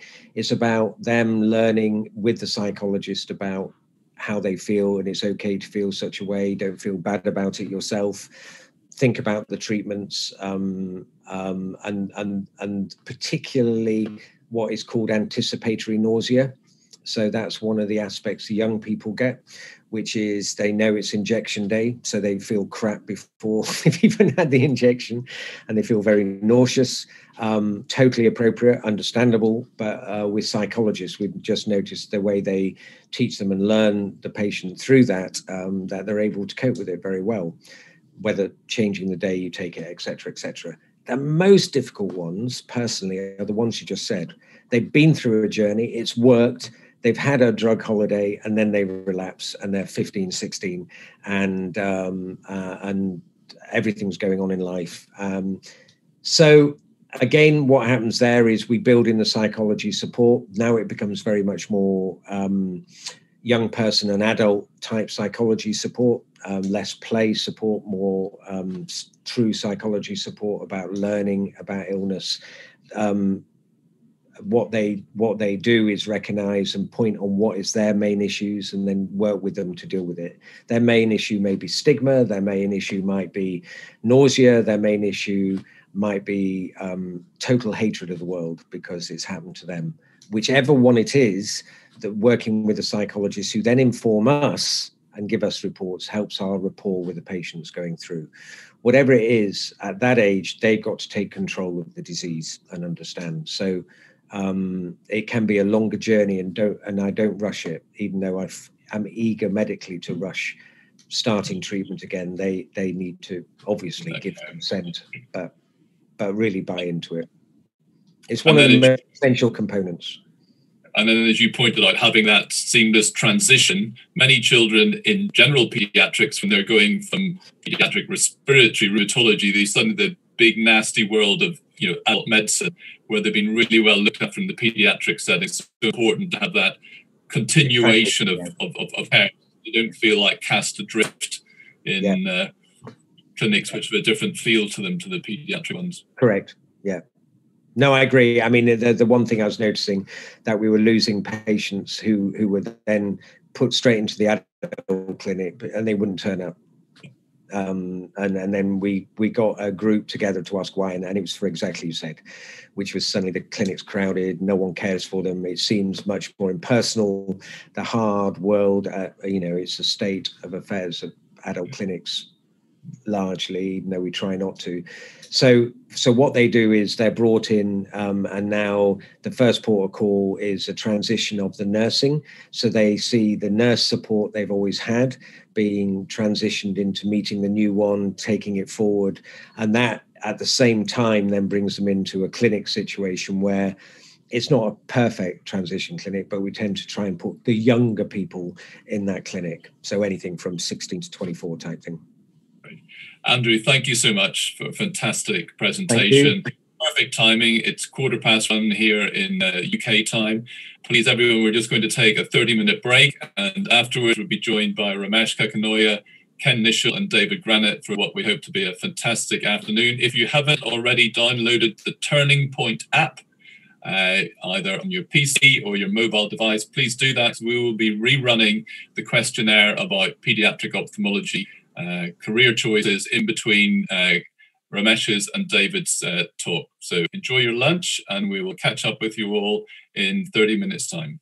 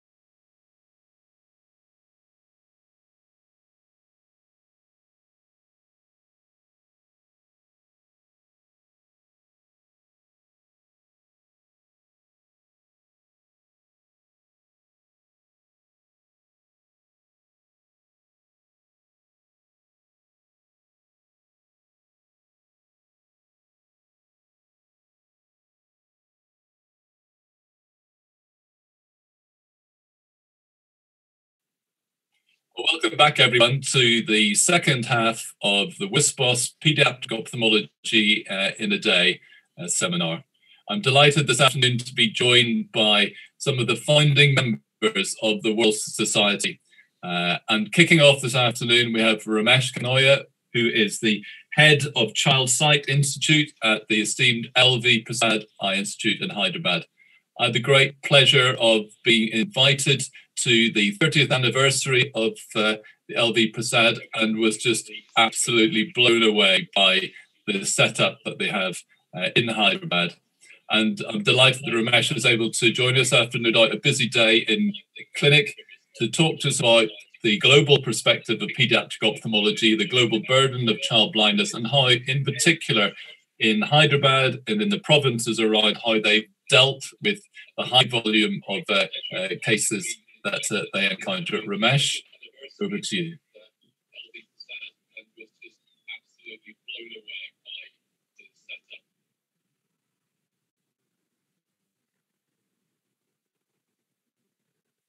Uh, thank you so much, uh, John, for this opportunity. And it's a pleasure to speak to all of you. Uh, very good afternoon and good evening and uh, good night to many of the delegates who are uh, watching this. I'm Ramesh. I'm speaking from Hyderabad, India. Uh, this talk is, uh, you had, uh, I think uh, you heard three or four fantastic clinical talks today. This is something different. Uh, I'm going to speak. I'm going to speak. you may be in one part of the world, but in reality, what exactly happens in other parts I had an I had an opportunity to work in uh, US and some part of UK, and I could see some of the best pediatric ophthalmology centers around the world. But I'm going to uh, run through uh, some of the experiences what we have done in uh, India. Uh, John has asked me to specifically share uh, our experience in with regards to childhood blindness. Thank you so much, John, for the opportunity. I would like to start uh, with the story of a three year old girl who hails from Bihar. Bihar is a place in uh, north of India. You can see this uh, on the map. Uh, this is where uh, Hyderabad is, and uh, this is where Bihar is. So it's almost 1400 plus kilometer. The child is prematurely born. They could not get into the eye care the number one reason is that they were not aware and they had some financial constraints. Somehow, uh, this child landed up in Hyderabad. You can see it's pretty obvious. Child has very poor vision, and child has bilateral cataract. And as you can imagine, the, the, the child's age is very much obvious. The child was child was five years of age, you can see child is trying desperate and child is very desperate to have some kind of vision. The child is doing all the maneuvers to stimulate some kind of vision be it uh, shaking the hand or even poking the eyes so generously so that uh, there can be some stimulation of the eye and the retina. Uh, this is the desperate situation of this child sure enough, uh, we performed this uh, difficult cataract. Uh, I, am showing uh, this particular case because there are some uh, things we need to understand with respect to the childhood blindness. Sure enough, we, we did the surgery. We visually rehabilitate the child with the spectacles. You can see that aphakic spectacle. It's not a switch on and off mechanism in a child that's why pediatric ophthalmologists and children, the physicians work with children, really work towards this. Child is child's vision is not a switch on and off mechanism. It really needs kind of vigorous rehabilitation, vigorous detection, vigorous early surgery, early detection. In spite of that, we could give some vision to this child, which was very, very useful for this child. There are two things. If you see this child, who got the surgery very, very uh, early in life. Obviously, because of the, the situation, we could not implant a lens here. We had to give in uh, for the aphakic uh, glass. And if you see this child, this child got uh, implant there. Both of them are doing very uh, good. As you can see, the early surgery can make a significant difference in the child's uh, vision, what you can see in this uh, three videos. That's the difference. So I'm going to speak about uh, pediatric ophthalmology, a global perspective with that uh, sharing of that case. My main objectives are uh, four folds. The first one is what is a global perspective of childhood blindness for your information? What at LV Prasad we are uh, trying to do uh, to tackle this through a pyramidal model. Along the, along the line, we did some relevant innovation in pediatric ophthalmology, which are cost effective. I will share the glimpse of that and what we need to do in terms of visual habilitation, or more often it's called as rehabilitation. So if you see the childhood blindness, the Vision 2020, we are beyond Vision 2020 right now.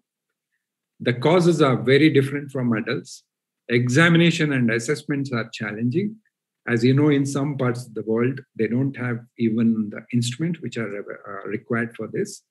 It requires specific management expertise.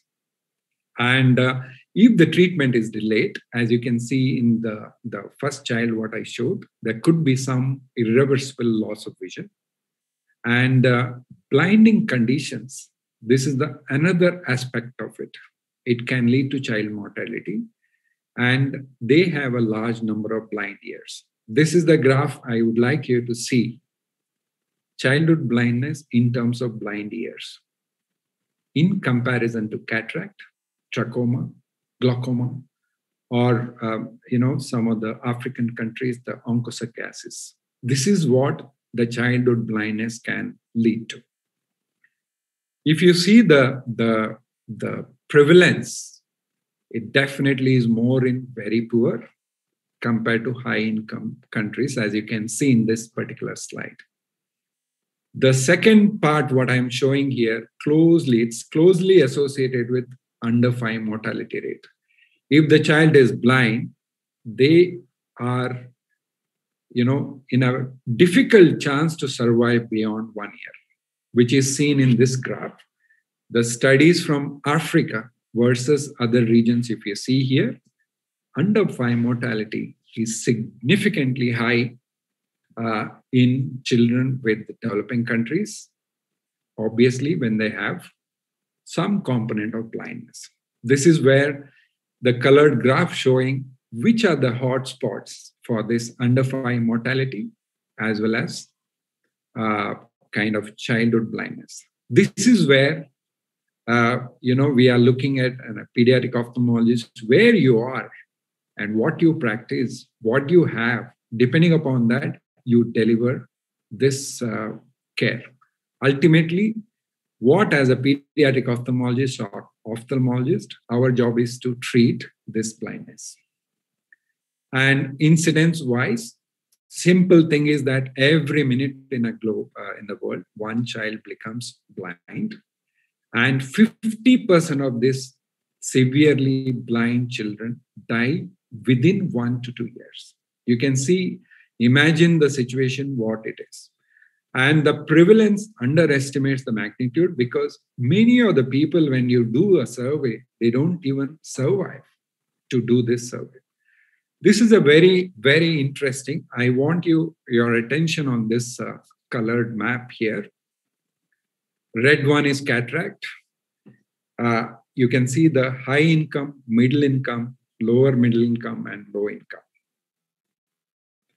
If you can see the corneal scarring, which is on yellow, which is more towards here, unavoidable blindness increases as the income of the country reduces. What you can see in red is the pediatric cataract. This these are just examples. I just want you to look at the green one. High income countries, the ROPs, was very high. Now it is not that it's declining, it's still high, but the upper middle income and the lower middle income are catching up. This is what you can see. This is kind of snapshot of childhood blindness around the world in terms of uh, your economical status of the country. And this is a very, very important slide for you to get a better picture. You can see red is the avoidable blindness. The brownish or the blackish one is the unavoidable blindness. Probably you can't do much for unavoidable blindness. Uh, typically some uh, you know cerebral visual impairment you've uh, you heard a fantastic lecture from Cathy today that's more in rich uh, countries and as you see the poor countries the circle becomes larger and in developing countries or uh, poorly developed countries the problem is paradoxical there are avoidable blindness there are unavoidable blindness so the challenge becomes even more difficult. You know, do I have to concentrate on children to get cataract surgery or to really look at cerebral visual impairment or ROP blind child? So this becomes really critical. So this impression you need to have. And even if uh, at some point of your career, if you can uh, help whichever way you can, beyond your uh, country or wherever you are, it's a significant thing even in 2021. This is a snapshot of priorities for control. Uh, this is the traditional uh, classification of diseases. And the challenge around the world is health education and behavioral change among parents. This is a significant problem. Why am I talking and showing to you? Because this is a world perspective all of us should have uh, in the education at some point of uh, uh, our life we can contribute to these things it's possible more tertiary centers are required more primary care centers are required secondary centers as you know rop is becoming a major epidemic along with myopia fortunately around the world the scarring the corneal scarring is reducing which is a good news so it is just the tip of the iceberg. We still even don't know what are all the things. It depends on country to country's uh, basis. If you look at, even in India, if you look at, the blindness varies from country to country, uh, the state to state. Uh, I'm sorry. In Kerala, which is a highly educated state, it's a middle and affluent income. The picture is different from a poor state like uh, Bimaru states, that is Bihar, Madhya Pradesh, and uh, if you know the geographical location of India, it's different. And it's also different, uh, you know, in terms of their economic impact. Retinopathy of prematurity is a major epidemiological problem. All of us know that. And adding to this, myopia is becoming a boom. This is another thing. As a global uh, perspective we need to take in terms of uh, it's not blinding. Sometimes it can be blinding in a later part but it's a severe visual impairment can be caused or it can also lead to secondary uh, visual loss. So what as a pediatric ophthalmologist as well as ophthalmologist we need to think or any uh, professionals in eye care we have to preserve and restore sight whenever it's possible.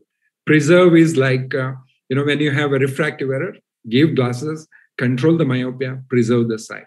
If a child has a cataract restore that.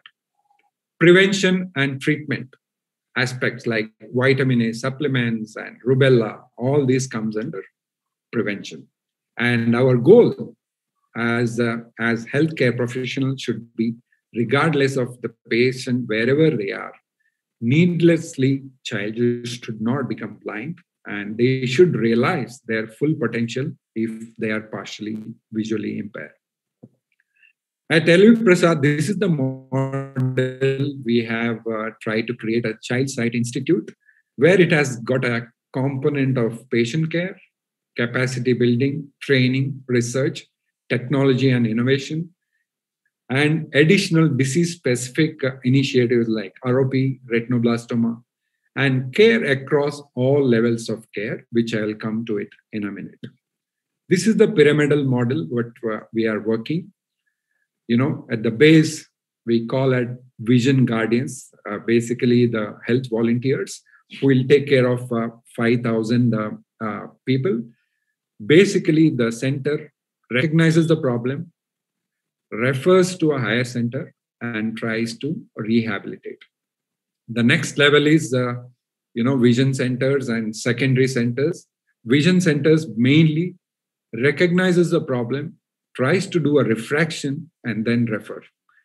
At a service center, or we call it as secondary center, this is for 500,000 people. There is an optometrist, and the team is led by ophthalmologist. At the base, we don't have ophthalmologists. From secondary center onwards, we have uh, ophthalmologists who annually screen 500 children. 250 children are referred, 500 glasses are prescribed. These are all the thing we are looking at. And then we are looking at 50,000. Every 50,000, we have a tertiary eye care center. And then there is a top level, we have center of excellence. So this is the model at LV Prasad. This is the network we have across four states of India. Hyderabad being here, uh, we have vision centers, secondary centers, tertiary centers, and center of excellence. This is where we deliver comprehensive child eye health, looking at the basic vision screening and refractive error at the base, simple cataract surgery and simple surgery at the secondary level. Tertiary level takes care of most of the pediatric problem. And at the Hyderabad, the center of excellence, we take care of complex pediatric eye problems. And this is the milestones what we had for the last 20 years, starting from Hyderabad to other centers, where we have developed over a period of time. The Child Sight Institute. We have seen and uh, uh, you know it, it's one of the very large volume uh, centers where we do a lot of surgeries lot of screening the volumes are very high the motto of LV Prasad is equity and excellence even if the parents or the child cannot afford complex of the complex procedure is given free of cost or surgery is performed free of cost this way we could reach a significant number of patients and impact this many uh, uh, children across these four states of India. This is the impact what we had in terms of restoration of sight, improvement of sight, provide rehabilitation, and preserve sight to this multidisciplinary approach across the network using all the eye care professions. They can be orthoptists, they can be optometrists, they can be uh, vision technicians, and of course, ophthalmologists in restoration of sight, improvement of sight, uh, be it refractive error or squint or amblyopia, and to provide rehabilitation for all of these uh, children and also preserve sight through school screening, community screening, vitamin A supplements, and immunization program. And obviously habilitate children with uh, optic nerve problem, congenital disorders, uh, unknown entities, and cortical visual or cerebral visual impairment. We have also ventured our uh, uh reach to the secondary centers that is closer to the patient's doorstep, where we perform screening, we have started uh, visiting monthly there. All of our faculty go there, take care of simple eye diseases in children, and also simple low risk general anesthesia surgery also has been done in this secondary center for the first time around the world so that this can be replicated in other countries where you can see in this picture uh, simple surgeries are in progress in these uh, places. And we do tele-ophthalmology or uh, teleconsultation through uh, our own app so that we can provide uh, care. Even if i'm sitting at hyderabad i can i can uh, uh, you know involve with the ophthalmologist at these secondary centers i just wanted to touch upon uh, the secondary the innovation as well as rehabilitation a bit. Number one is you know, Center of uh, Innovation at LV Prasad is an unique opportunity for healthcare ecosystem to have access to a valuable resource for conducting research that is too costly or far out of uh, uh, you know uh, thing for for a normal environment in developing countries. One of the things what we have done is uh, you know to screen for refractive error. We have created this uh, folding phoropter using a paper, folding them, and then trying to see uh, you know what is the refractive error. You know, child looks at a far off distance and whenever that child's vision is focused there, it can give values in terms of diopters, specifically in myopia. It's really, really useful. It can be a screening as well as a kind of, we can't, uh, there is a very, very good correlation with the final prescription as well using this uh, folding phoropter, which is scientifically validated uh, involving 3,000 children. Second thing, what we have looked at is, uh, you know, uh, whenever we, we, found these are all innovation happened uh, looking at a necessity, what we have. Uh, you know, sometimes it's even difficult to teach a relative afferent pupillary defect or some kind of red reflex for vision technician in a peripheral location you know there is an ambient light there has to be a observer's qualitative decision when you do a simple torchlight test there should be a control of uh, brightness there. What you have done is a pupil plus. It's a portable device to measure pupillary response in terms of quantification of response as well as to detect any abnormalities. It can be even used in a neurology unit for uh, concussion injuries.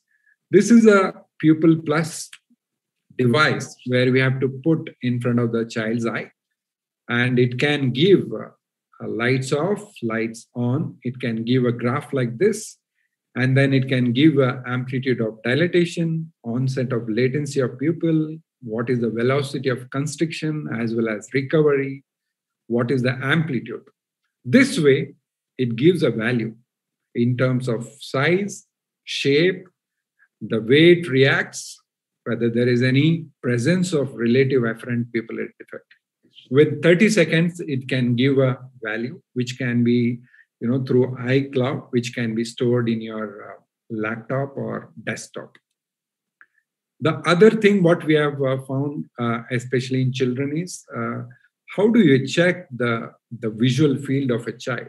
You know, it's difficult to do with the traditional instruments uh, what we have done is, uh, you know, use this uh, camera-based tracking system of this uh, children, like an umbrella. It, the child lies there, and there are multiple uh, dots coming there. And with the eye tracking uh, movement, we can look at, for example, this child is looking at, you know, this is captured through an infrared camera, and this can be charted on a visual field plot and we can know how much child has uh, visual field defects and uh, we can come to a kind of very good estimate how much uh, this child can see in terms of field of vision. The last part i just wanted to share is whenever you have a eye care facility it's equally important to have a special needs vision clinic. What is unique about this clinic is uh, there is a dedicated space, specialized assessment for children with disability, both in terms of visual and non-visual, like physiotherapy and other things, and a comprehensive rehabilitation model. Uh, at our place, we have our own setup because once you refer to another hospital, they may not even go.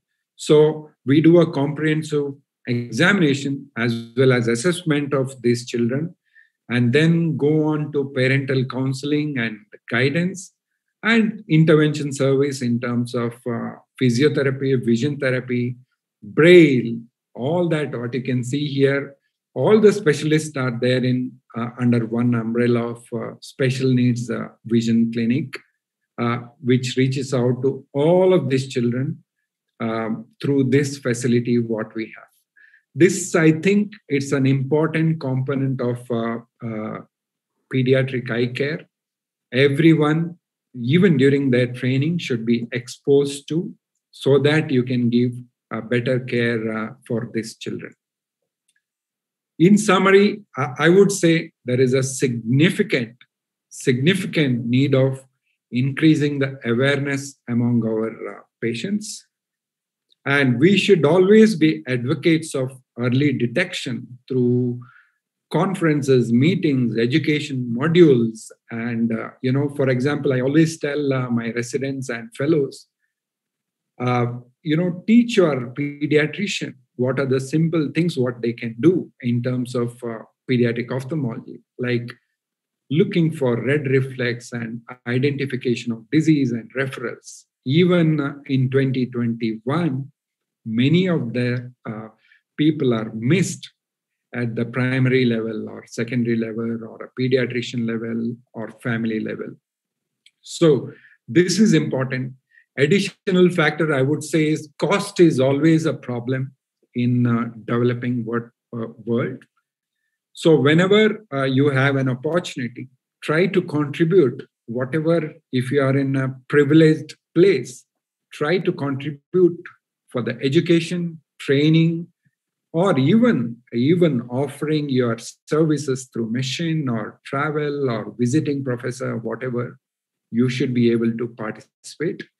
And the third point i have put here is timely intervention at all levels are extremely important to give that vision to that child. Always focus on salvaging vision whenever it is possible whenever it is uh, in terms of avoidable blindness. It's extremely important. If the blindness is not uh, possible to reverse, try to provide the, the rehabilitation or habilitation facilities.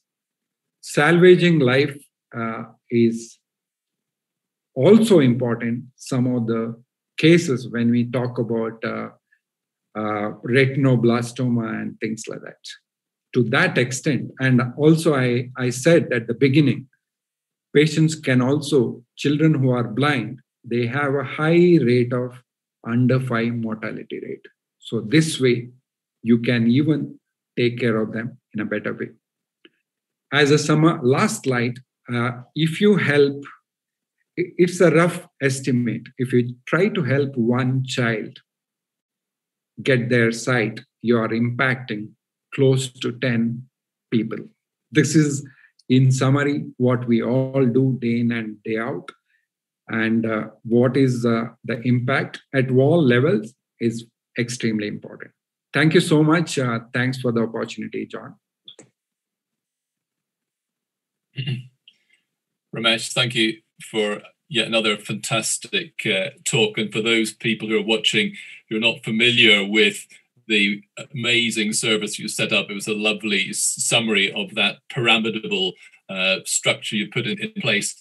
I touched on a couple of things. You just mentioned at the end you, the, the cost issues. What I was struck being shown around the LV Prasad was how you managed to provide, as you said, 78% of care at no cost. Can you just talk a little bit about how the how it's funded and how people are from affluent backgrounds who are having treatment there pay for their care and that subsidizes care from less wealth members of the, the community? How?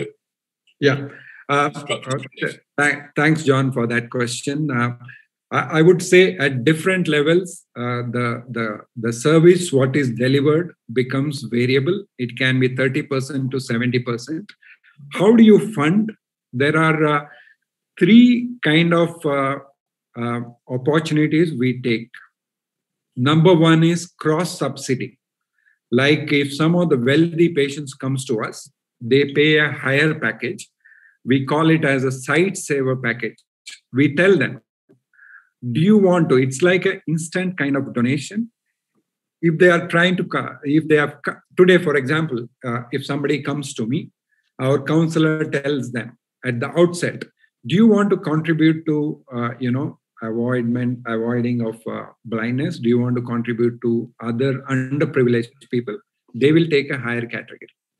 With that if they support four more patients with one patient's uh, care the four patients we can accommodate. That's number one we take care. That's called a cross subsidy model where we use. This is the most important thing we utilize to give free of cost care for the underprivileged people.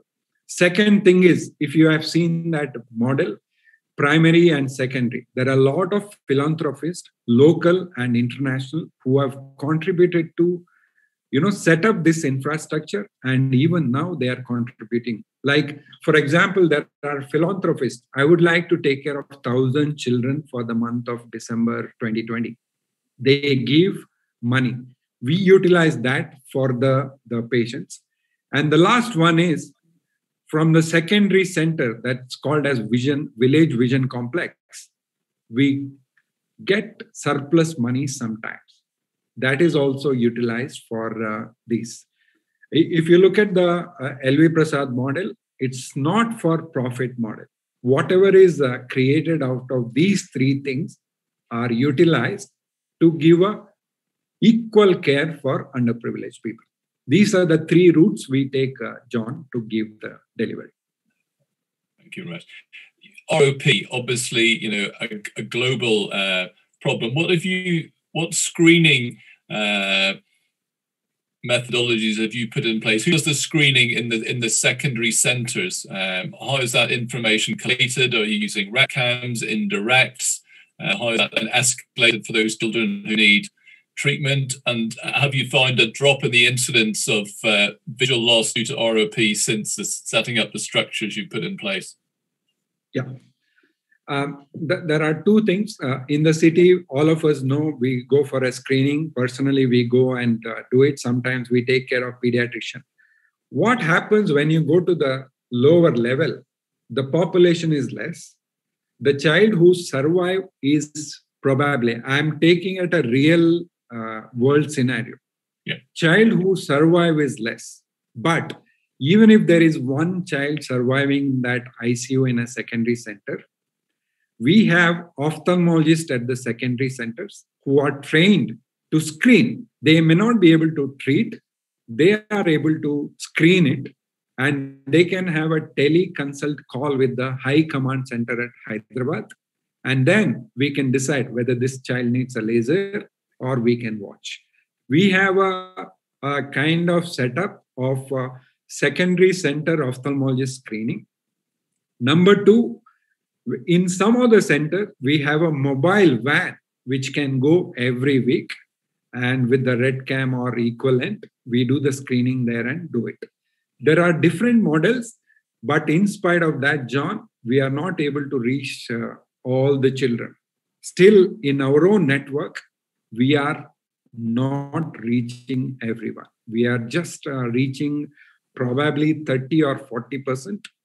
You know the our challenge initially in 2000 uh, or 1995 or 2000 was to kind of involve in hyderabad itself to create a model there.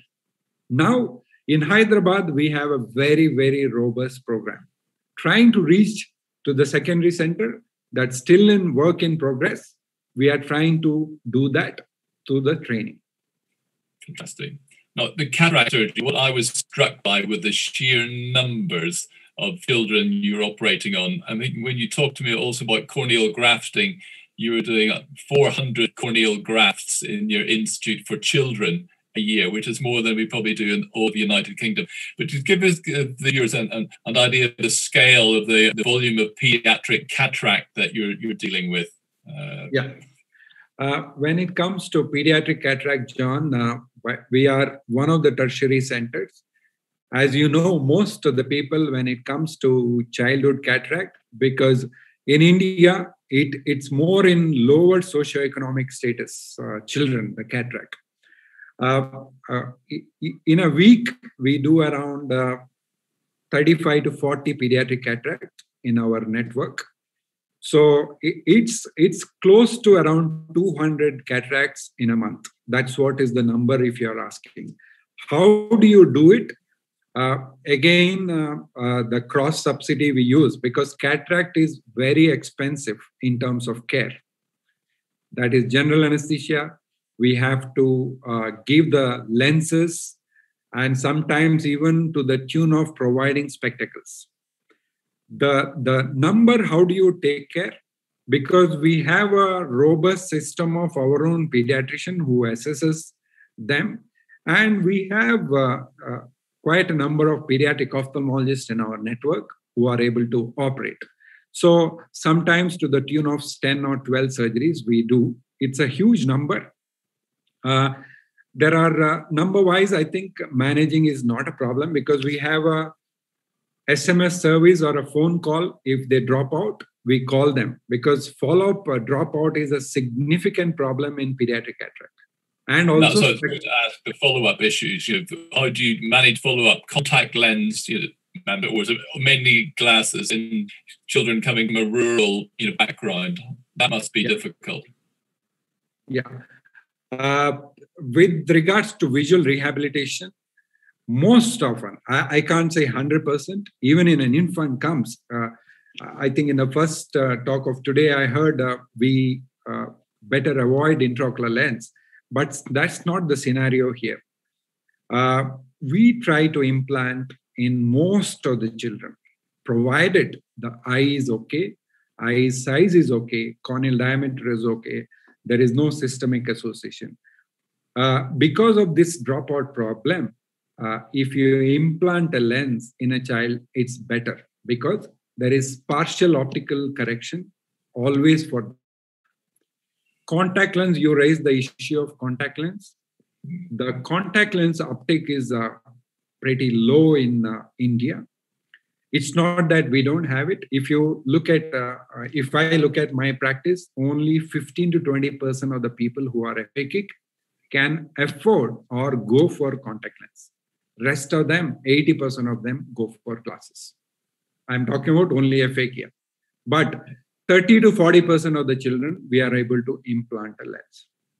So, what do we do for uh, uh, poor follow, which we looked at, I think three, four years ago, one of my fellows looked at. In the first year, they will come. From second year onwards, we'll see that trend of drop in the, the follow up rate because for some of the people, it's a loss of daily wage if they travel to Hyderabad we are taking two, three uh, routes to tackle that, John. Number one, we are providing that care at the secondary level itself so that we, we have a map where the patient is coming from. We ask them to go to that center. That's number one. Number two, our counselors, they give them a call. In our electronic medical record system, there is an option. If the patient is not following up, do you want to alert? I know by looking at the patient's profile at the time of checkout i have that option. That alerts the our counselor 3 or 4 days before the appointment system. They alert that and they call the patient. You are due to come this friday or saturday. Please do come. If you can't come we will reschedule. That's what we are trying to do. One is the counselor route by taking the help of emr generated alert second thing is uh, service at the doorstep. We ask them to go to the secondary center and do the real follow up.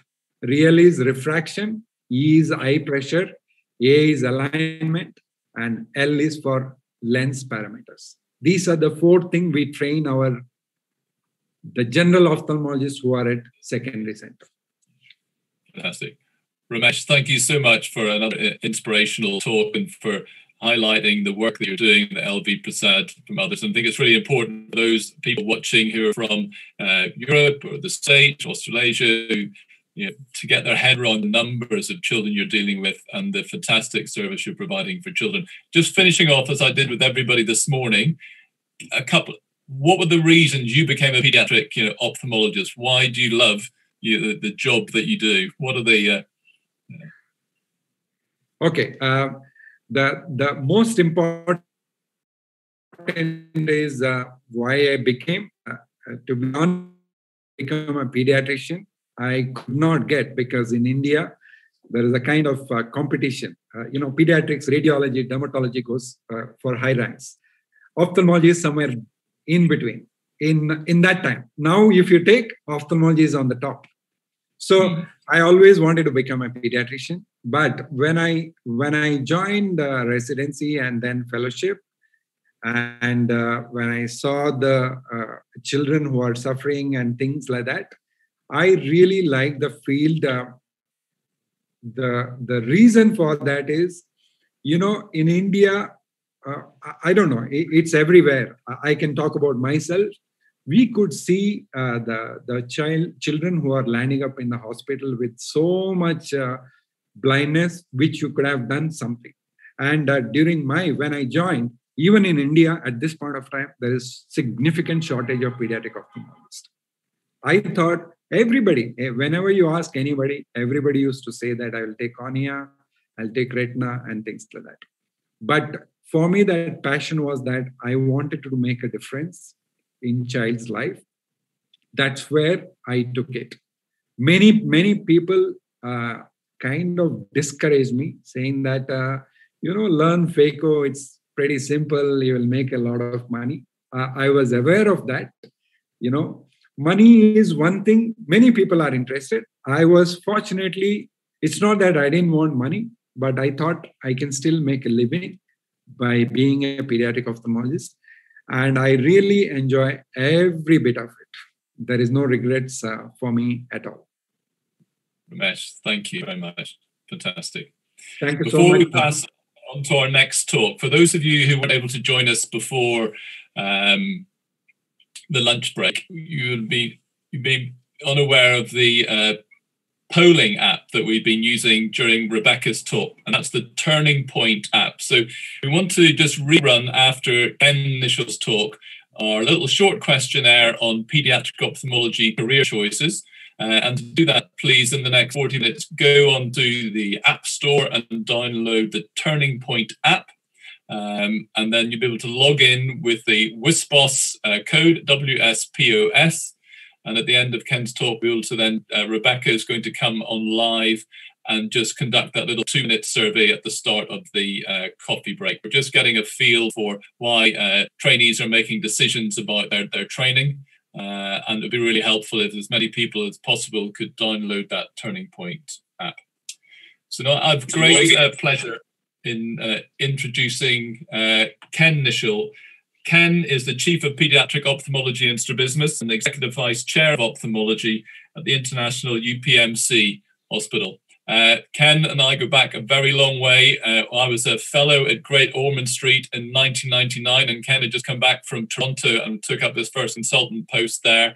He was a huge breath of fresh air in the place, a, just a dynamic individual who, along with Ramesh and David, have created this fantastic organization uh, whose webinars have been just an inspiration to ophthalmologists around the world during the, the webinar Ken, uh, thank you very much for agreeing to talk to us about your area of special interest, corneal disease, because we know with juniors who are working in casualty departments confronted by a small child who's photophobic, red eye, you know, what on earth's going on? Uh, it'd be great to hear your pearls of wisdom and how to assess these children and also some of the amazing and innovative work you've been involved with in Pittsburgh and in other centers. So over to you. Thank you, thank you very much uh, for uh, inviting me, and congratulations on uh, on uh, what appears to be a, a, really phenomenal day. So I'm, I hope uh, if someone can give me the okay that you can see my uh, slides. Are we good? Yes, Ken. Good. Okay, so um, common corneal diseases in children. I, I think it's it's really important to remember that when a child presents to you and you're not sure what's going on, clearly we don't want to put every child who you can't examine fully asleep, but having some sort of strategy to examine them is, is, a, is a really, really important thing to think about. So let's start off and talk about the symptoms and signs of how these children present. And perhaps the most important one is photophobia, pain, watery eye, and, and of course, the, the red eye.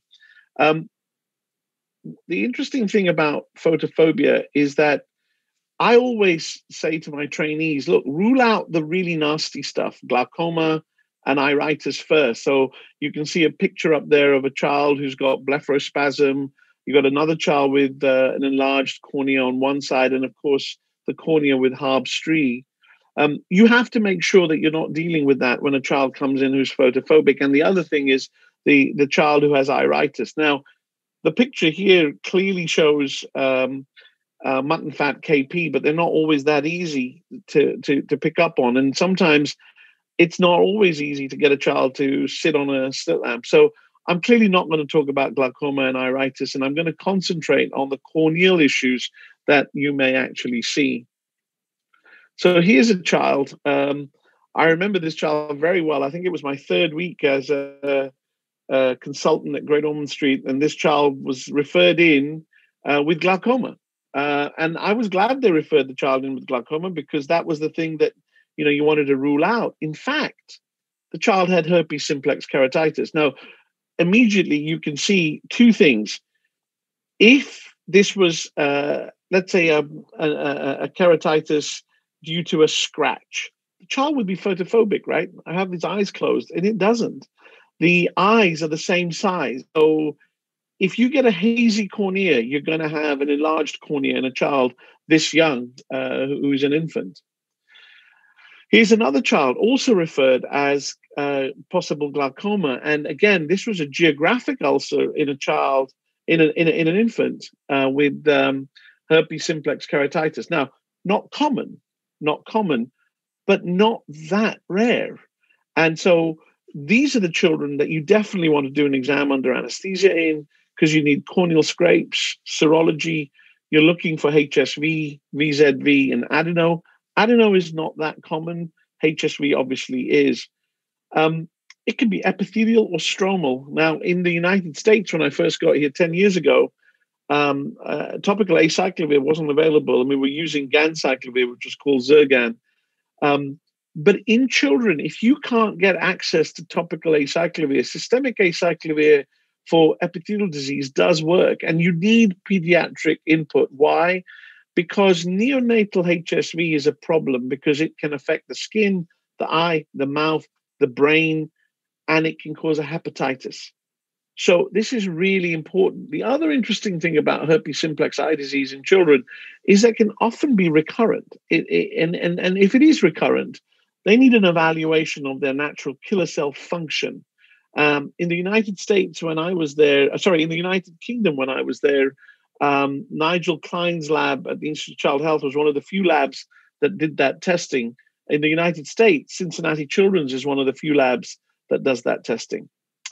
Now, these are two separate children. The primary infection is often, you know, subclinical, up to 90%, but you can get a conjunctivitis or a blepharokeratoconjunctivitis, uh, and you'll often get little punctate epithelial erosions. That will be the only thing you'll see.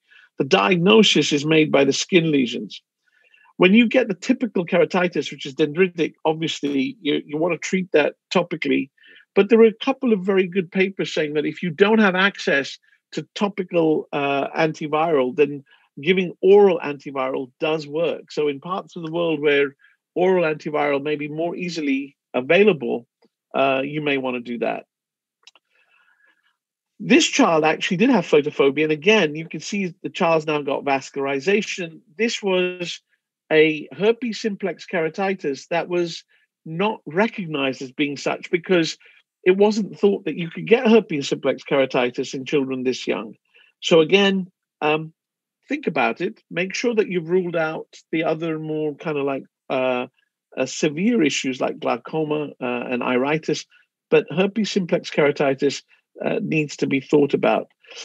The recurrent disease can be epithelial stromal. You can get a keratouveitis, um, and there have been some really good papers in pediatric uh, HSV keratitis, and the risk of amblyopia really is high. The risk of recurrence is high. So that's worth remembering. And sometimes giving oral um, antivirals is important. So acyclovir, valacyclovir, or famciclovir are all important things to consider. But I always work in conjunction with the um, uh, with the pediatricians for that. Okay, now let's go on to some uh, uh, uh, other things. This is a really important paper. It basically, you know, people question, you know, which uh, antiviral you should use, and, and the interesting thing was the only one that's not very good is idoxuridine. It causes a lot of toxicity. So if you're in a part of the world where this is the only thing you have, try and use oral anti uh, antivirals. Um, if you have an epithelial involvement and you haven't got access, scraping the epithelium also works. And I have uh, on my travels around the world had to do that, but it works. So there is, you know, if you don't have antivirals, there's still stuff that you can do. If herpes simplex keratitis is neglected, you'll end up with a descemetocele. Um, and the rare sequelae of epithelial uh, HSK is this nummular uh, keratitis, but that that's treated with uh, topical steroids um, and uh, uh, uh, oral antiviral. You don't need a topical antiviral to, to cover that. What about the subtle keratitis? Now, Thygeson's SPK, superficial punctate keratitis, was not thought to occur in children. It does. It does occur in children. And it's something that you should look out for. It's the same symptoms. The child will tell you that they're fine, and then all of a sudden they get photophobic, they get tearing. Um, uh, and you know we don't know exactly why Thygeson's uh, occurs. We think it's viral related, but the the proof is tenuous uh, at best. Uh, but it's a recurrent disease, and this was a paper that uh, a colleague of mine, Vishal Jhanji, asked me to get involved in, and we were looking at children who had Thygeson superficial punctate keratitis, and it's interesting. You know, the the treatment. Um, uh, is topical steroid, and you want to use something like uh, FML because FML fluorometholone has a fluoride ion attached, so it's hydrophilic. It doesn't really uh, penetrate the eye unless you're immediately post surgery or you've got uh, uh, an epithelial defect. Um, cyclosporin has been used. I do use it uh, in the United States. Uh, cyclosporin is available uh, as uh, Restasis and I have found that that has helped tremendously. Uh, this is a protocol. Now, you know, I, I actually think protocols are really important. This is one that Megal Gangrani, uh, Gangrani, sorry, Liz Connor, and Peter Jones. Peter is a resident. Megal and Liz are fellows coming in to work with us starting uh, in July. But I always ask my fellows who are coming in to think about protocols if you make a protocol, if you're a resident or if you're a trainee right now, if you have a disease and you make a protocol of what you would do or what the different processes are, a bit like uh, the trainee this morning was talking with um, with John Ferris. You know, there's an algorithm in how we think, and I find creating protocols makes such an important uh, method of thinking because not only do you have to memorize words, but you start to memorize images. And as you know, the brain's much better at remembering things if you've got an image and words to to to think about. So let me explain why this is important. There are some cases where you have Thygeson's like appearance, like this one, um, where actually that might not be the case. And this is courtesy of one of my ex fellows, Inez Wong. Um, this case presented with SPK like clinical features. Now, I'm going to go back to the protocol. Can you see here in the protocol? It talks about infectious causes, and it says if you do a trial of topical steroid and it's worsening, you need to rule out an infectious cause. And in this case, it did worsen with topical steroids. And so the decision was made to do a scraping and test for microsporidia. Microsporidia can present and look like SPK. So if you have a child who has Thygeson's SPK and topical steroids make things worse, think about doing a scraping. And uh, this is what microsporidia looks like. I have seen in England, when I was there, two cases of microsporidia with a history where the children had been uh, um, swimming in lakes and ponds, etc. And uh, one case here in, the United States. So it's not just a you know tropical country issue. It it can happen, and it's worth thinking about. So let's get to the really common stuff, right? The allergic eye diseases. When does the cornea get involved? Well, clearly when you have uh, acute allergic conjunctivitis or seasonal allergic conjunctivitis, the cornea rarely gets involved. But what happens when you have vernal and you have giant papillae is that the cornea is going to get involved. Now, I want you to remember for a minute the picture of this boy. I want you to look at his skin.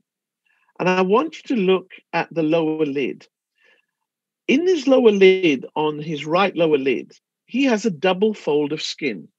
That's called the double fold of Dennie. And it's important to remember because what we've done is that we have said to ourselves, vernal keratoconjunctivitis occurs in more in boys than girls, true. The onset's usually under the age of 10. And we've said that atopic keratoconjunctivitis is a more of an adolescent, you know, 20 plus disease. I'm going to show you that that's not necessarily the case. And recognizing that changes how you approach these children. So you can get vernal that gives you limbal changes. This necessitates, you know, prednisolone or, or, or dexamethasone uh, drops. If you don't do that, you don't hit this hard, if this keeps having happening recurrently, you are going to see limbal stem cell damage, and it's important to hit this condition hard.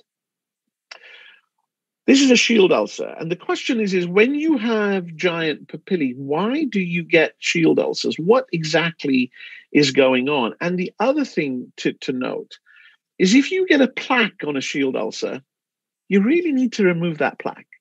That plaque needs to come off because it is going to leave a nasty scar or it's going to cause keratolysis around it. So if you see a plaque, uh, it's an indication to taking that child to the OR. Firstly, to do something about the giant papillae. Secondly, to t- peel that plaque off. So, what happens? Why do you get uh, shield ulcers? Well, if you think about the eosinophil, there are all these granule proteins that are actually toxic to the epithelium, and you get release of enzymes that that actually cause breakdown of the uh, of the adhesions of of the epithelial cells and and, and affect conjunctival remodeling. These are the growth factors that are that are, are released. So there's a good reason why you get these shield ulcers. So as I said, atopic keratoconjunctivitis always thought to be an older person's disease, but it's not. Uh, um, Dominique Bremond and I showed in a multi-center study with David Granet as well that atopic keratoconjunctivitis does occur in children, and we reported 23 children between the ages of five and eight. And to recognize this, look behind the ear, their skin changes, look at that double fold of Dennie. This is important to recognize. I'm going to talk about uh, giant papillary conjunctivitis as, as, as it occurs in vernal. Of course, remember it can be associated with contact lens wear as well this has always been a really useful um, schematic for me. You know, when you see a child with uh, severe allergic eye disease, VKC, it's important to understand what drops you're using and what, how you are affecting these different pathways. Because if you're going to do a algorithmic treatment, it's better to understand what are the likely uh, predominant effects of, of, of what's going on. So, you know, allergen avoidance when you've got VKC, while it's important, it's not going to make you see a dramatic change. You are going to have to do that, but in addition, do something that affects the interleukin 5 pathway, the other interleukins 4 and 13, and, think about how you stabilize that mast cell uh, in terms of drops you know, using something like sodium cromoglycate when you've got um, uh, uh, giant papillae is probably not enough. These are all the different things uh, that you can do. There are. We're going to talk about some of these. Uh, remember, mast cell stabilizers, dual acting, they're important, and I more and more they become my sort of first line of treatment. Non-steroidals are, are important to use just remember one thing if you've got an epithelial defect, there have been reports of corneal melts in the presence of epithelial defects. So uh, be a little bit careful uh, uh, uh, in using those, even though clearly when you use steroids, you're worried about the side effects of steroids.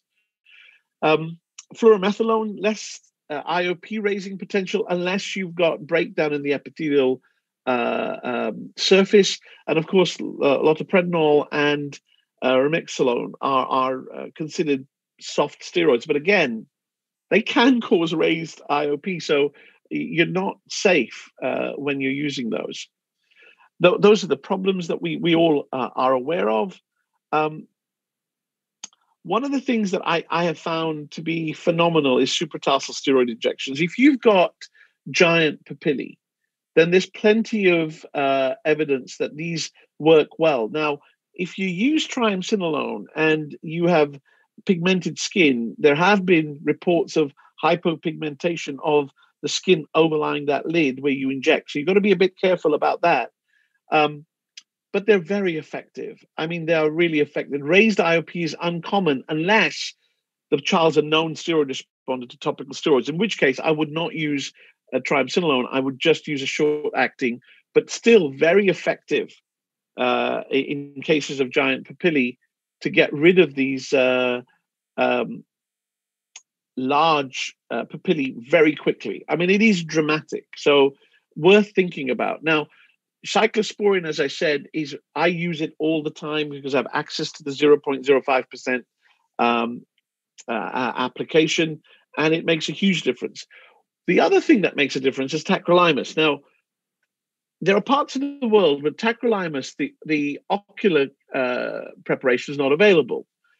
I ask the parents to use tacrolimus on the skin, on the lid, and use it sort of close to the actual margin and a little bit of it always seeps into the eye and really, really is effective. And that boy that I showed you with the atopic keratoconjunctivitis, not using tacrolimus is going to have a major effect on how quickly that child gets better. So it's important to recognize atopic keratoconjunctivitis um, and recognize that its ocular uh, pres- um, uh, uh, appearance is very similar, if not identical, to VKC.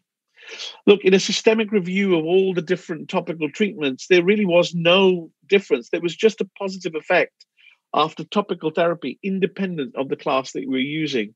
So don't get too hung up on what you should use, you know, what you shouldn't use. Uh, the evidence is that as long as you use something topical, it's going to work.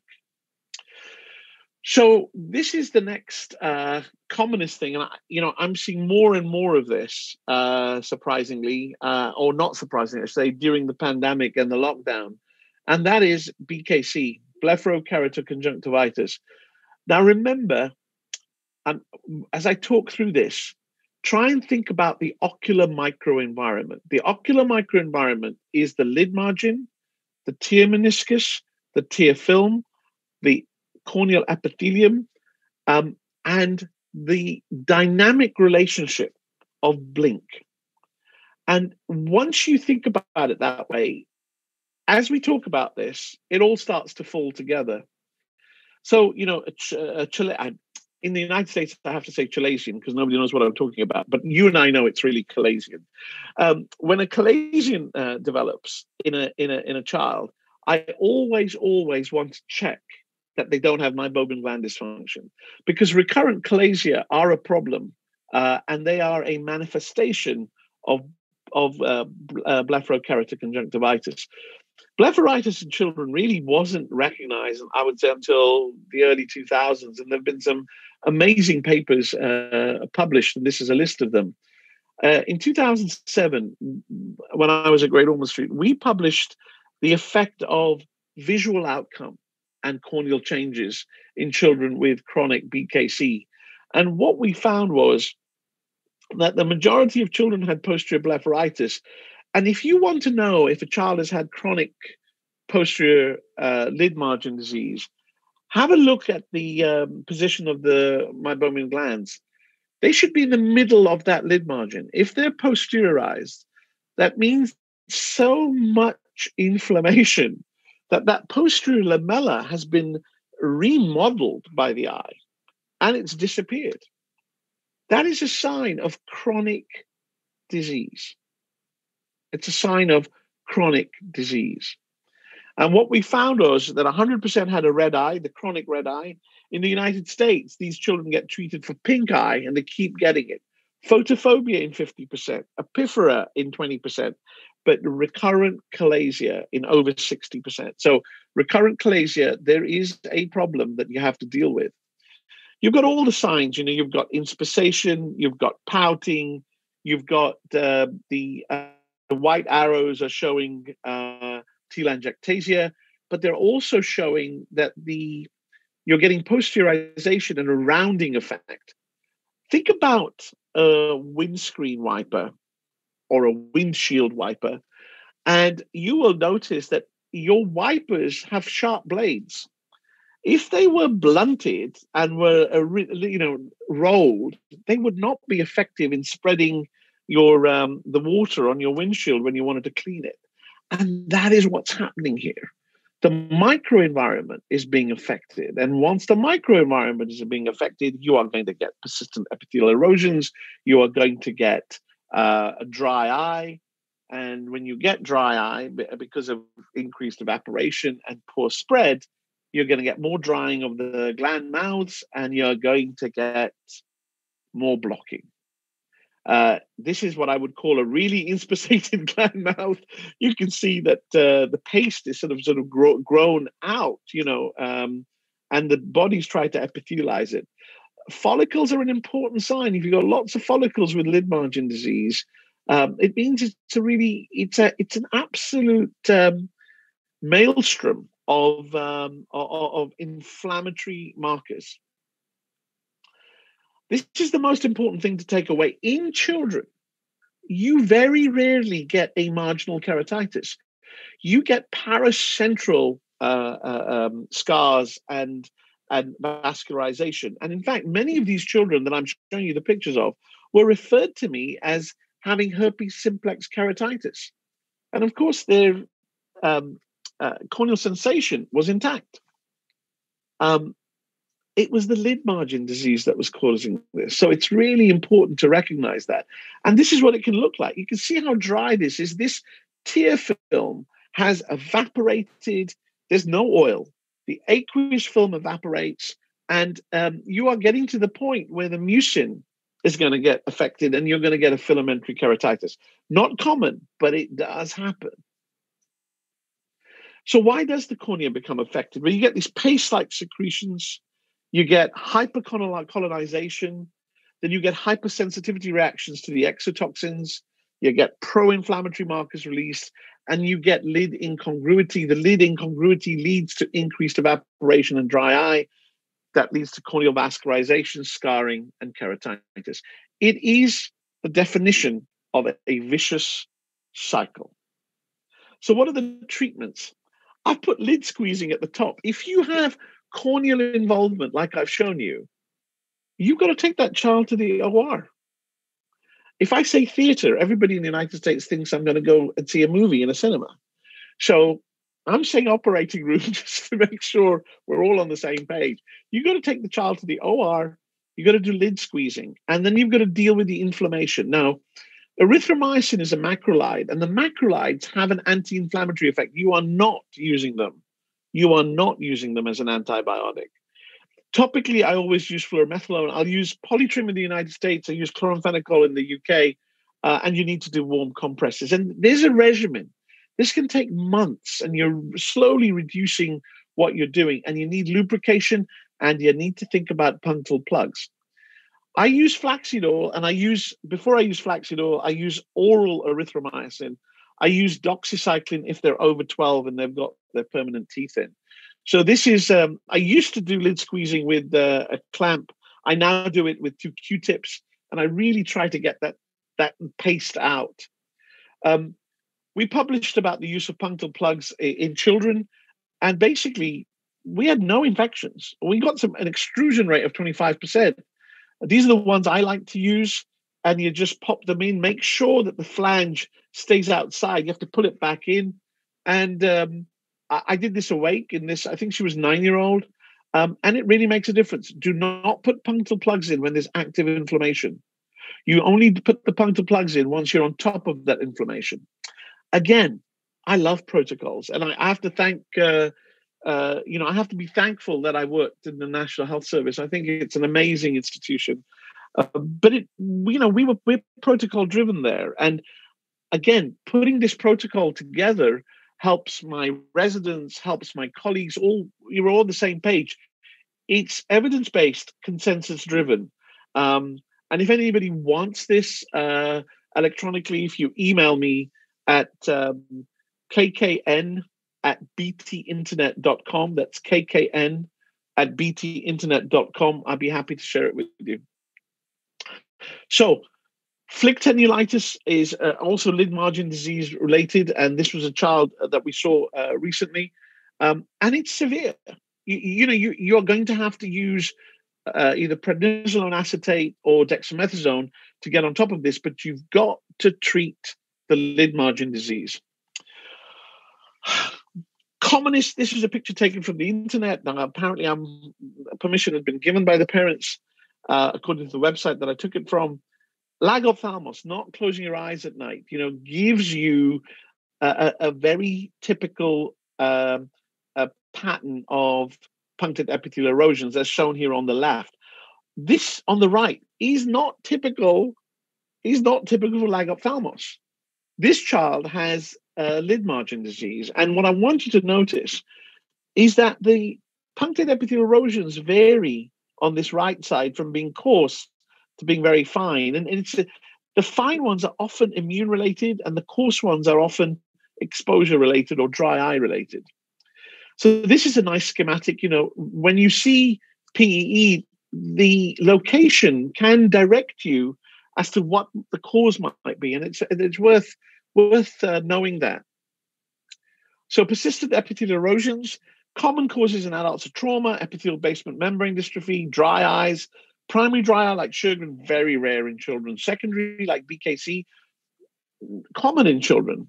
So what about in children? Look at the lids. Um, I've seen molluscum contagiosum present with PE and a red eye.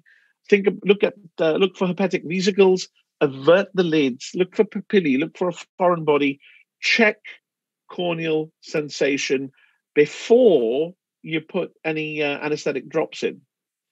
If they're normal or near normal lids, you're looking at rare causes now. Neurotrophic keratopathy, if there's no foreign body, there's no papillae, the lids are all normal. Uh, also, corneal dystrophies. This is a child who presented having been treated with, for uh, Thygeson's SPK for several months, and she did not get better. And I looked at her, thought she may have some lid disease, imp- treated it, but she again did not get better.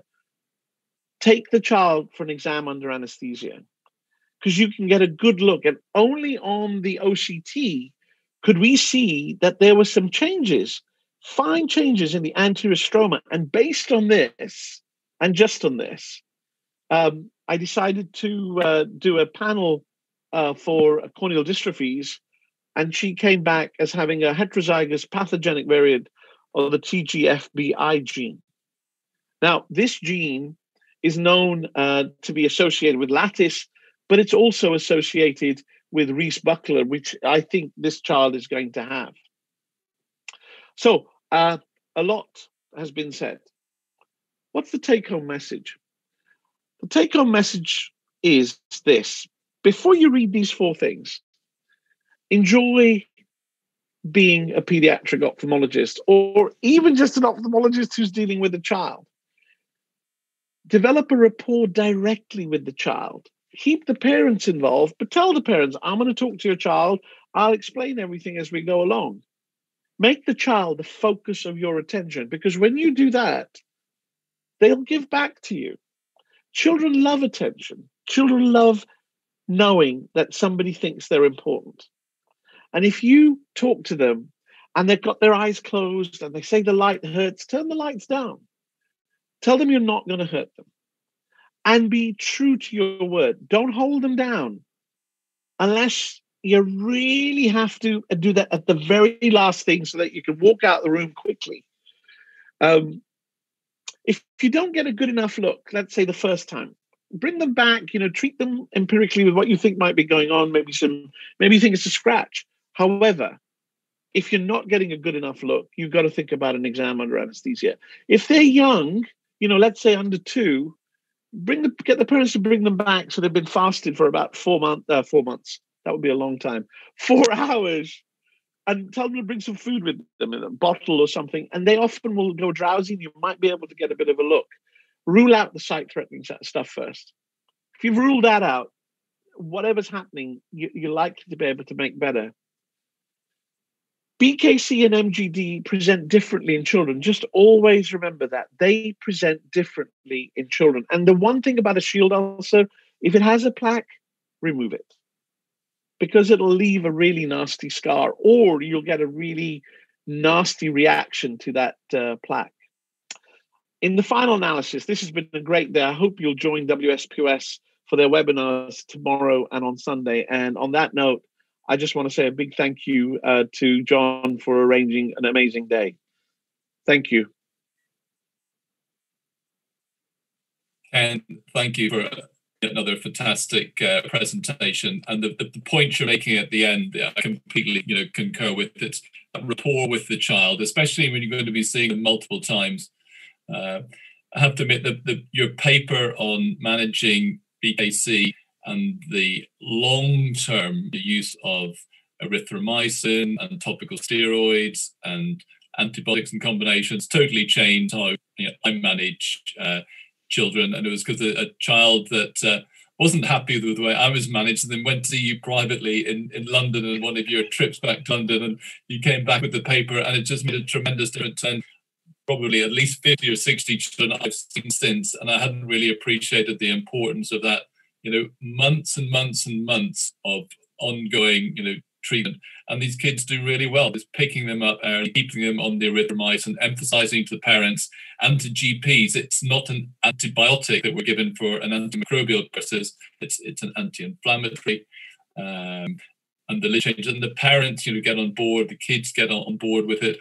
But it's a it's a long journey for these, you know, children. Uh, yep. And if you don't and, get and to I the think yeah, no. I uh, firstly, John, I'm sorry. I I, I, I, I, I hope that it did help. So it sounds like it was okay. I think the thing is that um, it's it's very low doses that we're using. So people get worried about using FF, FML for months and months and months, but you're using literally two or three drops a week, hmm. um, and, and you you have to tail it down.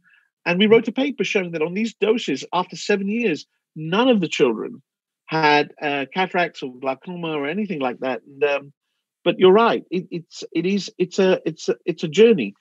I can tell you, even in the United States, I have families flying from Little Rock, Arkansas, California, just for this regimen.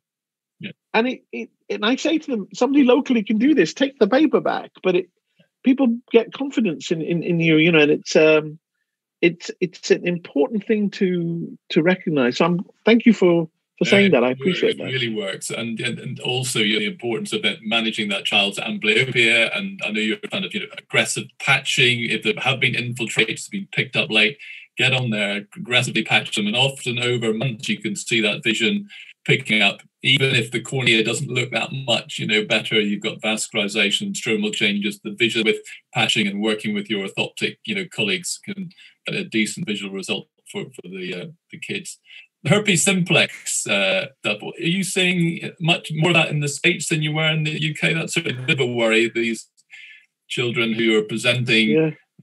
with the sort of epithelial changes you described at the start of your talk. Yeah, no, actually, interestingly enough, I, I don't know if it's because of the geography. Um, I see more. I saw more in the UK than I saw than I see here. I've probably seen two babies or two infants with herpes simplex keratitis what I've seen here more is bilateral herpes simplex keratitis and recurrent uh, in older children. And um, those are the ones who, when you do the natural killer cell function, not number, the function is abnormal, and you have to keep them on really long term oral antivirals. So they, they're not immunocompromised, but they just seem to have this, and it, it can be transient sometimes natural killer cell dysfunction. I remember, Ken, there was a case you presented, uh, in, it might have been at the Academy a number of years ago, of this child with persistent photophobia. And the young lad, you kept on looking at them, the slit lamp and really close look. There was nothing to see. Um, can you remember the, the case and what the, the underlying diagnosis? That was so, really valuable lesson because we we're always, you know, anxious that when you're seeing a child, they're pretty cooperative, you get a reasonable view, there doesn't seem to be much margin disease, the cornea looks okay. Um, but that yeah. was a really interesting case because they were consistent so, in their history of intense photophobia. Yeah, so that child turned out to have uh, Meesmann's corneal dystrophy. And what we see, what we don't understand is, or what we don't uh, appreciate, is by the time you see an adult with Meesmann's, it's been there. But there's a point, you know, it's been there a long time. But in children, it starts. And so he would get some erosions and then improve. And so you'd see the cornea and you really couldn't see uh, enough. I mean, he was great, but to do a proper retroillumination, he wasn't going to let me do that. So I actually had to do an EUA, and that's where I picked up the Meesman. So the exam under anesthesia, you know, we've got to be careful about anesthetic exposure, of course. But there comes a point where you think, you know, I don't have a, a reason for this. And of course, the other thing about photophobia is if you're sure the cornea is okay, just make sure that they don't have a, um, a cone dystrophy. But usually in cone dystrophy, they'll have some nystagmus. That will be yeah. the giveaway. Just had a question come in uh, from one of our YouTube viewers, Ken, wondering when you take consent for lid squeezing in the OR, what procedure do you write on the consent form? lid squeezing. I put lid squeezing. And in the United States, it took me about two years, you know, to get the insurance companies to agree to cover it. But yeah. uh, that's what I put, lid squeezing. And now you say you moved from using a lid clamp to using two cottonwool buds to. yeah. Yes, so I put one, yeah, one on the inside, one on the outside, and I roll the one outside up to the margin, and you get much more out. You're sort of rolling up. I, you know, I think I think it was uh, Tony Braun who said to me, they're like toothpastes pointing upwards in the lower lids and downwards in the upper lids, and you want to kind of roll that toothpaste from one end to the opening. Yeah.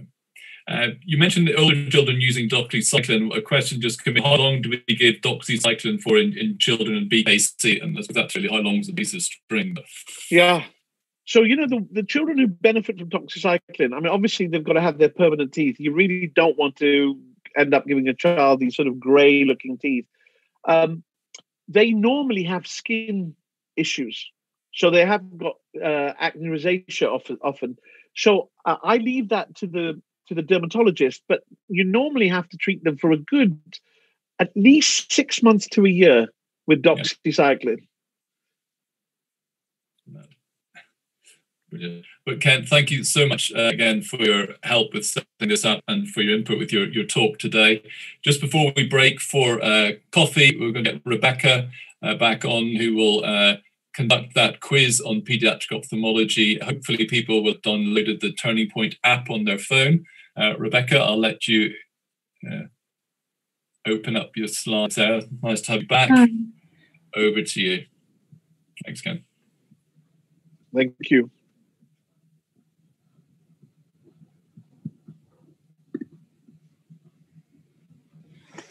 So the WSPOS are really keen to get an insight into the thoughts of particularly ophthalmology trainees on paediatric ophthalmology. So I've been asked to reprise the survey that I did this morning for those whose time zone meant that they couldn't able they weren't able to join this morning. We'd be really grateful for those of you who didn't get a chance to answer this morning, trainee or not, to join in either on the Turning Point app or on the website ttpoll.eu. Enter the session ID WSPOS, and then that will let you through into our quiz. Anyone can join, and we'd be really grateful if you could join this this afternoon. You don't need to put in your name or email address if you want to remain anonymous. As earlier, I've got my very helpful colleague Sunil Mamtora running the poll, so thank you, Sunil. I'll leave a minute or so for people to either download the app or get to the web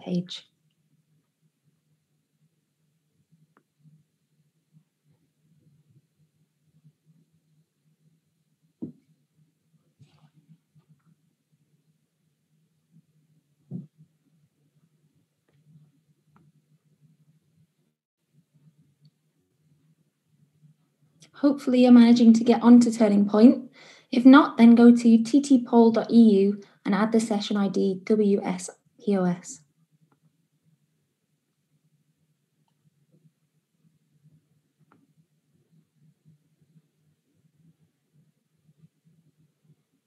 And just want to say thank you to everyone who responded this morning. and thanks to those who are joining now. Your opinions are really interesting for the WSPOS and for planning training. I think the link for the website is also in the chat on the YouTube as well, so you can join from there if you're having trouble typing in.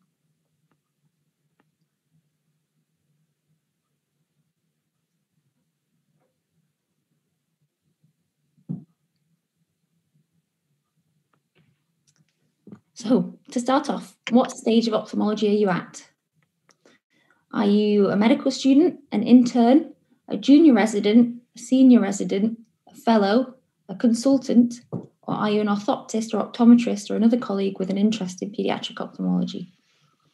There's a bit of a delay between the different platforms that we're streaming on, so I'll just have to leave a few seconds on each slide to give everyone a chance for it to come through.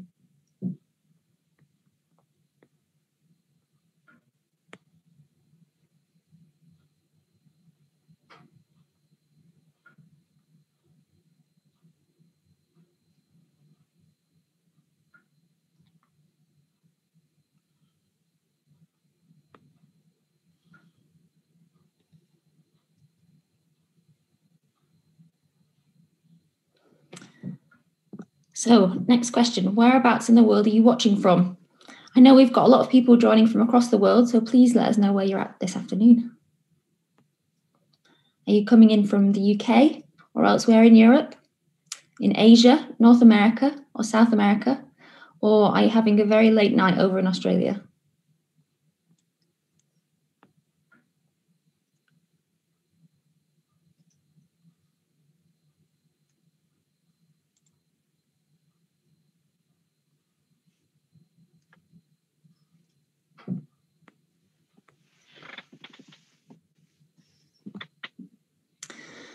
For those of you who are yet to subspecialize, how keen are you to take up pediatric ophthalmology when you become a consultant?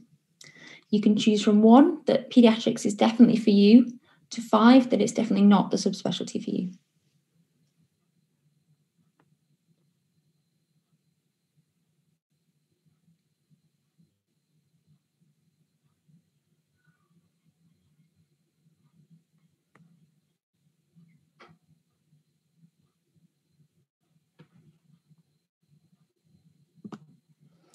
So, to help us understand your opinion on why you like paediatrics or what's important for you in a consultant job, you can rank these options to reflect your opinion. You don't have to choose all the options, just the ones that you think apply to you. Is it that you prefer a flexible way of working? That you're keen to go into a subspecialty with widely available consultant job opportunities? Or is it that you have a keen interest in research? Is it that you're keen on the financial incentives to do a subspecialty? Is it that in pediatrics, there's the benefit of being part of a larger MDT of orthoptists and optometrists, and that's what draws you into it as a subspecialty? Or is it not knowing what cases will show up in clinic each day, as I hope I demonstrated in my talk earlier?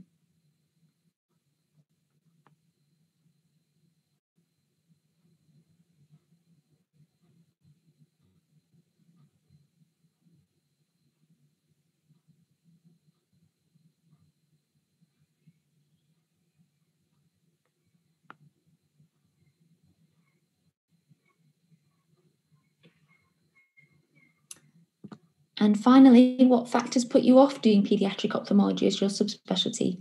Again, if you can rank all the options you think that are relevant to you. Is it stress of working with and examining children or the lack of opportunities for research? Are you concerned that paediatrics might not be the most lucrative for private practice? Is it that you don't enjoy strabismus surgery as much as other surgeries? Or are you worried that you might get complaints working in this field of ophthalmology? Or is it that you think your training in pediatrics has not been good enough, either surgically or clinically, to encourage you to do pediatrics?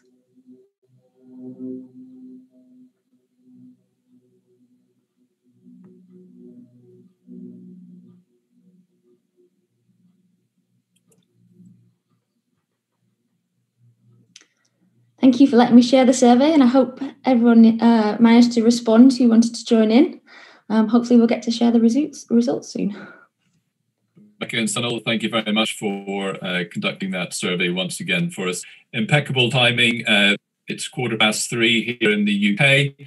We're going to uh, have a 15 minute break before resuming for the final leg uh, with David Granet uh, talking about examining children, and myself, David and Yi Ning Strube, talking about uh, strabismus surgery training. We hope you can join us for the last hour of this webinar. Thank you.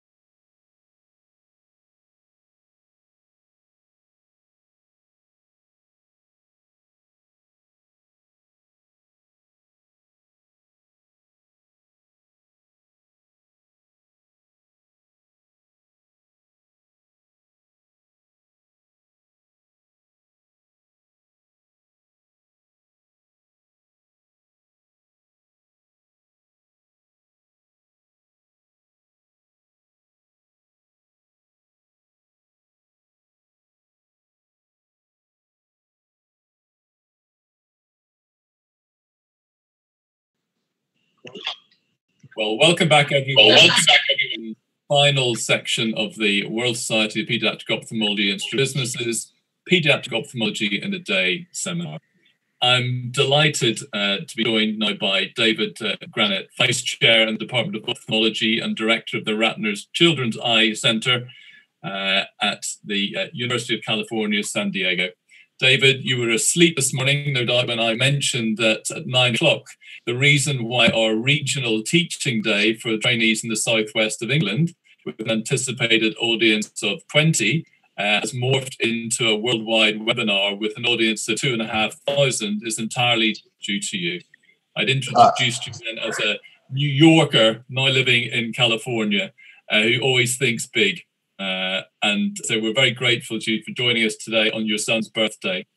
Uh, and uh, just like thank say, you, John. the talk you gave on how to examine children all those years ago at one of the WSPOS seminars has really stuck with me, and I'm grateful for you to be able to reprise that uh, talk, uh, and it'll probably draw together some of the things that other people have talked about when it comes to examining children in clinics. So over to you. Yeah, my pleasure, John. And um, I know what a great teacher you are because uh, the very first pediatric ophthalmology uh, World Society meeting that we held, uh, John uh, you were the one who helped us put together, and it was your vision that led to the strabismus training workshop. So uh, from that, there have been multiple around the world, uh, and and I think it changed the way strabismus is taught. And uh, at our last meeting in Hyderabad, the workshop was standing room only with people lined out the door trying to break in and all from your vision. And we'll be talking about that, of course, with uh, Dr. Strube later. Um, so w- one of the things that John asked me to talk about was examining children. And uh, I'm going to um, pull up my, my uh, slides now to show you, hopefully, um, that uh, what, what we've been doing. And, and uh, my slides are being held back for some reason. I'm not being allowed to share. Let's see if we can get that to share. Uh, John, confirm that you're actually seeing my slides because this is uh, somehow my Zoom is working funny today. Yeah, all visible to me, David. No problem. Looks good. I think you said it's good. Uh, do you hear the sound? Because I have sound associated with this. Yeah. John, did you hear music? Did you hear music? No. No. Okay. Um, let's see if I can. I, I, don't know if I can fix that or not. Well, I'll go on, but uh, some of this requires music, so uh, requires sound. Uh, and um, this link, for some reason, for my Zoom, and I apologize. I'm, I'm turning into one of those people apologizing for their technology, which um, I hate doing, but we'll see it. That's my son, um, whose birthday it is today, and we just uh, got uh, done with uh, letting him look at some of his presents, but didn't let him open them. Um, and then, of course, as John knows, uh, for those of you in England, I am a very big Leicester City fan.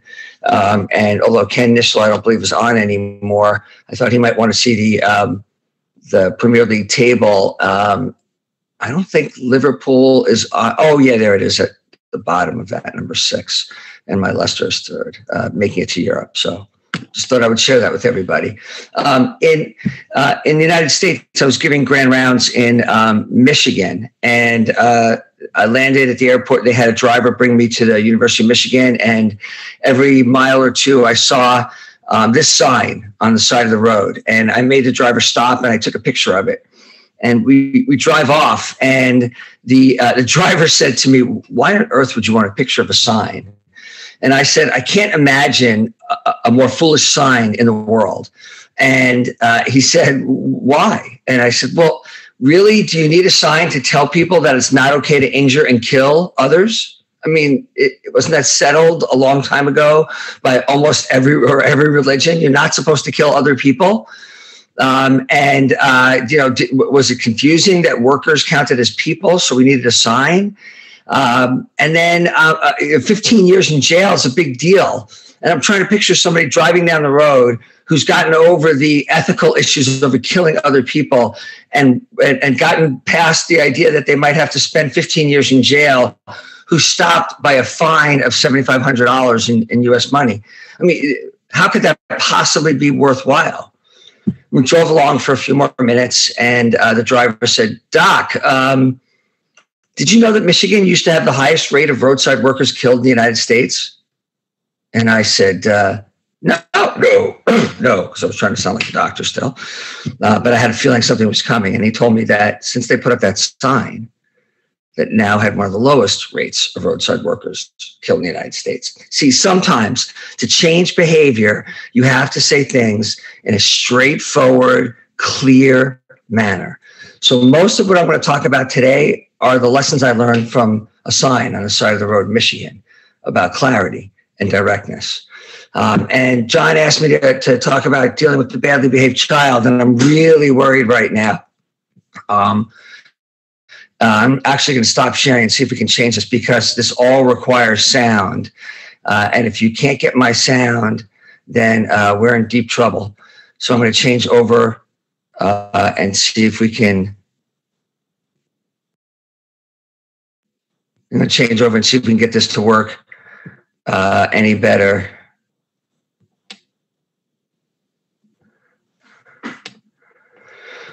So uh, this is uh, uh, one of the doctors I asked. I said, "How do you deal with the badly behaved child?" Now, if you're worried about pediatric ophthalmology, then what you're worried about is dealing with the child.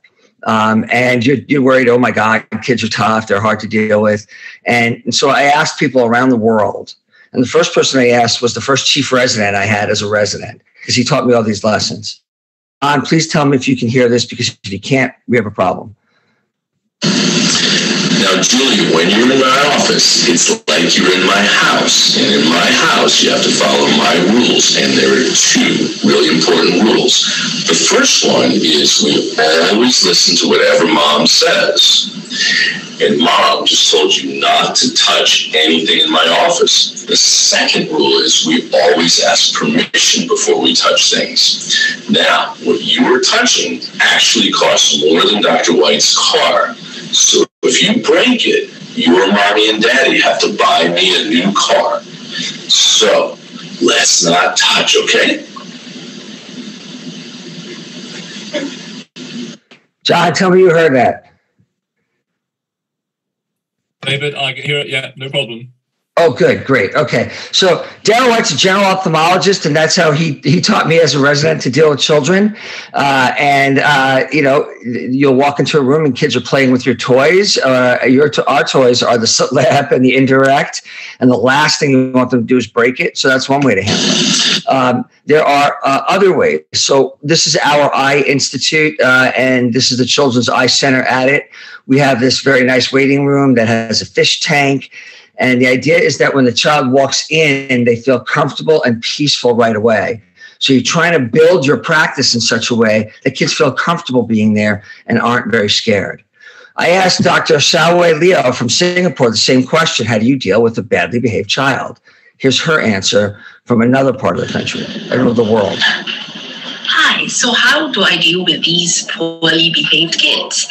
I have a special trick, the golden box, partially inspired by um, Charlie Wonka and the Chocolate Factory, you know, the golden ticket. I think Dr. David Granet uses that in San Diego. In Singapore, I use the golden box. So my golden box is filled up with very special stickers and little toys and little things. And if the child cooperates, they get to pick whatever they want from the golden box. So we show them a little bit first so they get an inkling of what they can stand to gain if they cooperate with us. I also have lots of candy in my room. It also helps that I have Toys R Us just across the street from my clinic. So I tell them if they let us do the examination properly, the parents will get them something from Toys R Us. So really, bribery goes a long, a long, long way. And you just really have to so bribery goes a long, long way. Um, is is there another field of medicine, of, of ophthalmology, certainly, where you get to have fun and talk about candy and toys? So this is in our office. Um, and this is the golden ticket that Dr. Xiaowei was talking about that we give to kids, and we say you can go pick a toy out of our treasure box. Does it matter? Well, let's see. So, how did you get that little girl to come to the office today? Well, last night I told her that if she was good, the treasure chest. And what did she say when she woke up? Morning, the first thing she said was, "Do I get a treasure chest today?" And you were great today, weren't you? Thank you. So, I mean, her anticipation wasn't, oh my gosh, I'm going to the eye doctor. What's going to happen when I get there? And also, she was excited. She was getting a toy from the treasure chest. So, we've changed the dynamic and set the expectations. And I said, fun is just worth all of it. Now, here are some kids that I asked Ramesh Kekunnaya from India to talk to me about how he might uh, deal with the badly behaved child. And he didn't send me an answer, but he sent me these videos that were the answer. Scary, right? Seeing a, a, crying kid. Oh my God, there's no way to get an exam. I'm going to have to do an exam under anesthesia. It's not possible to, to, to examine this kid. How do I know what the eyes are doing? Magic. कभी कभी थोड़ा suddenly बढ़ सकता है sir the right tool for the right job. Look at that. Oh my God. Now we know exactly what those child's eyes were doing. How much fun is that that you get a chance to be able to play with a child and make a difference? Or how about this child? No, don't get near me. I'm going to cover my face. Oh, wait, what's that toy? Huh? Everyone see the esotropia? Right? So you'll be able to see that right away when when that happens. And and on the bottom is my favorite way of examining baby with bottle anesthesia, right? And we keep babies comfortable and happy. So a little bit of fun goes a long way to examining a child. How about this child? Do you think we can bribe this boy? I don't know. Let's try candy. No, that's not working. I don't know. Let's maybe try something else. How about a game? He's sitting on his mom's lap, so he feels safe the lights are dim and I need to find out what his glasses prescription might be. So I need to do retinoscopy. I might pack him and say, hold still and look right at me. Maybe, or maybe I might play. All right, dude.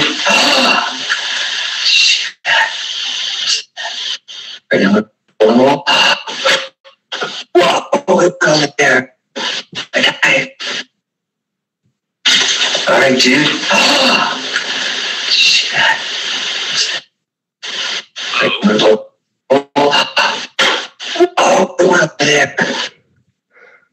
So I'm getting his attention by playing a magic game with him and shining light in different places. I'm pulling it on his face, pulling on his mommy's face. Right?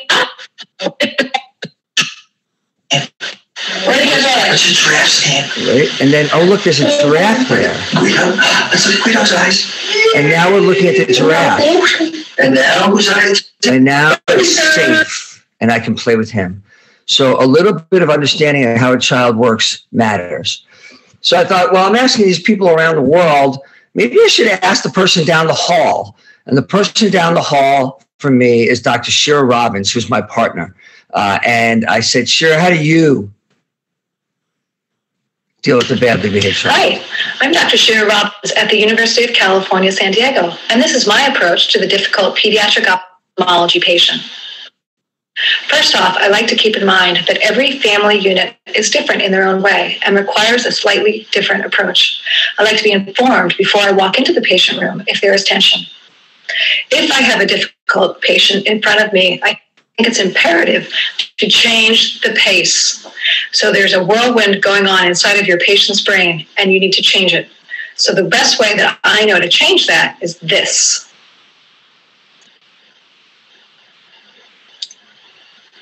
That's right, silence. Silence will immediately stop what's going on in your patient's brain, give you a little bit of window to redirect that interaction. Another idea, especially in a highly energetic child, is taking a physical object and moving it quickly, such as this. This is not something that most patients will expect from their physicians. And again, it will give you that little window to change the pace if you notice, pediatric ophthalmologists have fun at their jobs because we're always having a good time and we always have that little smile. Now, Paolo Nucci is in Italy, and I thought, well, Paolo's really smart. I wonder how he deals with the badly behaved child. Hi, Dave. Uh, let me share with you my 20 seconds of uh, uh, suggestion for inappropriate behavior of children. What we are trying to do in my office is to responsibilize parents, saying that uh, our place is a place in which people suffer. So any inappropriate behavior can uh, reduce our concentration and can disturb uh, the families suffering for conditions. So if they can help us in maintain our concentration, this will be helpful for our work for the care of their children. All right, I'm not sure exactly what's going on in Italy, but apparently people are suffering there, and Paolo needs to concentrate. But what he brought up is the first time we've now we've started talking about the parents. Up till now, we've distracted the child, we've played with the child, we've made fun and had a good time. But now we talk about responsibilizing the parents. So the question then is, um, do, do, other people feel that way? So I thought, well, let me go as you know far around the world as I can to the other part of the world in Australia and see what my uh, dear friend Craig Donaldson thought. Hi, Dave. You asked me what I do with children who appear to be misbehaving. Um, first of all, I need to make sure that there's not something else going on. Are they autistic? Um, if they are, well, then sometimes whistling, that sort of thing can help just to gather their confidence and attention. If they're frightened, well, then I try and calm them. But then sometimes you do have the child who is just misbehaving, and often that situation, getting the parents on board can be most helpful. And to do that, what I do is suggest that they just have a little bit of a time out in the waiting room, maybe for five or 10 minutes, and then they regather themselves. We go back and try again. I could repeat that one or two times, and usually by the time the parents have been outside for 5, 10, 15, 20 minutes, they also want their child to behave, and that can be most helpful. So in his low key way, Craig Donaldson just put it, the parents in timeout, which I think is absolutely hilarious. The other thing I want you to notice is that each doctor interpreted the badly behaved child. They all got the exact same question each doctor has interpreted it slightly differently, and I think that's fascinating. So Scott Olitsky is uh, another friend of ours that who um, he's always straight to the point. He, he gets it, and he gets it clear, and he always simplifies things. So I thought I better ask him this question because I'm sure he has a great way to deal with the badly. If the child's misbehaving because they're scared or uncomfortable, I'll go slower. I'll try and reassure the child. I may even break the exam into multiple parts. And I think in the long run, it'll be a better experience and I'll get more information from that child by gaining their confidence. If I get the sense that the parents are a part of the issue, then I'll often ask them to leave the room and that will often solve the problem aha, another person who thinks the parents are really the issue, which I think is fantastic. So now we're putting it together. We understanding family dynamics. See, anybody who deals with kids does have to know a little bit of developmental milestones. You need to know which what kids do at different ages and, and what's interesting. So it keeps me young. I so I can talk to a seven year old about what they might be watching on TV, and I can talk to a 15 year old about their video games. Um, and I, I told my wife once I think I'm the cool doctor because I can do all this. And she's like, no, you're not the cool doctor. You're the goofy doctor. And I guess I can live with that so long as I can get the exam and uh, build a relationship with a family. And I heard uh, a little bit of your talk earlier where building relationships are important. I, I can't I can't emphasize that enough. Building relationships matters. So you want to understand family dynamics know whether or not there's a behavioral special needs issue. You want to make sure you have a positive environment. Bribery is totally okay. And make sure you involve the parents somehow. Um, I walk into a room and I talk to that child first. That is the central person. And I think that that's really important. And I try and make sure the parents understand uh, that. And, and so what I'll do is I'll have a five year old I'll say, what, What's your name? We'll talk about what they like to be called. And the parents may actually answer differently than the child does. And that's a learning uh, moment for all of us. And then I ask the child to introduce me to the, fa- to the parents so they're in control of the room. And then, you know, the distraction work, magic, etc. Um, the one thing that I think that uh, oh that this is not coming up right, but that is that the the one thing that you may have noticed is that you never heard any one of our doctors say chastised the child. They were patient with children, they distracted the children, they made them laugh. It's not your job to be chastising the child. Uh, and so that you want to be careful with. Um, Mal Goldchmit from uh, Brazil, I also asked this question. He wrote me back, he didn't send me a video, and he wrote this. In fact, I probably have a different sample of patients. I don't actually see children that behave badly in my office. It's extremely rare that I can count on my fingers in almost 28 years of practice. Maybe they cry a little bit, they cry a little during retinoscopy, but I don't consider this bad behavior. What's your experience with those children? I wish you a good presentation. So I immediately felt like I was the most horrible doctor in the whole world. That Mauro makes people happy. But really, this is an interpretation, and I love it because what he sees, the crying or some of the other things, it's not bad behavior. It's just children. And and so then I decided, is there such a thing as a badly behaved child? And I needed to ask an expert. And the experts I decided to ask were my mother and my wife. My mom's a professor of education. She's 90 years old now. And she said to me, David, there are no such things as badly behaved child. There are no bad children. Maybe they're badly behaved that moment, but they're not bad children. And my wife taught me the same thing raising my children. So I leave that with, you, with that thought is that these aren't bad children. They may be scared. There may be other things going on. Okay. And then I wanted to segue in a few for a few minutes uh, just on why being a pediatric ophthalmologist is so much like being a comic book superhero. And I got this idea from a presentation by uh, someone named Jason Nazar on what entrepreneurs can learn from superheroes. And I'm going to tell you what we can learn as doctors from superheroes. Um, and superheroes are the best at what they do. See, this we're pediatric people, right? We get to have fun. I mean, how many talks are you going to see where the Flash comes up? So the Flash is the fastest, and we know it. He actually makes his name the Flash because he tells you what he does. You are a pediatric ophthalmologist. That's what you do. So you excel in, in that, and it makes you uh, the person who helps children, right? So did, does that work in everything? Yeah. Steve Jobs said, being the richest man in the cemetery doesn't matter to me. Going to bed at night saying we've done something wonderful, that matters to me. You do something to help a child, you've helped them for their whole life. There's no money that can ever substitute for the hug of a child, the high five of a kid, the tears of that parent when you've helped their child. Nothing means more than that. Superheroes are clear of their purpose. They never get it wrong. And I submit to you a superhero's purpose and a doctor's purpose are the same thing. This is Captain Marvel. He's a little cheesy because he's a kid who, with a lightning bolt, turns into an adult superhero. But I will submit to you our job description is very simple. We help people. That's it. Sometimes it's about their eyes, sometimes about other things. You can make a difference by helping a child in school. You can make a difference by helping a family dynamic, by clarifying and educating. You get to make a difference. That makes you a superhero. This is Rosa Parks, who in the United States um, triggered in part the civil rights movement, but very quietly getting on a bus and sitting where she wasn't supposed to sit because colored people, at the time that's what they were called in the United States, were not supposed to sit there and her line was, You must never be fearful about what you are doing when it's right. And I would submit to you in the, in the care of a child, the effort you do to make sure they get that care right is always the right thing to do. Superheroes speak up. It's their job. They help people by solving problems. And I've made so many connections for families, sending them to the right ENT, making sure they got the right pediatrician. It's your job to speak up. It's your job to make a difference. And that matters. Um, this is Dr. Ben Carson, and he is speaking to pre- then President Obama.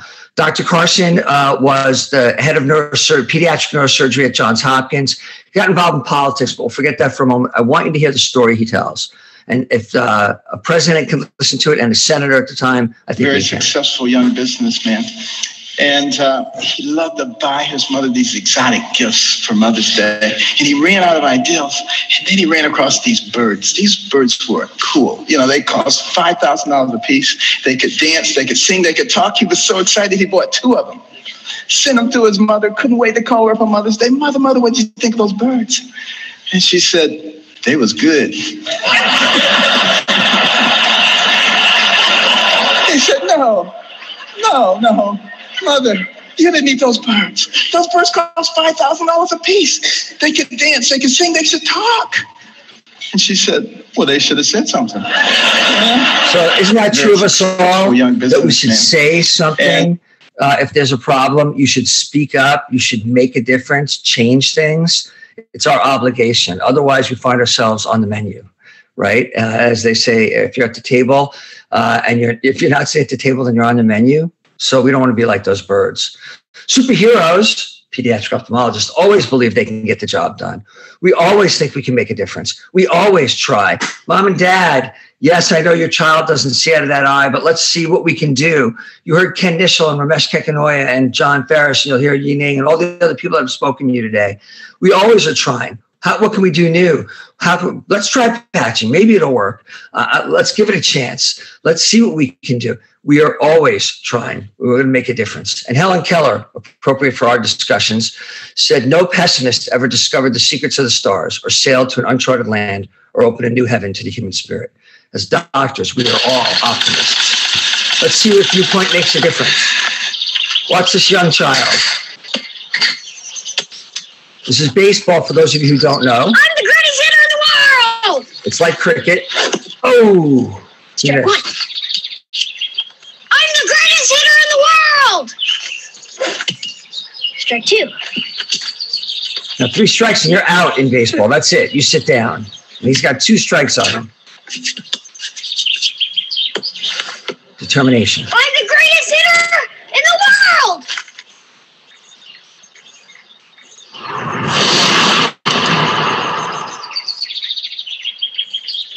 Strike three.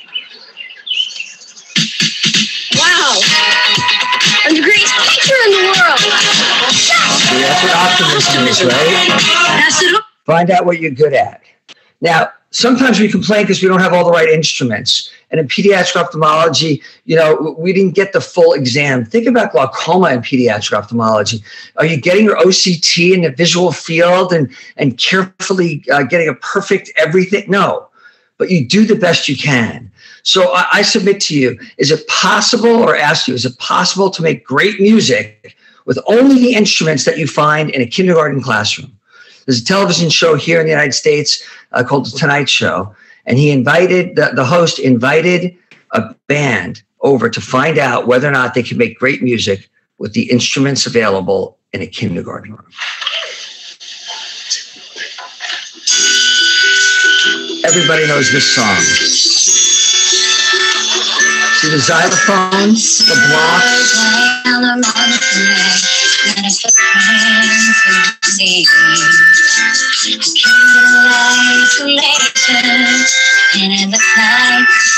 queen.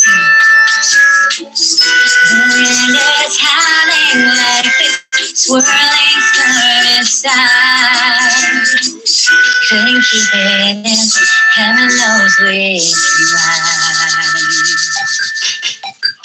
A little electronic device. Everyone knows this song. All right. I think this proves the point, right? Everyone know the next line?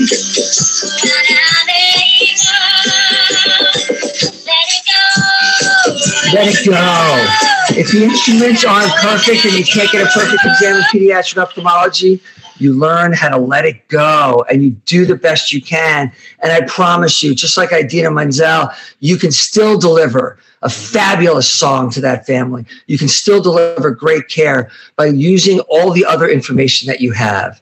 Don't be frustrated, make a difference. Now, Batman is a superhero, right? What are his superpowers? He stands next to Superman, who is indestructible, super fast, and can fly. And Batman's just a guy. And he decided that he would, with persistence, overcome his limitations and become a superhero.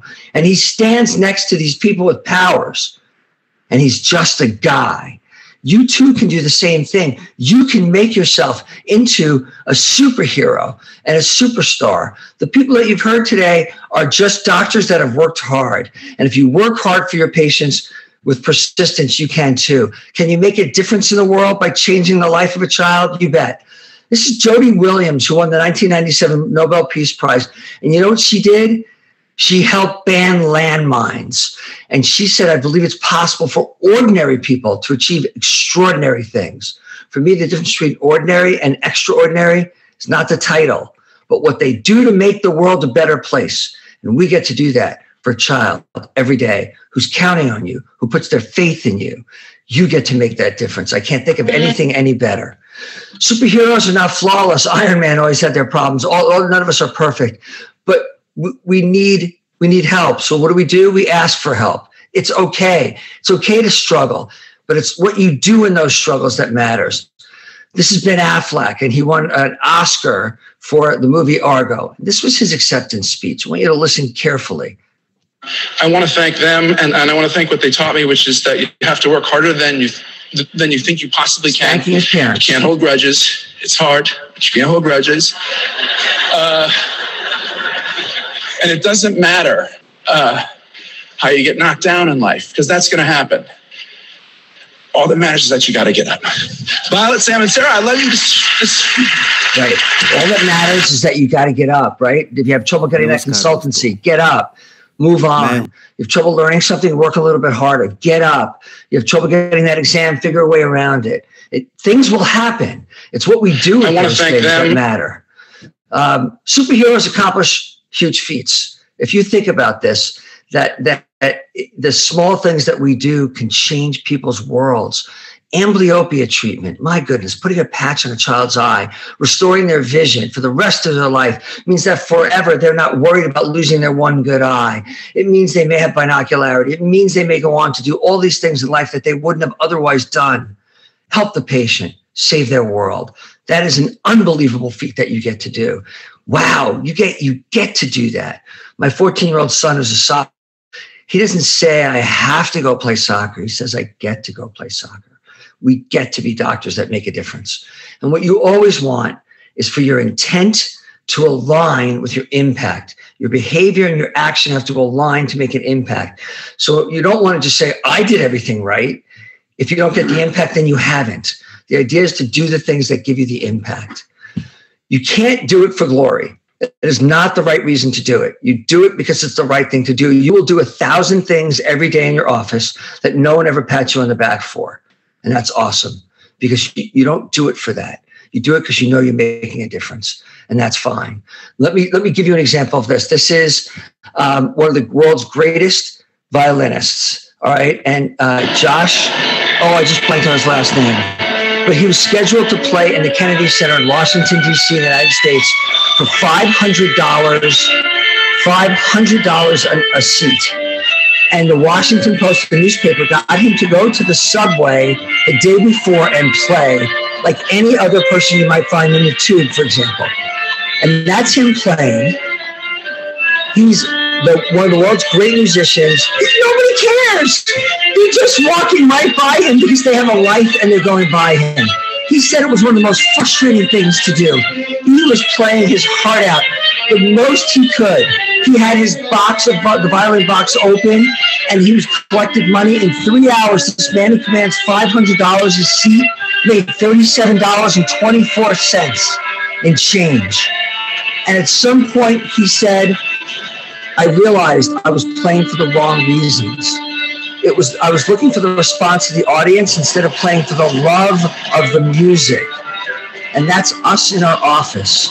If you're looking for the pats on the back like he did, if these people walking by, it's the wrong answer. The right answer is to play for the love of it.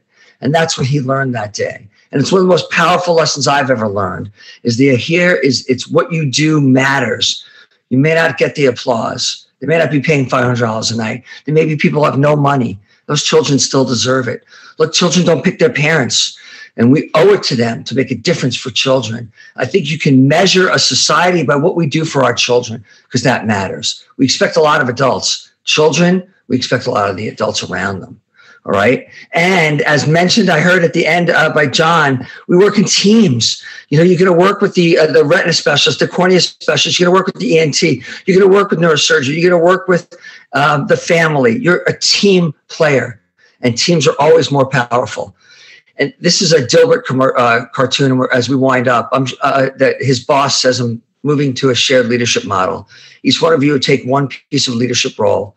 And Dilbert says, What's my piece? Let's see. I have you down for something called blame. Really? Okay. One, all of us are leaders. You are a leader in your office. You are a leader to the patients you take care of. There is no room for blame. Alex Haley, who wrote the book Roots, which talks about the experience of his family uh, being brought over uh, to be, and they became slaves and where he led to. And what he said was find the good and praise it. Remember that as a leader, you are a leader. You run your office. Take that with you.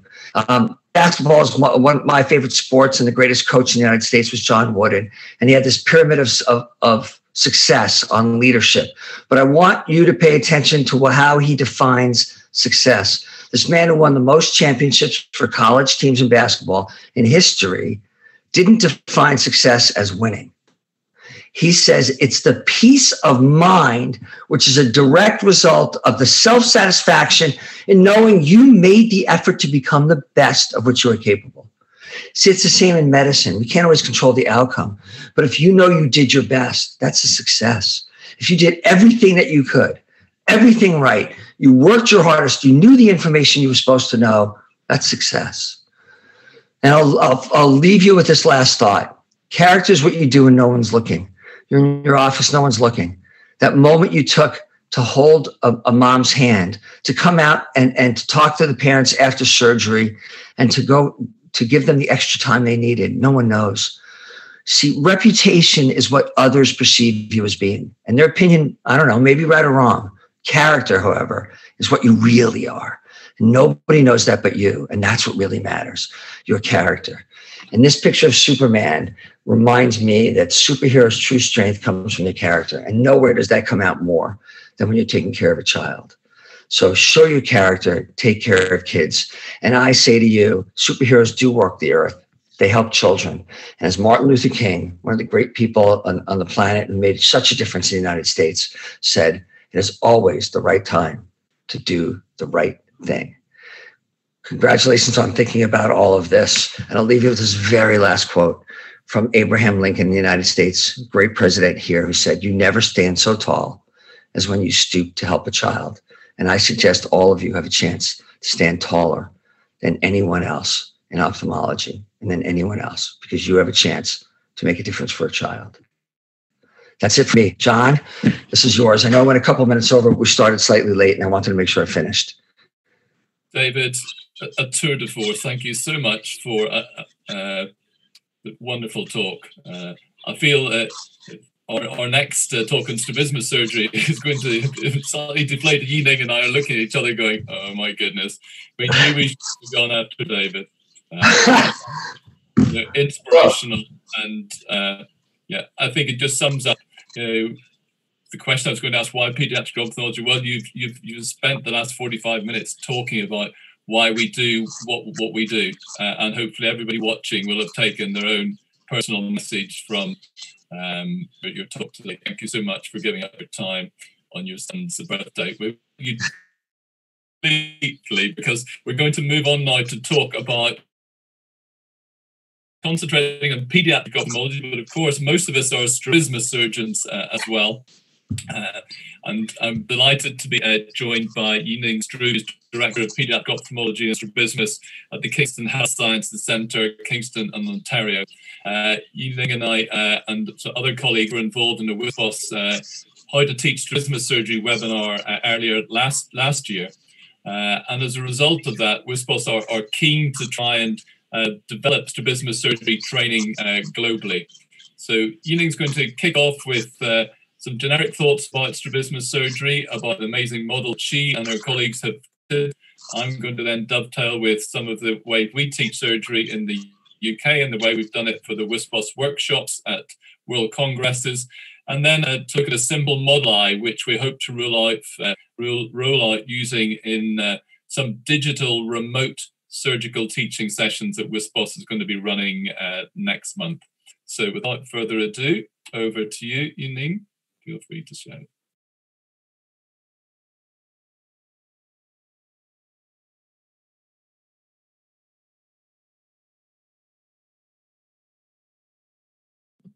Okay, can you see my slides okay? Yep. yep. Great. Okay. Yeah. So, um, David, that was a wonderful talk. I've heard parts of it before. And um, next time you will talk after me how great pediatric ophthalmology is. And then I also tell them, regardless of what you think you're going to do, you're going to learn skills in strabismus surgery in our OR that will guide you uh, throughout residency and for whatever career you end up having in ophthalmology. So I'm going to go through that a little bit.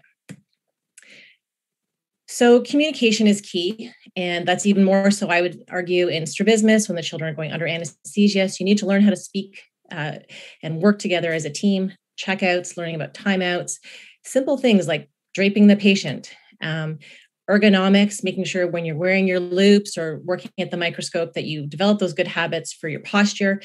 Um, and if you're holding yourself in an uncomfortable position, mistakes will happen in strabismus OR and every surgery that goes forward.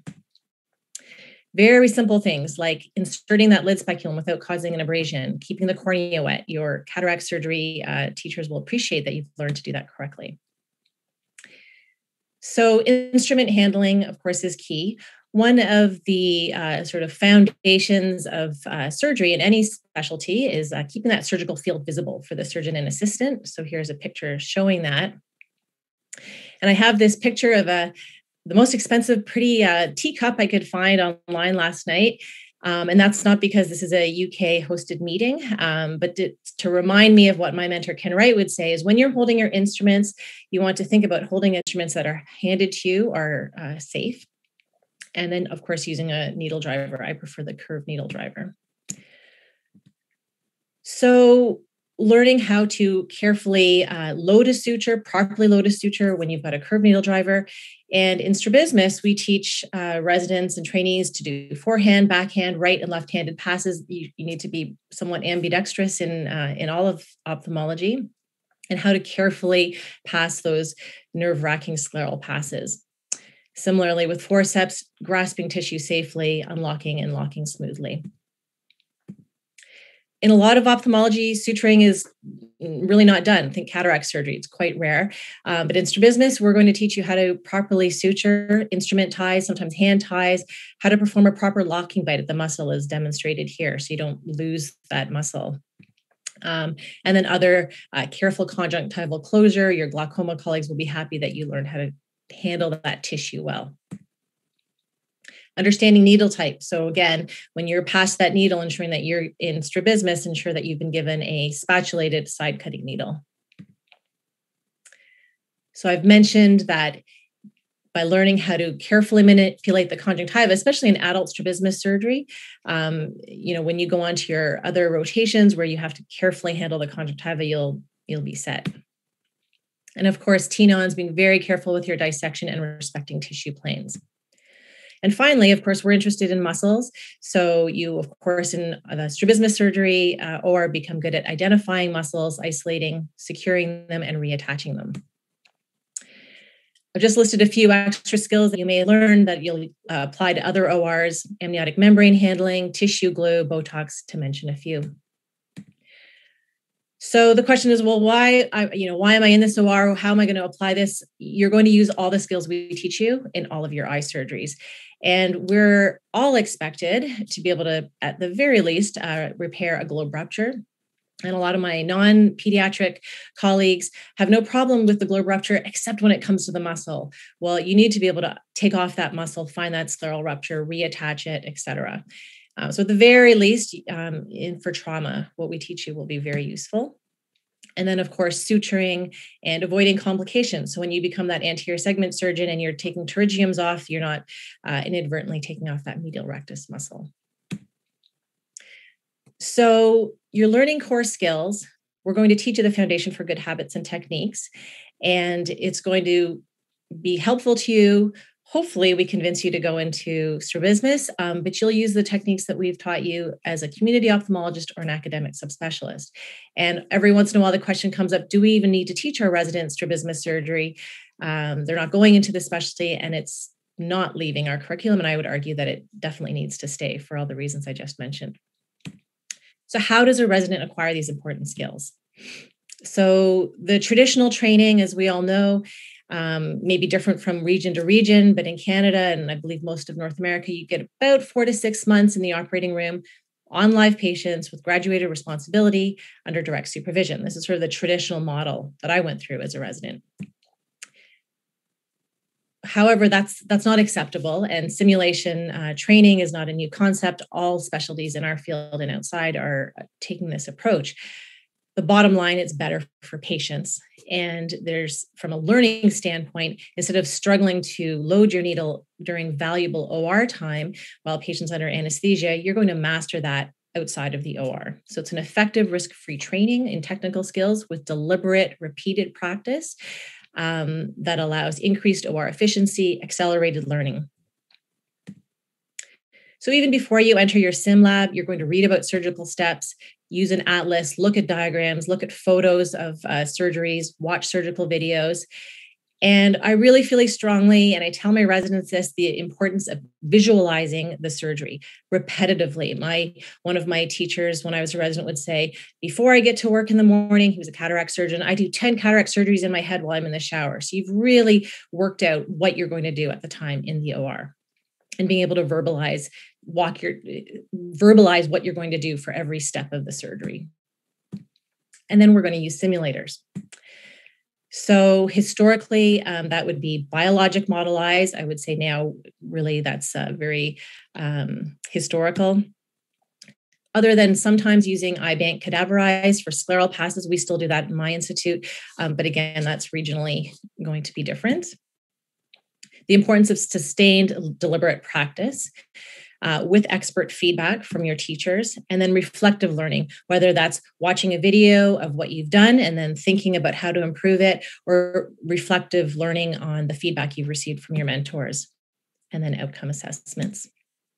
So now we've taken the model of training residents from working hard in this simulation uh, scenario and then applying those skills and you're you know set when you finally enter the or starting at a much higher level of learning so we use simulation surgery not only to get residents who are relatively green to surgery uh, up and going, we've also used this, as um, John and David mentioned, at simulation uh, sessions worldwide.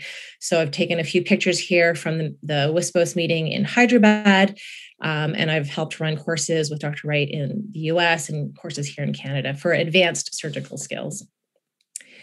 So there's different models that we can use. Um, again, there are cadaver eyes. Uh, there's a picture there of a rabbit eye from several many years ago now. Um, but really, we're talking about different types of non-biologic eyes. It gets away from the ethics, the biohazard, um, and just the accessibility of a model. So in the middle here is a picture of a model I'll talk about after. Uh, John introduces some other models they're using. Um, and whenever we talk about what type of model to use, we want to think about the cost, the accessibility, availability, um, and then this idea of high fidelity versus low fidelity. So I'm going to stop now. Uh, John, does that work for you to? And then I'll talk about my model later.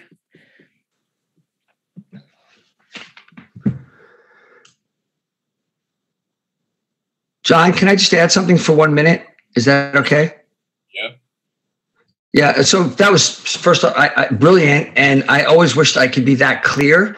Um, and I, every time I was thinking of something, um, you said it. Uh, it was incredible to me. Uh, it was perfect description, and I want to just emphasize the idea of the the preparation before you get into the OR. Um, John Ferris told me that and so many years ago. The general public already thinks we're doing that, right? I mean, no one, no, no, no person thinks that their doctor started practicing on human beings and never practiced outside. Um, and I, the visualization and imaging part, I think, is huge. Uh, with uh, one of our residents recently, we sat down to watch a six-minute resection video that I have, that uh, one of my my operations, and it took us an hour to go through it. Uh, but stopping and talking about it, what it did and you don't need to ever rush in the operating room, just efficient, well done surgery. But there are details that you need to pay attention to. So bravo. That, I mean, that was just that was just awesome for me to hear. And and and and and I'm just gonna um, emphasize what you said. It doesn't matter what field of ophthalmology you go into, you have to know this. Uh, retina, glaucoma, it doesn't matter what you do, you're going to encounter muscles and you're going to encounter understanding how to do it. So, um, bravo you know, actually, just go on. If you play your slides, you know, if you play your slides now of your model eye, then that would probably dovetail into what I'm uh, doing uh, as well. So just feel okay, free. So, sure, I'll I'll do that. Sorry, let me just. Okay, am I back up? You are. You can hear me. All right. Okay, so I'll continue. So in the next few slides, I'll just talk about um, uh, our model. And uh, here is the faceplate and the eyes. And you can see this uh, poor model has a large exotropia. And this is what the eyes themselves look like. And uh, I've collaborated, really, they're uh, made and invented by my uh, colleagues in Winnipeg, Canada. And here you can see the eyes with a conjunctival layer. They've got the rectus muscles. We've also got models that we're developing with the obliques and the sclera. And you can see here the different layers, um, just demonstrating um, you know, showing the conjunctival layer being retracted here. And here is a person trying to do a scleral pass with the muscle lifted up for application. So I want to thank Rebecca and uh, Dr. Ferris for sharing their setup for filming uh, videos and also for residents to film themselves practicing. So this was me yesterday afternoon. You can see all the snow uh, in the background. And I tried my first video of using the model. So hopefully this will play and you might need to turn up your volume. So here's our model eye. This is the base. You can see it's just attached to the base with these four bands, which gives the model an elasticity. And you can see the conjunctiva and the four recti muscles. Now you can use the model without the faceplate. I'm going to add it on top that gives you the realistic positioning of your hands with the nose and the forehead. We can just push the eye to put it into position to access the muscles. Of course, in the OR, I'm going to use my curved locking forceps to grab at the limbus to position the eye. Going to demonstrate a fornix incision. So we're going to look for that so-called white space approximately eight millimeters posterior to the limbus and parallel to the lid speculum. I've not put a lid speculum in just now. I'm going to grab the conjunctiva and create that incision. Conjunctiva and dissect into that quadrant, blunt dissection of our bare sclera. I'm going to use my Jamieson hook actually do this with the small hook first, just like in the OR. Put a little bit of lubrication on the hook. I'm going to go down and around to capture my muscle. Get rid of my forcep. And then I'm going to replace my small hook with my Jamieson. So here we go. I've got my muscle. switch hands and bring the eye down a little bit. Now, this part can sometimes be tricky for residents, so we're going to carefully milk that conjunctiva without ripping it, just like in real life, over the Jamieson hook.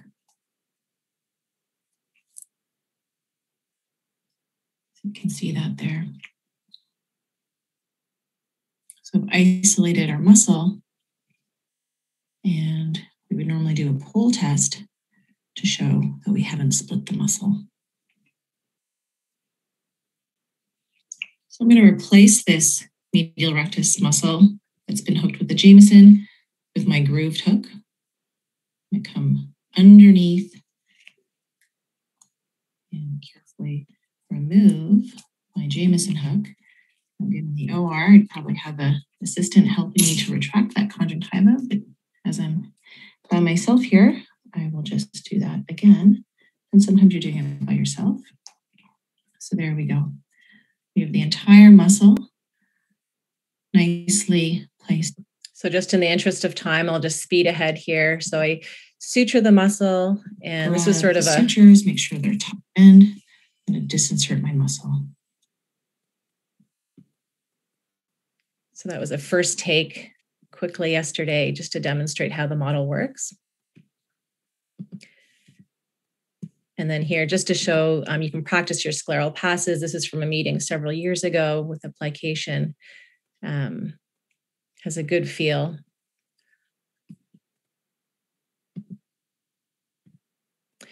So we did publish uh, details about our model, validating it, comparing it uh, to the uh, rabbit eye in terms of its fidelity, meaning its similarity to as real tissue as we can practice on. So that's from last year, uh, JPOS, just before COVID hit. And I'd like to acknowledge my uh, wonderful collaborators in Winnipeg, neither of whom are pediatric ophthalmologists, but just have a passion for uh, developing these models for teaching. And um, this is Christian Petropoulos. He is a oculoplastic surgeon and uh, or sorry, a plastic surgeon, and Will Turek, who's an oculoplastic surgeon. So if you'd like more information, the website is there, imodel.ca. And again, I just want to thank everyone uh, for inviting me. These are my kids. It's freezing cold and snowing in Kingston. Um, and these meetings have been wonderful. And I'm so excited. I love what I do. And uh, I love it even more now that I've gotten Dr. Granet's pep talk again.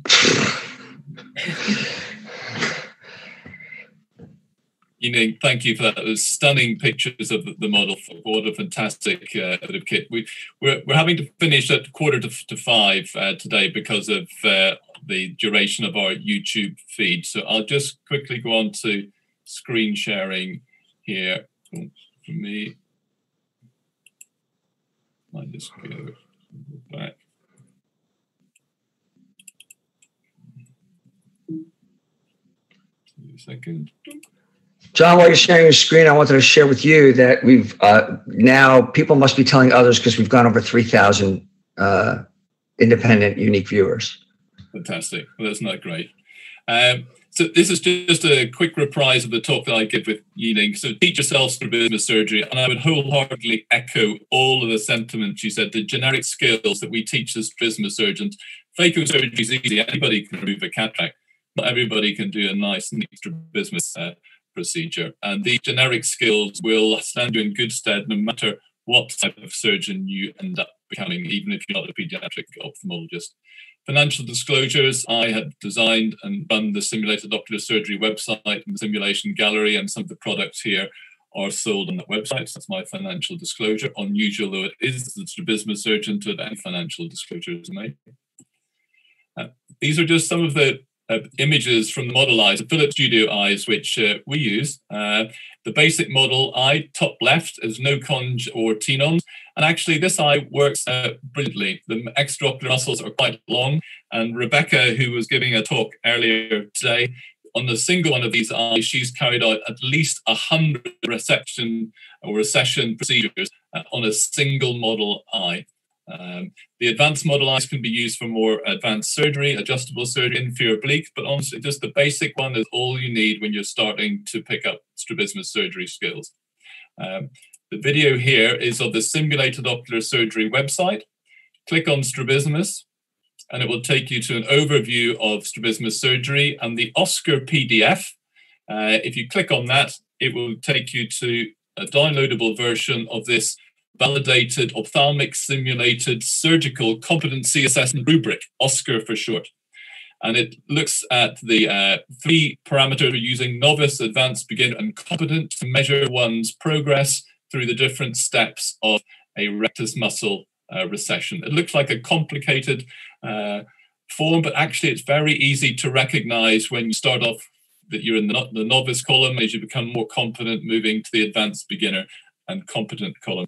And trainees can use that to score their own cord surgery uh, and assess their progress as they develop their surgical skills. And that's the last page of the global indices. So it can be downloaded directly from the simulated ocular surgery website. If you, when I have a new trainee starting with me, as Rebecca was in August, I intentionally don't teach them anything.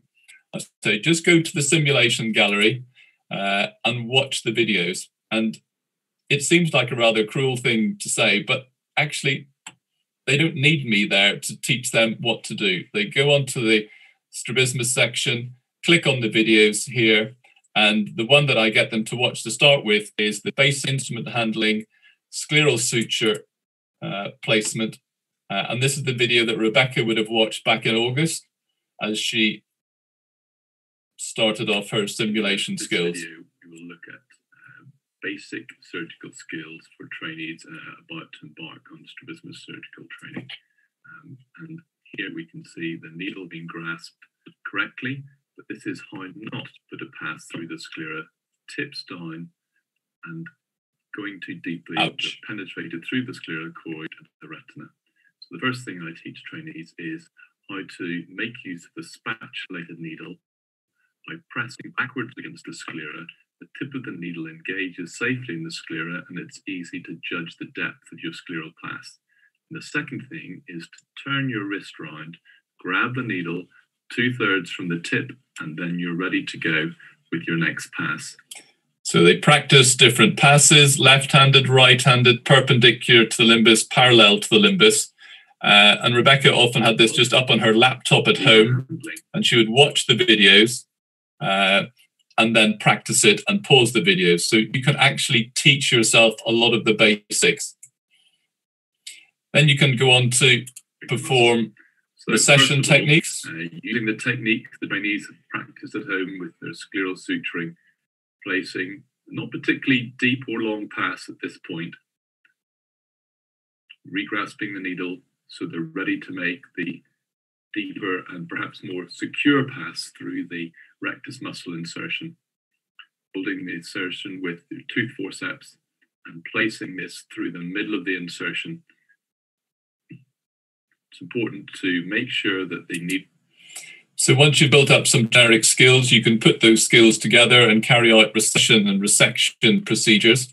And once you've used the scoring rubric to make sure you're in the competent column and you've played your recordings to your supervisor, then you're ready to start uh, taking part in live surgery, but only at that stage. It's totally unacceptable for people to be operating on a child or adult, putting in scleral passes when they haven't shown their competence on models such as Yi Ning's or a model like this. What we wanted to do, though, was to try and see if we could uh, make the development of these generic skills available across the world. And what simple materials could we put together to make a model eye that would enable a trainee to practice passing a scleral pass of the correct depth, securing an extraocular muscle, and then performing basic recession resection techniques. So the next video, which is actually narrated by Rebecca, the, video, the audio is coming out rather quietly, so I might have to just uh, overdub it. But this is her talking about how to make. Hi, I'm Rebecca Jones. I'm one of the Year 2 trainees at Cheltenham General Hospital. We just wanted to talk you through our setup for practicing squint surgery. With this setup with the Philips Studio Eye, I've done over 100 recession section surgeries so that I can practice and become more confident before then going into theatre and operating on patients. I've done four lists so far, and with four lists, I've been able to do 16 complete cases through practicing on the Philips Eye beforehand to get So the Model Eye is great for practicing scleral passes at the correct depth and basic suture tying, and then moving on to practicing securing the rectus muscles as shown in this clip with a double arm 6 vicryl and looping double knot. Spending time at home repeating these maneuvers mean they become second nature before you start. So that's the sustained, deliberate practice that we were uh, alluding to. So Rebecca had been with me for six months, and she's carried out over 40 strabismus procedures, including uh, redo surgery, inferior oblique surgery, adjustable squint surgery. And that is really down to her dedication using the model eyes to pick up these basic skills. And the setup that we've used to record this is described here by Sunil Mamtora. Hi there, my name is Sunil Mamtora, and in this video I'm going to be showing you how to set up your kit for practicing simulated ocular surgery at home. Now here we have a tabletop with a ring light. This is powered by USB.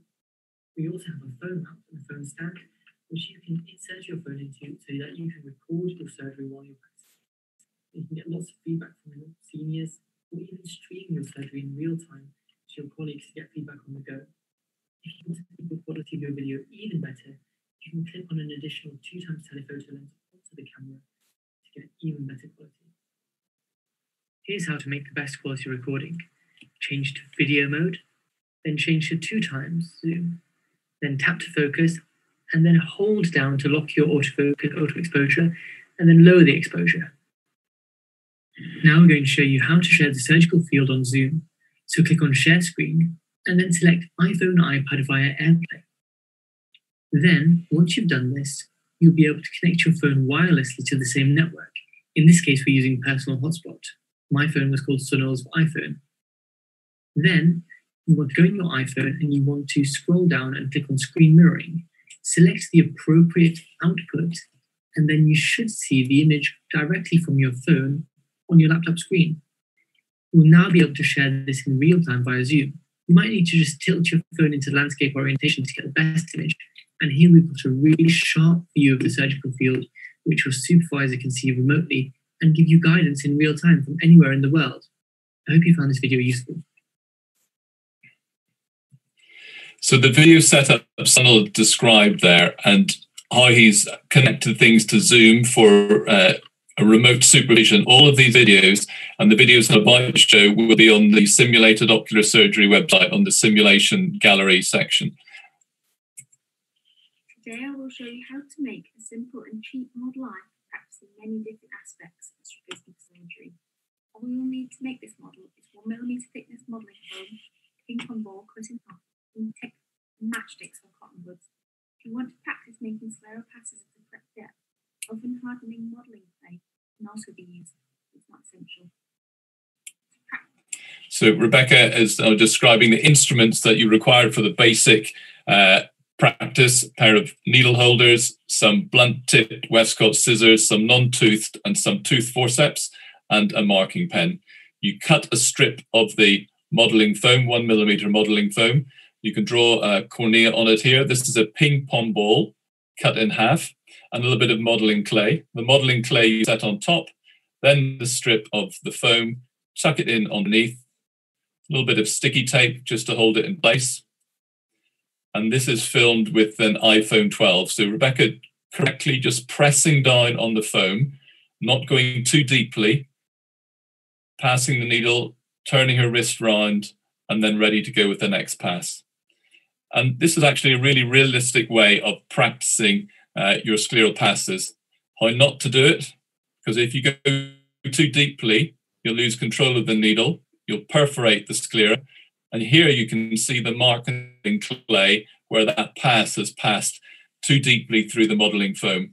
Again, practicing your scleral passes parallel with the limbus, left-handed and right-handed building up that model memory. And here she actually describes using the model clay to create a nose, you can create an eyebrow, you can make the access more difficult. So a lot of the generic skills can be practiced uh, on the model. By making two slits in the model clay, and here's some uh, cotton wool bud, or you can use a matchstick underneath that just acts as a strabismus hook. You place this underneath, like so, and that's your squint hook. So you can practice your surgery without having an assistant. So if I go on to the next clip, fixed hand, Rebecca just practicing this.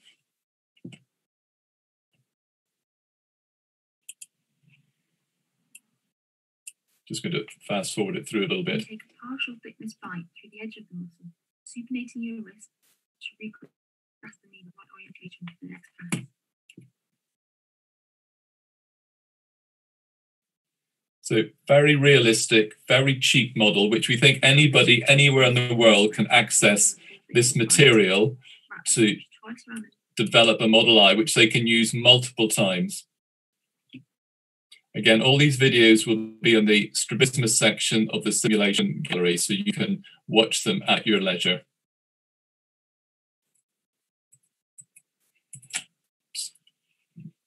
In the interest of time, I'm just going to stop now. This was a video of Ed Wilson talking about the surgical workshops. We've only got a couple of minutes to go, so.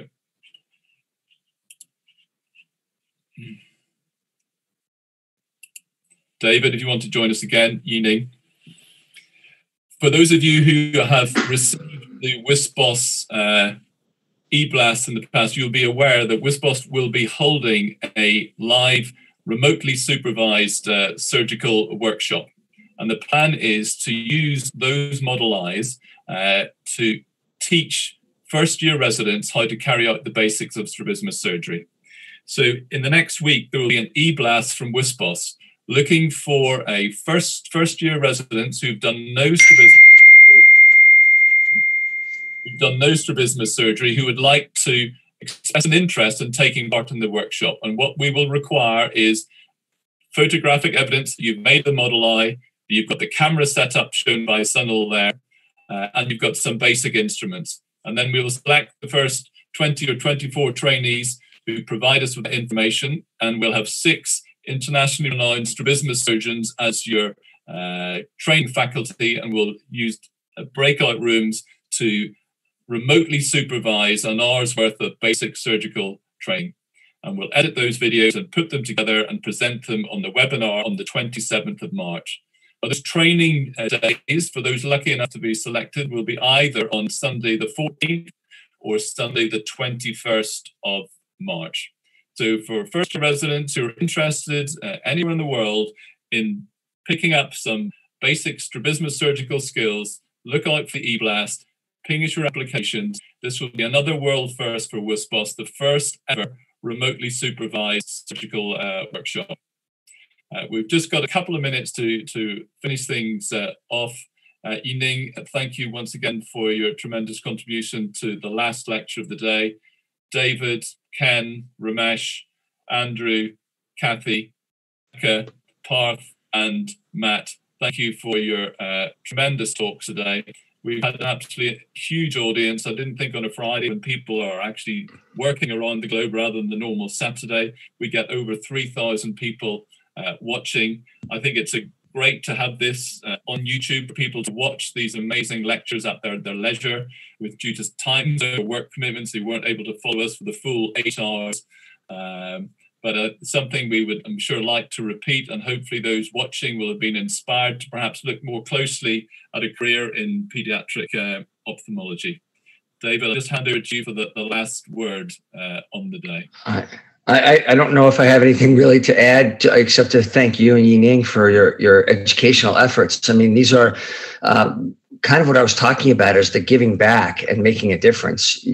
The uh, these workshops and the educational efforts that you're putting in to make a difference are, are really changing the world. So I, I get to, on behalf of all the doctors that you're helping train worldwide, say thank you to both of you. Thank you very much. Thank you again, Thank everyone, for joining us. Uh, please look out for tomorrow's webinar, Grand Rounds, uh, and WSPOS, followed by the Strabismus Hall of Fame on Sunday. So it's a, a triple header from WSPOS here on this uh, cold February weekend. Uh, all the best, everyone. Thank you for joining us. Thank you. Thank you again.